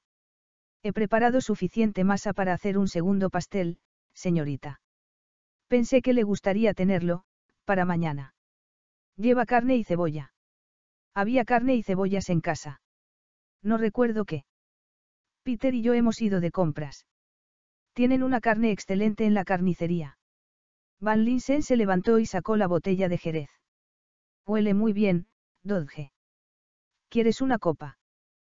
Pero si yo no tengo Jerez. Empezó a decir Eulalia. Hemos pasado por el bar de Wedge, señorita, para que viera que Peter se encontraba bien, y he descubierto que tenía una magnífica marca de Jerez. Es una bebida muy estimulante, y más que necesaria en ocasiones. Van Linsen se esforzó por no sonreír. Naturalmente, hablaron sobre Trottier. Volveremos mañana, después de comer, dijo el médico. Trottier estará bien, y seguro que querrá que la visitemos. No hay necesidad de que bueno, Peter y yo podemos ir solos, pero tú debes regresar a Londres. De eso nada. Voy a aprovechar para pasar un día en el campo. Dodge se merece un día libre, ¿no te parece, Dodge? Desde luego, señor. Además, así tendré la oportunidad de conocer a la señora Trot, una dama de gran valentía, según tengo entendido. Eulalia tomó el puré y el pastel de carne que había preparado Dodge y se dio cuenta de que la vida no era tan mala como había pensado. Van Linsen habló detalladamente sobre el estado de Trottier y aseguró, casi de forma confidencial, que volvería muy pronto a casa si todo salía bien. Y cuanto antes lo haga, mejor. Tendremos que cambiarle la escayola, y obviamente deberá pasar un reconocimiento médico cada cierto tiempo. Pero eso no es ningún problema. Puedo venir de vez en cuando para verla. No hay necesidad de que siga en el hospital más tiempo del necesario. Hablaré con Wyatt. Así que volverás, dijo Peter, contento. Si Eulalia lo permite, sonrió. Por supuesto. Eres muy amable. Por cierto, Peter, ya es hora de que te vayas a la cama. Ha sido un día muy largo, y quería darte las gracias por haber actuado con tanta rapidez cuando Trottier se cayó. Estoy orgullosa de ti. Feno no estaba, así que tenía que hacer algo, no. Peter se despidió de Van Linsen y de Dodge, y preguntó si podía bañarse. No, ya te bañarás mañana. Ahora ve a lavarte los dientes y acuéstate. Mientras tú lo llevas a la cama, nosotros limpiaremos los platos antes de marcharnos. Marcharos. A Londres. No, no, estoy seguro de que Dodge habrá reservado dos habitaciones en el local del señor Wedge. Oh, dijo ella. Siento que no tengamos suficientes habitaciones aquí. Ya has sido bastante amable ofreciéndonos una cena. ¿Qué ha cocinado Dodge, por cierto? Pero no tenías por qué invitarnos. Peter salió del cuarto de baño y Eulalia lo acompañó a su dormitorio. Cuando volvió, ya habían terminado de lavar los platos y estaban secándolos. No hacía falta que lo hicierais. Muchas gracias. Dodge es un genio lavando platos, y yo aprendo deprisa, dijo Van Linsen. Buenas noches, Eulalia. Cruzó la habitación, se inclinó sobre ella y la besó. Después, se marchó y la dejó con la boca abierta. Bueno, creo que podríamos tomar algo antes de irnos a la cama, comentó Feno a su mayordomo. Eulalia se quedó en la cocina un buen rato, intentando convencerse de que Feno le caía mal. Pero a pesar de que siempre hablaba cargado de razón, y a pesar de su actitud irónica, no era cierto. Por desgracia, iba a casarse con otra mujer. Se fue a la cama, aunque antes pasó por el dormitorio de su sobrino para asegurarse de que se había dormido. Pensó en Van Linsen y se preguntó si también se habría dormido. Le apetecía verlo al día siguiente, aunque pensaba que no debía haberla besado para despedirse. Al menos, de aquel modo. No había sido un simple beso de cortesía. A la mañana siguiente, Eulalia y el chico dieron buena cuenta del pastel de carne de Dodge y prepararon una bolsa con todo lo que Trottier pudiera necesitar en el hospital. Apenas habían terminado cuando aparecieron Van Linsen y Dodge. Feno los saludó con gran alegría, y sugirió que Charlie los acompañara. Acto seguido, y después de comprobar que el gato se encontraba en el interior de la casa, salieron en dirección al hospital. Una vez allí, dejaron al perro en el coche. Trottier estaba sentada en la cama. Estaba mucho menos pálida que el día anterior, y se había hecho su habitual moño. Lo saludó con gran alegría y se fijó en Dodge. Trottier, te presento a Dodge, mi mayordomo, dijo Van Linsen, sonriendo. Estoy seguro de que querrá decirte lo mucho que le ha gustado y bicotaje. Eulalia y yo vamos a hablar con la enfermera jefe. Cuando regresemos, Peter, creo que podríamos dar una vuelta por el hospital. Feno miró a Eulalia y sonrió. La joven se ruborizó al notar que no podía apartar la mirada de él. Y no habría podido de no haber sido porque su sobrino dijo. Corre, tía Lali, tengo ganas de verlo todo. Van Linsen y la joven fueron a ver a la enfermera jefe, que se encontraba con el joven médico que había examinado a Trottier cuando ingresó en el hospital. El joven miró a Eulalia con admiración, y a Van Linsen con respeto. Eulalia comprendió que era un hombre muy importante en su profesión. Guayat aseguró que Trottier evolucionaba muy bien, y continuó un buen rato hablando sobre cuestiones técnicas. Al cabo de un rato regresaron a la habitación. Peter se marchó con Van Linsen y ella permaneció junto a su amiga mientras escuchaban a Dodge, que hablaba sobre diversas cuestiones de cocina, muy animado. Trottier estaba algo ruborizada y sonreía a Dodge, aunque le llevara sistemáticamente la contraria. De vuelta en la casa, Eulalia consideró que debía ofrecerles un café. Van Linsen aceptó. Sin embargo, tenemos que marcharnos muy pronto. Tengo una cita esta noche. Estoy seguro de que Trottier se encontrará bien, pero si estás preocupada, no dudes en hacérmelo saber. Estaré en contacto con el señor Guayat, que te llamará en cuanto pueda volver a casa. Eulalia le dio las gracias, sirvió el café y sacó la tarta que había preparado aquella mañana. No hablaron sobre el asunto de la casa, así que la joven pensó que pensaba dejar que Willet se encargara de todo. Se levantaron pasados unos minutos, y Peter quiso saber si el médico regresaría pronto. Como siempre. Van Linsen contestó con mucha seriedad. Puede que nos veamos, pero no aquí, Peter. Iré al hospital cuando llegue el momento, para cambiar la escayola de Trottier y para asegurarme de que está bien. Y no tendrías tiempo para. Eulalia lo interrumpió. Peter, cariño, Feno es un hombre muy ocupado. Espero que vuelva por aquí si tiene tiempo, pero no siempre puede. En realidad, a veces no puede hacer lo que le gustaría hacer. Van Linsen sonrió. Mientras regresaban a Londres, Feno comentó, la señorita Trot es una mujer encantadora, ¿no te parece? Desde luego, señor. Debo decir que me ha sorprendido muy agradablemente. Creo que nos llevamos bastante bien. A Van Linsen le agradó su respuesta. Mientras charlaban, no dejaba de pensar de cuando en cuando en su futuro. Y cuando estaban a punto de alcanzar su destino, dijo. Me gustaría que volvieras al hospital de vez en cuando para llevar unas flores a Trottier. De ese modo, podrás avisarme si surge alguna complicación.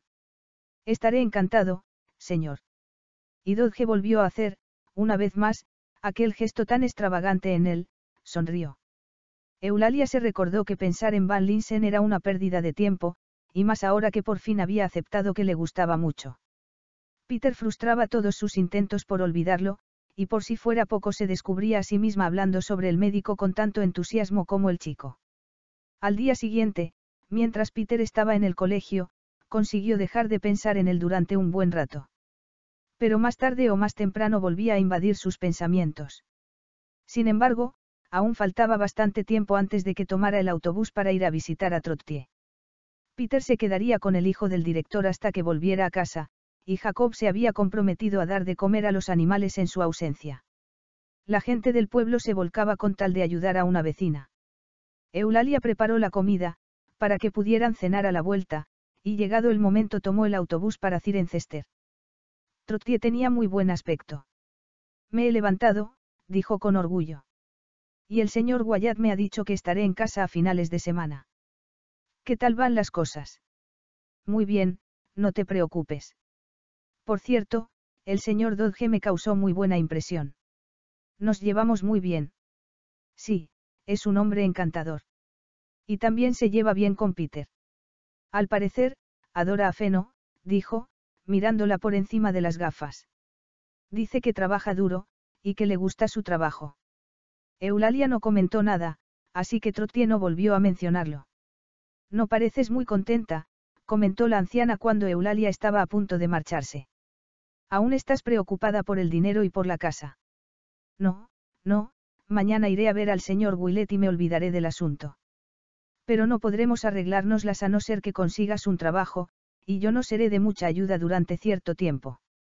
No te preocupes por eso, Trottier, ya nos las arreglaremos. Como siempre. Tengo muchas ganas de que vuelvas, porque te echo de menos. Volveré mañana a la misma hora. De vuelta en el autobús, pensó que le pediría al señor Willet que retrasara el pago del alquiler de la casa durante unas semanas, en la esperanza de que encontraría un empleo cuando Trottier se hubiera recuperado. Cuando Peter regresó, intentó adoptar una actitud alegre y le contó todo sobre la accidentada, mientras cenaban.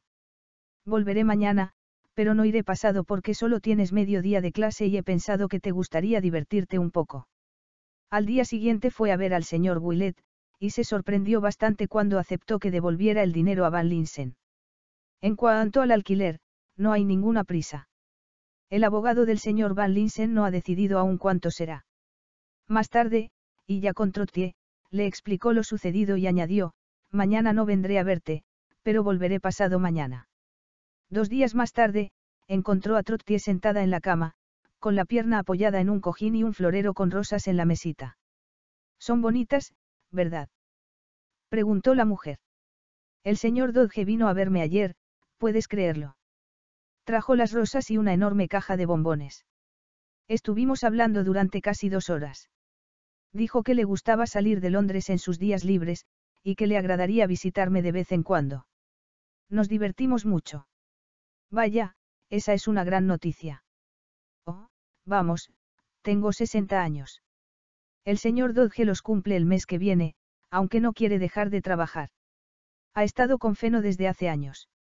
Dice que vendrá a verme pronto. Tiene un libro de recetas que heredó de su abuela, y le gustaría enseñármelo. Según parece, Feno ha estado en Escocia y en Irlanda, trabajando. Dodge dice que es un genio con los huesos. La gente del pueblo se alegró mucho cuando volvieron a ver a Trottier. El taxista que las llevó se negó a cobrarles el recorrido, el carnicero les regaló una pierna de cordero, el verdulero, una bolsa llena de verduras, el panadero, una tarta, y el señor Wedge, que no quería ser menos, media docena de botellas de leche. Trottier recibió visitas durante varios días. Pasaba mucho tiempo sentada en el sofá del salón, y se aseguraba de que Eulalia mantenía la cocina en buen estado. También dormía en el salón, porque no podía subir las escaleras, pero poco a poco la vida fue volviendo a su cauce habitual. No obstante, Eulalia no podía empezar a buscar un trabajo hasta que Trottier se recobrara por completo. Trottier llevaba en casa dos semanas cuando el señor Dodge apareció en el coche que había utilizado para llevar a Eulalia a la estación. Una vez más llevó un ramo de rosas, y una cesta con frutas, pero no eran las habituales manzanas del pueblo. Llevaba pina, uvas y melocotones. Se quedó a merendar, y puesto que había aparecido poco después de la hora de comer, Eulalia aprovechó para ir a ver al señor Willett.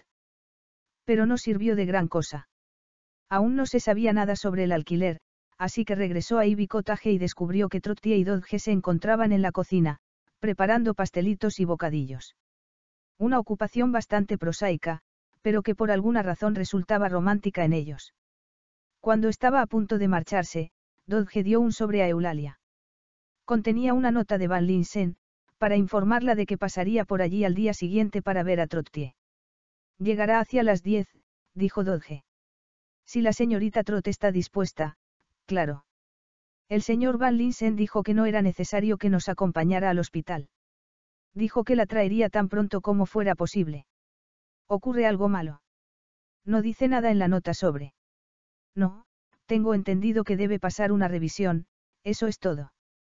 Si hubiera ocurrido algo extraño, el señor Van Linsen se lo habría dicho, añadió, en tono de reproche. El médico llegó a las diez en punto, al día siguiente, rechazó el café que ofreció Eulalia, y en pocos minutos se llevó a Trottier. Sus modales eran más bruscos que de costumbre. Obviamente no tenía tiempo que perder, aunque estuvo un rato acariciando al perro y a Blossom. Algo extrañada por su actitud, lo invitó para que se quedara a comer cuando regresara. Pero Van Linsen volvió a rechazar la invitación. Sí, claro, no querrás perder tu valioso tiempo, espetó ella, enfadada. Te estoy muy agradecida por haber llevado a Trotti al hospital, pero la próxima vez puedo alquilar un coche. Antes de marcharse. Feno la miró con tanta intensidad que Eulalia pensó que iba a derretirse. Sabía que no eran ni el lugar ni el momento más adecuados para enamorarse, y que si lo hacía cometería un terrible error. Por suerte, aquellos sentimientos no parecían ser recíprocos. Eulalia creía que todo lo que había hecho lo había hecho por Peter. Con todo, había tenido que hacer un verdadero esfuerzo para no arrojarse a sus brazos. Durante un instante, había tenido la impresión de que aquella mirada significaba algo. A pesar de todo, se dijo que seguramente se había confundido. Su actitud había sido bastante brusca, aunque tan educada como de costumbre. Fuera como fuese, no tendría que volver a verlo cuando Trottier se hubiera recuperado. Por desgracia, se había repetido aquella frase más de una vez, y el destino siempre los unía. Ansiosa por olvidarse del asunto, se dedicó a trabajar en la casa. La mañana pasó, y no volvían. Eulalia tomó un bocadillo y una taza de café, y acto seguido se arregló. Supuso que regresarían a la hora del té. Estaba en la cocina cuando volvieron, y no oyó el coche. Antes de que se diera cuenta, los encontró en el salón. Eulalia miró los pasteles que acababa de meter en el horno, encendió el hervidor de agua y salió a saludarlos. Van Linsen estaba ayudando a Trotti a quitarse el abrigo. Todo está como tendría que estar. En pocas semanas le cambiaremos la escayola. Mientras tanto puede caminar con las muletas, siempre y cuando no se canse. Eso es magnífico. El té está preparado. Debo dejaros. Tengo una cita esta noche. Eulalia pensó que debía tratarse de Úrsula. Siento que no puedas quedarte. Gracias por haber venido. Le has facilitado mucho las cosas a Trottier. Eulalia lo llevó a la puerta, deseando que volviera a besarla. Pero no lo hizo. De hecho, no le dijo nada. Estrechó la mano de Trottier y desapareció. He preparado unos pasteles, dijo Eulalia, pensé que se quedaría, pero es obvio que no le apetecía demasiado. No después del problema que tuvimos con el dinero y la casa. Tal vez debí decir algo al respecto. Olvídalo. En cuanto a los pasteles, con uno me bastará. He comido en el hospital, mientras se me secaba la escayola. Son muy amables. Todos parecen admirar muchísimo a Feno. Es muy famoso, según dijo una de las enfermeras. Eulalia escuchó con ansiedad todo lo que comentó sobre el médico. Le interesaba hasta el más pequeño detalle. Amarlo podía ser una pérdida de tiempo, pero era una pérdida de tiempo que no podía evitar. Sirvió los pasteles y el té y escuchó la narración de Trottier. Después, fue a recoger al niño al colegio, y pasó el resto de la tarde con sus habituales ocupaciones caseras, perdida en sus pensamientos. Las semanas pasaron poco a poco, aliviadas por las visitas de Dodge, que llevaba flores para Trottier y dulces para Peter. Siempre lo esperaban con alegría, pero para pesar de Eulalia, nunca comentaba nada sobre Van Linsen. Obviamente, Dodge y Trottier se gustaban, salían a pasear juntos, y la mujer parecía diez años más joven. Eulalia tenía la impresión de que terminarían por casarse, y aunque se alegraba, no podía dejar de pensar en su propio futuro. Si Trottier se marchaba con Dodge, se llevaría su pensión y contaría con menos dinero. Tendría que encontrar un trabajo para mantener la casa y al niño, y tendría que encontrarlo en Cirencester o en Malmesbury, para que estuviera de vuelta en casa cuando el chico saliera del colegio. No dejaba de pensar en ello por las noches, y no quería preocupar a Trottier con el asunto. Tras una de las frecuentes visitas de Dodge, Trottier anunció su compromiso. Lali, cariño, Dodge y yo queremos casarnos, pero aún no es el momento más adecuado. Dodge se lo dirá a Feno y le pedirá su opinión. Eulalia la abrazó y deseó que tuviera muy buena suerte. Hasta comentó que Dodge y ella estaban hechos el uno para el otro. Es un buen hombre, y sé que serás feliz. Me alegra mucho tener una boda en la familia. Más tarde, sin embargo, y cuando Trottier ya se había marchado en la casa, la joven permaneció en la cocina, mirando la pared y deseando con todo su corazón que, de algún modo, apareciera Feno para pasar con ella el resto de su vida. Aunque no lo supiera, Feno estaba a punto de visitarla. Dodge le había confesado sus intenciones de casarse con Trottier, y Feno se había mostrado encantado con el súbito e inesperado éxito de Cupido. De todas formas, nos gustaría seguir a su servicio, señor. Bueno, claro que si no sabría arreglármela sin ti. Y tener a Trottier sería maravilloso. Desde luego, señor. ¿Pero qué hay de la señorita Lali?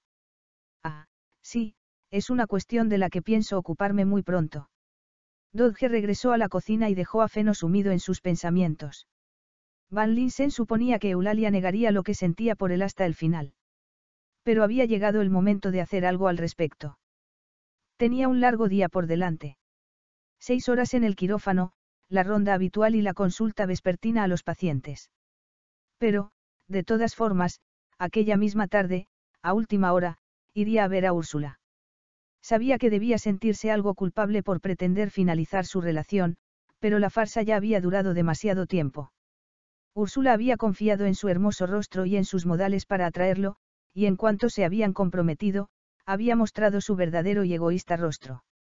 Hacía tiempo que sabía que solo se quería casar con él por su dinero y por su posición, no lo amaba, y él, por su parte, no sentía nada por ella desde que viera a Eulalia por primera vez. La criada le abrió la puerta aquella tarde. Cuando preguntó por la señorita Kendall, la mujer contestó, algo nerviosa. Sí, Señor, está en el salón, pero no sé si. No esperó a que terminara. Avanzó, resuelto, y entró en la sala. Úrsula estaba allí, con el estadounidense que había conocido en la fiesta. Estaban abrazados, y ninguno de los dos notó su presencia. Feno no dijo nada. Se limitó a apoyarse en el marco de la puerta y a sonreír. El destino parecía apoyar sus planes. Úrsula fue la primera en romper el silencio. Así que has venido por fin, pues no te molestes. He decidido no casarme contigo. Me moriría de aburrimiento en un mes, dijo, desafiante. Pienso casarme con Wilbur. Van Linsen cruzó la habitación. Nos conocimos en una fiesta, hace unas semanas, no es cierto. Linsen estrechó la mano del hombre. Felicidades. Y también a ti, Úrsula. Espero que seáis muy felices. Úrsula quiso devolverle el anillo de diamantes que le había regalado, pero él se negó. No, quédatelo. ¿Para qué quiero un anillo de diamantes? En fin, no os interrumpiré más. Ya encontraré la salida. Feno se marchó de la casa, silbando. No estaba nada cansado, y aún tenía muchas cosas que planear. Capítulo 9. El señor Dodge apareció al viernes siguiente, pero acompañado por Van Linsen. Eulalia estaba en la cocina, preparando una tarta de manzana, así que Trottier se encargó de abrir. La mujer cerró los ojos esperando que Dodge la besara, pero en lugar de Dodge fue Feno quien lo hizo. Eulalia está en la cocina. Artur, ¿podrías ayudarme a ponerme el abrigo? Me gustaría ir a la taberna para comprar una botella de Jerez. Yo diría que cuando volvamos nos estará esperando un café. Dodge sonrió y Van Linsen rió. Aún no os he felicitado a los dos. Pero ahora lo hago, y con todo mi corazón. Te aseguro que Dodge es un hombre afortunado, Trottier. Eulalia oyó voces, y cuando Feno abrió la puerta de la cocina ella se encontraba de pie, con el rodillo en la mano, pálida. El médico cerró la puerta a su espalda y dijo. Hola, Eulalia. ¿Piensas atacarme con ese rodillo? No, no. Es que me ha sorprendido. Estaba haciendo tarta de manzana y bueno, eso es todo. Me alegro, porque he venido para hablar contigo. Y traigo una rama de olivo en la mano. Una rama de olivo. ¿Para qué? Tengo entendido que Peter tiene vacaciones el jueves. Pues bien, tenía intención de ir a Holanda ese día, y pensé que tal vez os gustaría venir conmigo. Ir contigo. A Holanda. Pero si no tenemos pasaporte. Eso carece de importancia. Vendrás, Eulalia. Sonrió. No podemos. Charlie y Blossom además, no podemos dejar sola a Trottier. Claro que no. Dodge vendrá y se quedará con ella. Al parecer, Feno lo había pensado todo. Pero la señorita Kendall. No va a ir contigo. No, en absoluto. Creo que su futuro está en los Estados Unidos. Con un individuo bastante agradable, aunque con un deplorable gusto para las corbatas, arqueó las cejas. Digamos que rompimos nuestra relación por mutuo acuerdo. Eso no tiene nada que ver conmigo. No seas tonta. Os estoy ofreciendo unos días de vacaciones. Te quedarás en mi casa, aunque estaré fuera casi todo el tiempo. Ten en cuenta que es una oportunidad excelente para que Trottier y Dodge se conozcan mejor. No debemos ser egoístas con ellos. Eulalia seguía aplastando la masa con el rodillo, para no mirarlo. ¿Te importaría que solo fuera Peter? No hay necesidad de que yo vaya. Y esperas que yo me encargue de que se cambie de ropa y se lave las orejas. No, no hay ninguna otra persona que pueda ocuparse de eso. Oh, sí, claro. Pero anímate. Estarás a salvo, te lo aseguro. Bueno, lo pensaré, dijo, intentando aparentar tranquilidad. Vale. Tienes tiempo hasta que terminemos de tomarnos el café. He dicho que lo pensaré. Además, tengo que preguntárselo a mi sobrino. Sospecho que querrá ir. En aquel instante regresó la feliz pareja, y Eulalia preparó el café y sacó unas galletas. No habló demasiado, pero nadie pareció notarlo. Dodge se encargó de limpiar los platos, y la joven permaneció sentada mientras Trottier y Van Linsen discutían sobre el tiempo. Está empezando a hacer frío, comentó él. Holanda siempre parece más fresca que Inglaterra. Y lo es. Será mejor que lleves ropa de invierno, Eulalia. Trottier se sorprendió. Vaya, Lali. Peter también va a ir. Ya veo que las cosas han mejorado entre vosotros. Eulalia lo miró con mala cara. Había jugado sucio con ella. Yo no he. Quiso negar que tuviera intención de hacer aquel viaje, pero al notar la mirada de Feno, se detuvo. Sí, vamos a ir los dos. Solo a pasar unos días. Peter tiene vacaciones.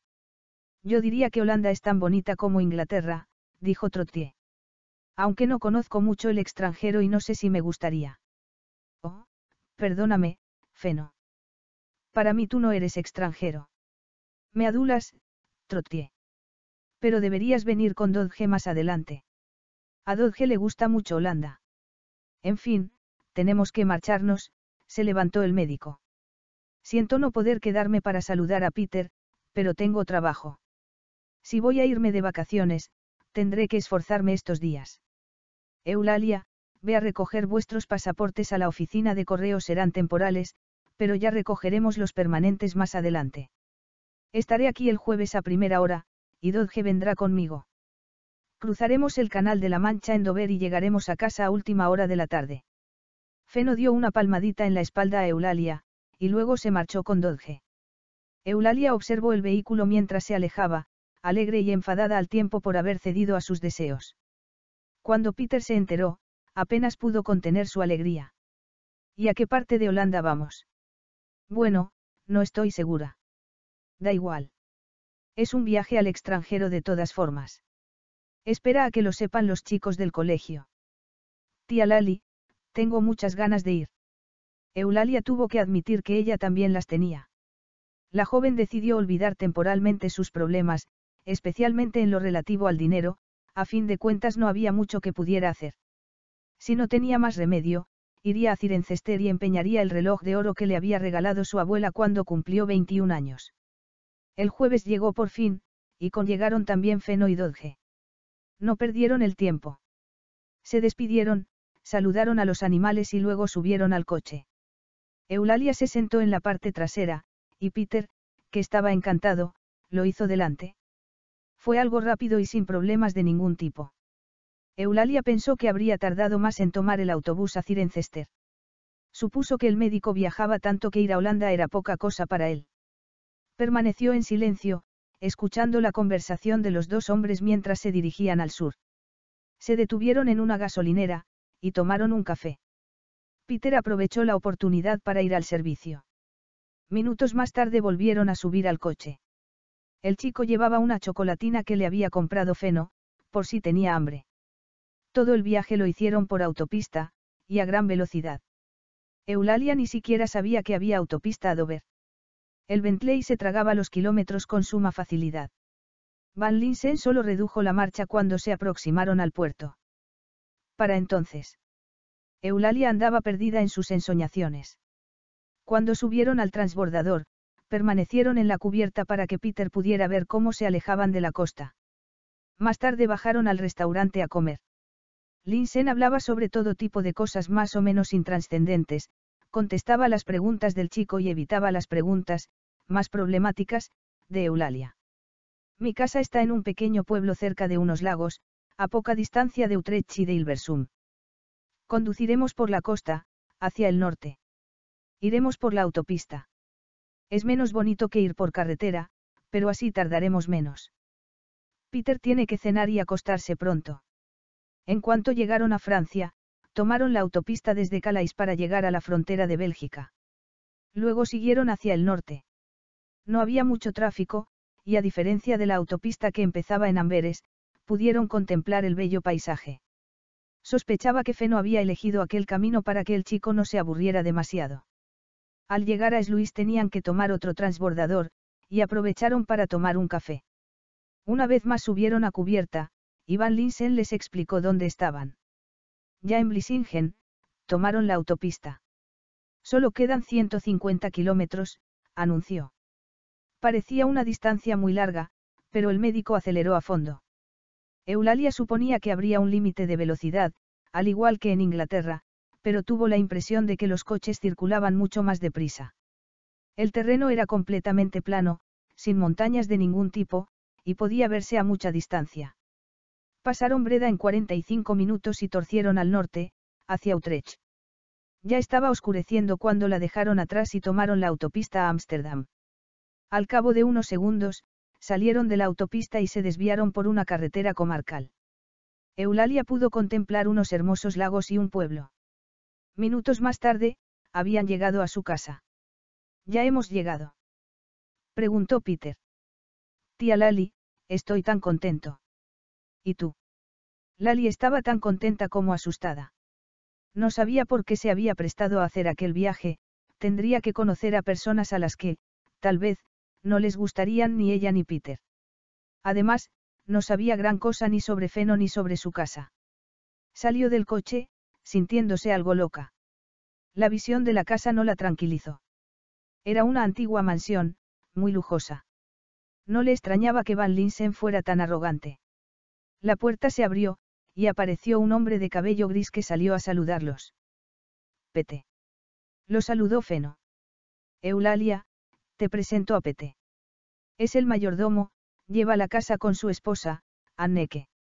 Pete, te presento a la señorita Barburton y a su sobrino, Peter. Es un placer conocerlos. Oh, ya veo que habla inglés. Me temo que ni Peter ni yo hablamos holandés. No se preocupen. Anneke solo habla holandés, pero yo les ayudaré a entenderse. Anneke los recibió en el interior de la casa. Van Linsen la abrazó y dijo algo al ama de llaves, que se encargó de sus abrigos mientras Pete subía el equipaje. Bueno, vamos a ver a mi madre. Estará esperándonos. ¿A tu madre? No lo había mencionado. La tomó del brazo. Se queda aquí frecuentemente, aunque vive en la Haya. Supongo que estará en el salón. Feno abrió las puertas del salón y entraron. Era una sala magnífica, de altos techos y precioso mobiliario. El fuego estaba encendido en la chimenea. Una gigantesca araña de cristal decoraba el techo, pero no estaba encendida. La iluminación la proporcionaban varias lámparas, situadas en las diversas mesitas. Peter suspiró, asombrado, cuando se acercaron a saludar a la mujer.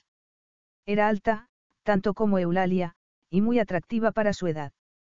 Tenía el pelo de color gris y sus ojos eran tan azules como los de su hijo. Al verlos, sonrió. Feno, por fin llegas. Y estos deben ser Eulalia y Peter, dijo, mientras estrechaba sus manos. Puedo llamarte Eulalia. No te importa. Me encanta que hayáis venido. Debes contarme muchas cosas sobre Inglaterra. Además, me gustaría saberlo todo sobre el colegio de Peter. Van Lin se encaminó hacia uno de los balcones y lo abrió. Un enorme perro entró de inmediato y saludó a su amo con alegría. Ven a conocer a Sally, Peter. Parece muy fiera, pero es maravillosa. ¿Te gustan los perros? Preguntó la señora Van Linsen a Eulalia. Sí. Feno le regaló uno a Peter. Se llama Charlie. La madre de Feno la tomó del brazo. Imagino que querrás subir a tu habitación para arreglarte un poco. que os enseñará vuestros dormitorios, pero no tardéis demasiado. Cenaremos pronto para que Peter pueda marcharse pronto a dormir. que los acompañó escaleras arriba. Era una escalera tan imponente como el resto de la casa. Les dieron habitaciones contiguas, con un cuarto de baño compartido. En cuanto estuvieron a solas, Peter comentó. Todo esto es maravilloso. Van Linsen debe tener mucho dinero. Me pregunto por qué trabaja si no lo necesita. Puede que le guste ser cirujano. Juntos exploraron sus habitaciones, tan lujosas como el resto de la casa. En la habitación de Peter había un precioso escritorio y una pequeña butaca, de su tamaño. También había libros de niños en la mesita que había junto a la cama. Eulalia miró su vestido de lana y se dijo que, aunque no demasiado lujoso, era lo suficientemente elegante como para no desentonar.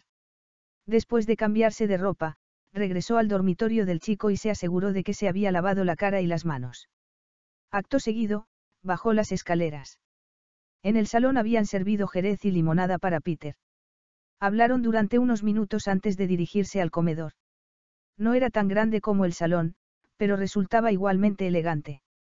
Una enorme mesa oval, en la que cabían más de doce comensales, dominaba la sala. Se sentaron en uno de los extremos. Van Linsen en la cabecera, su madre a su derecha, y Eulalia y el niño a la izquierda. Pete sirvió la sopa, pollo con una salsa deliciosa y pudín de chocolate y nata. Bebieron vino y sirvieron zumo de naranja para Peter. La madre de Feno era una anfitriona excelente. Dio conversación durante toda la velada, y hasta se dirigía al niño de vez en cuando, pero Feno no habló sobre su vida en Holanda. Cuando Peter se fue a la cama, la miró con intensidad, pero Eulalia apartó la mirada para que no pudiera notar que estaba tan contenta como su sobrino de encontrarse allí. Eulalia acompañó a Peter a su dormitorio, y cuando se quedó dormido volvió a bajar al salón.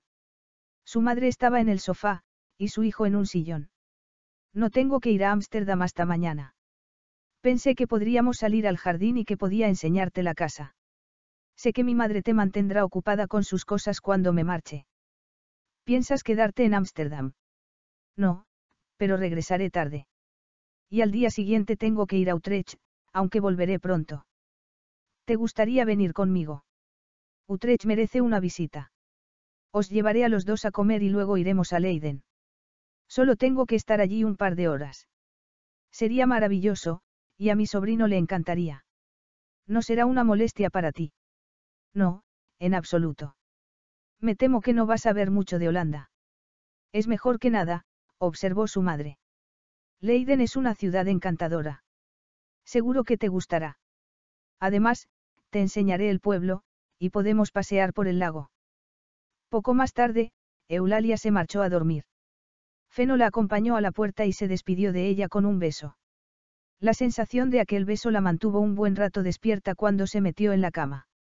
Sin embargo, al final se quedó dormida. El día siguiente pasó con demasiada rapidez. Pasaron la mañana en los jardines, una enorme extensión con rosaleda, un pequeño huerto, un estanque con carpas, un cenador, y un gigantesco invernadero. ¿Cuántos jardineros tienes, Feno? Dos, y un chico. ¿No tienes frío? No, Todo es tan maravilloso, tan diferente. Muy tranquilo, aunque estamos bastante cerca de la autopista. ¿Te gusta el campo, verdad? Desde luego. ¿Qué hay detrás de aquella puerta? Los establos. Tenemos un pony, una yegua y un burro. Peter habría permanecido varias horas allí, dando azúcar a los animales, pero tuvieron que regresar a la casa poco después. Ya tendréis tiempo de ver la propiedad a fondo. Mi madre estará encantada, y te dará una vuelta por el ala más vieja del edificio, y por los áticos. Feno le enseñó la casa por encima. Todas las habitaciones eran maravillosas. Pero minutos más tarde comprobó la hora y dijo, tengo que irme, aunque me gustaría enseñarte una habitación más. Feno la llevó por un corredor y abrió una puerta doble. Era un dormitorio muy hermoso, con tres balcones que daban a los jardines delanteros y una cama con dosel. Es como la habitación de una reina, dijo el niño. Feno asintió con gravedad y miró a Eulalia. Van Linsen se marchó poco tiempo más tarde, y la joven y su sobrino comieron con su madre. Después visitaron el pueblo y pasearon por el lago. Aquella noche, y ya en la cama, Eulalia pensó en el maravilloso día que habían pasado. Pete había llevado a su sobrino a la cocina, para que viera a Anneke mientras cocinaba. La madre de Feno, mientras tanto, la había acompañado a ver el resto de la casa.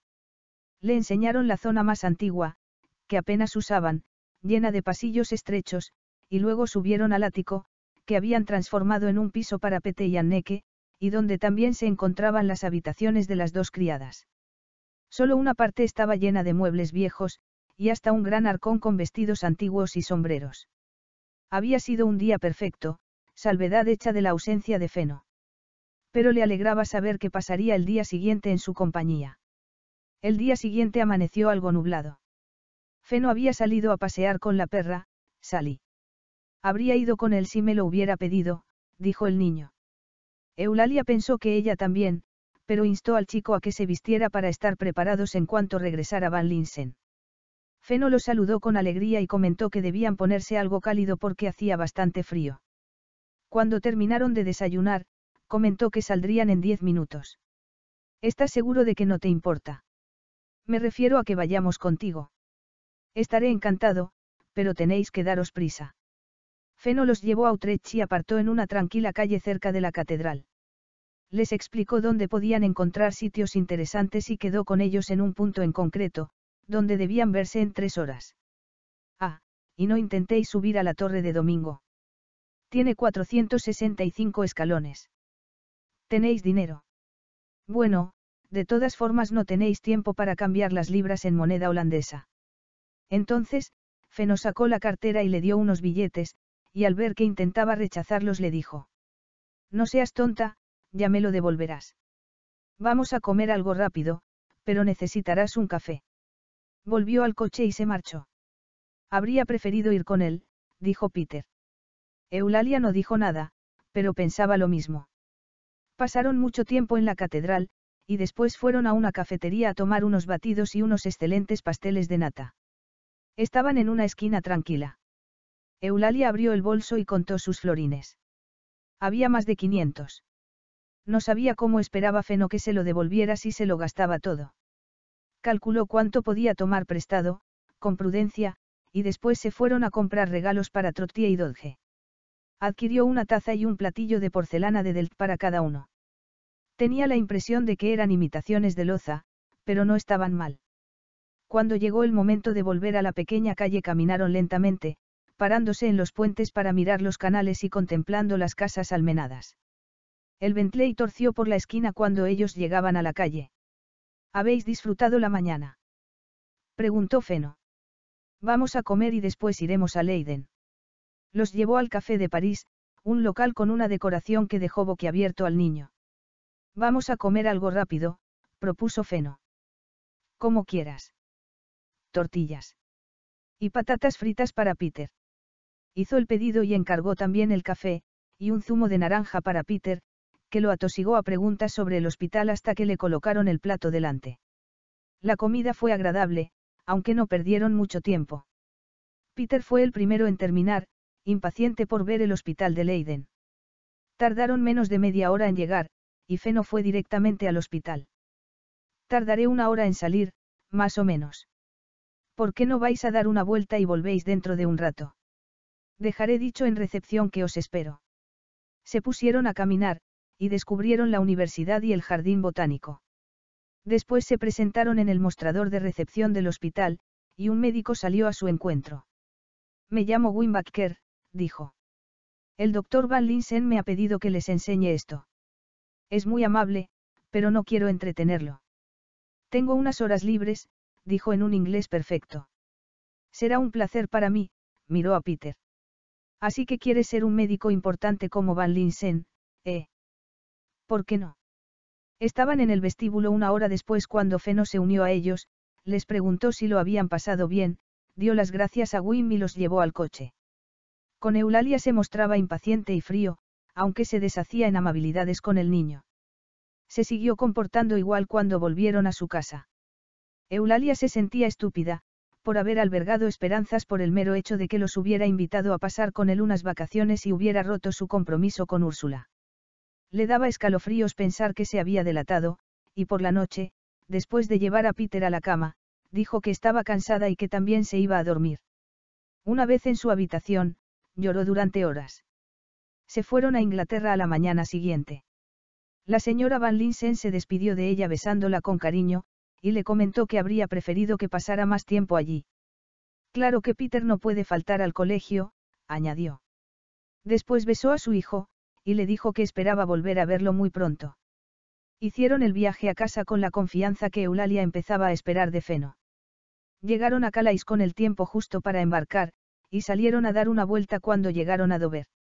Feno se detuvo en una estación de servicio para comer algo, y cuando volvieron a la carretera llamó a Dodge desde el coche, provocando la sorpresa del niño, para decirle que llegarían a tiempo para la cena.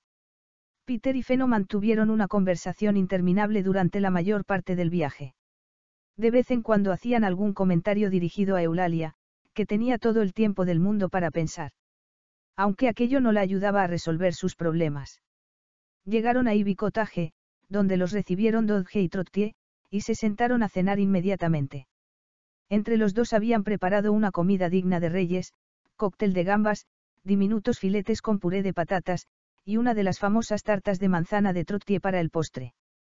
Eulalia olvidó sus problemas durante un rato para contestar a las incansables preguntas de su amiga. Resultaba agradable estar a la mesa, con Charlie y Blossom a sus pies, y Feno sentado con ellos. Se sorprendió cuando terminaron de comer y Feno comentó. Bueno, tenemos que irnos. ¿Estás listo, Dodge? ¿Os vais a Londres ahora? Preguntó Eulalia, sorprendida. Como Peter, tengo que trabajar mañana. Trottier y Dodge estaban en la cocina, pero Peter estaba junto a Feno, de modo que no habría podido decir nada aunque supiera qué decir. De todas formas, probablemente era mejor así. Se limitó a dar las gracias a Feno con amabilidad.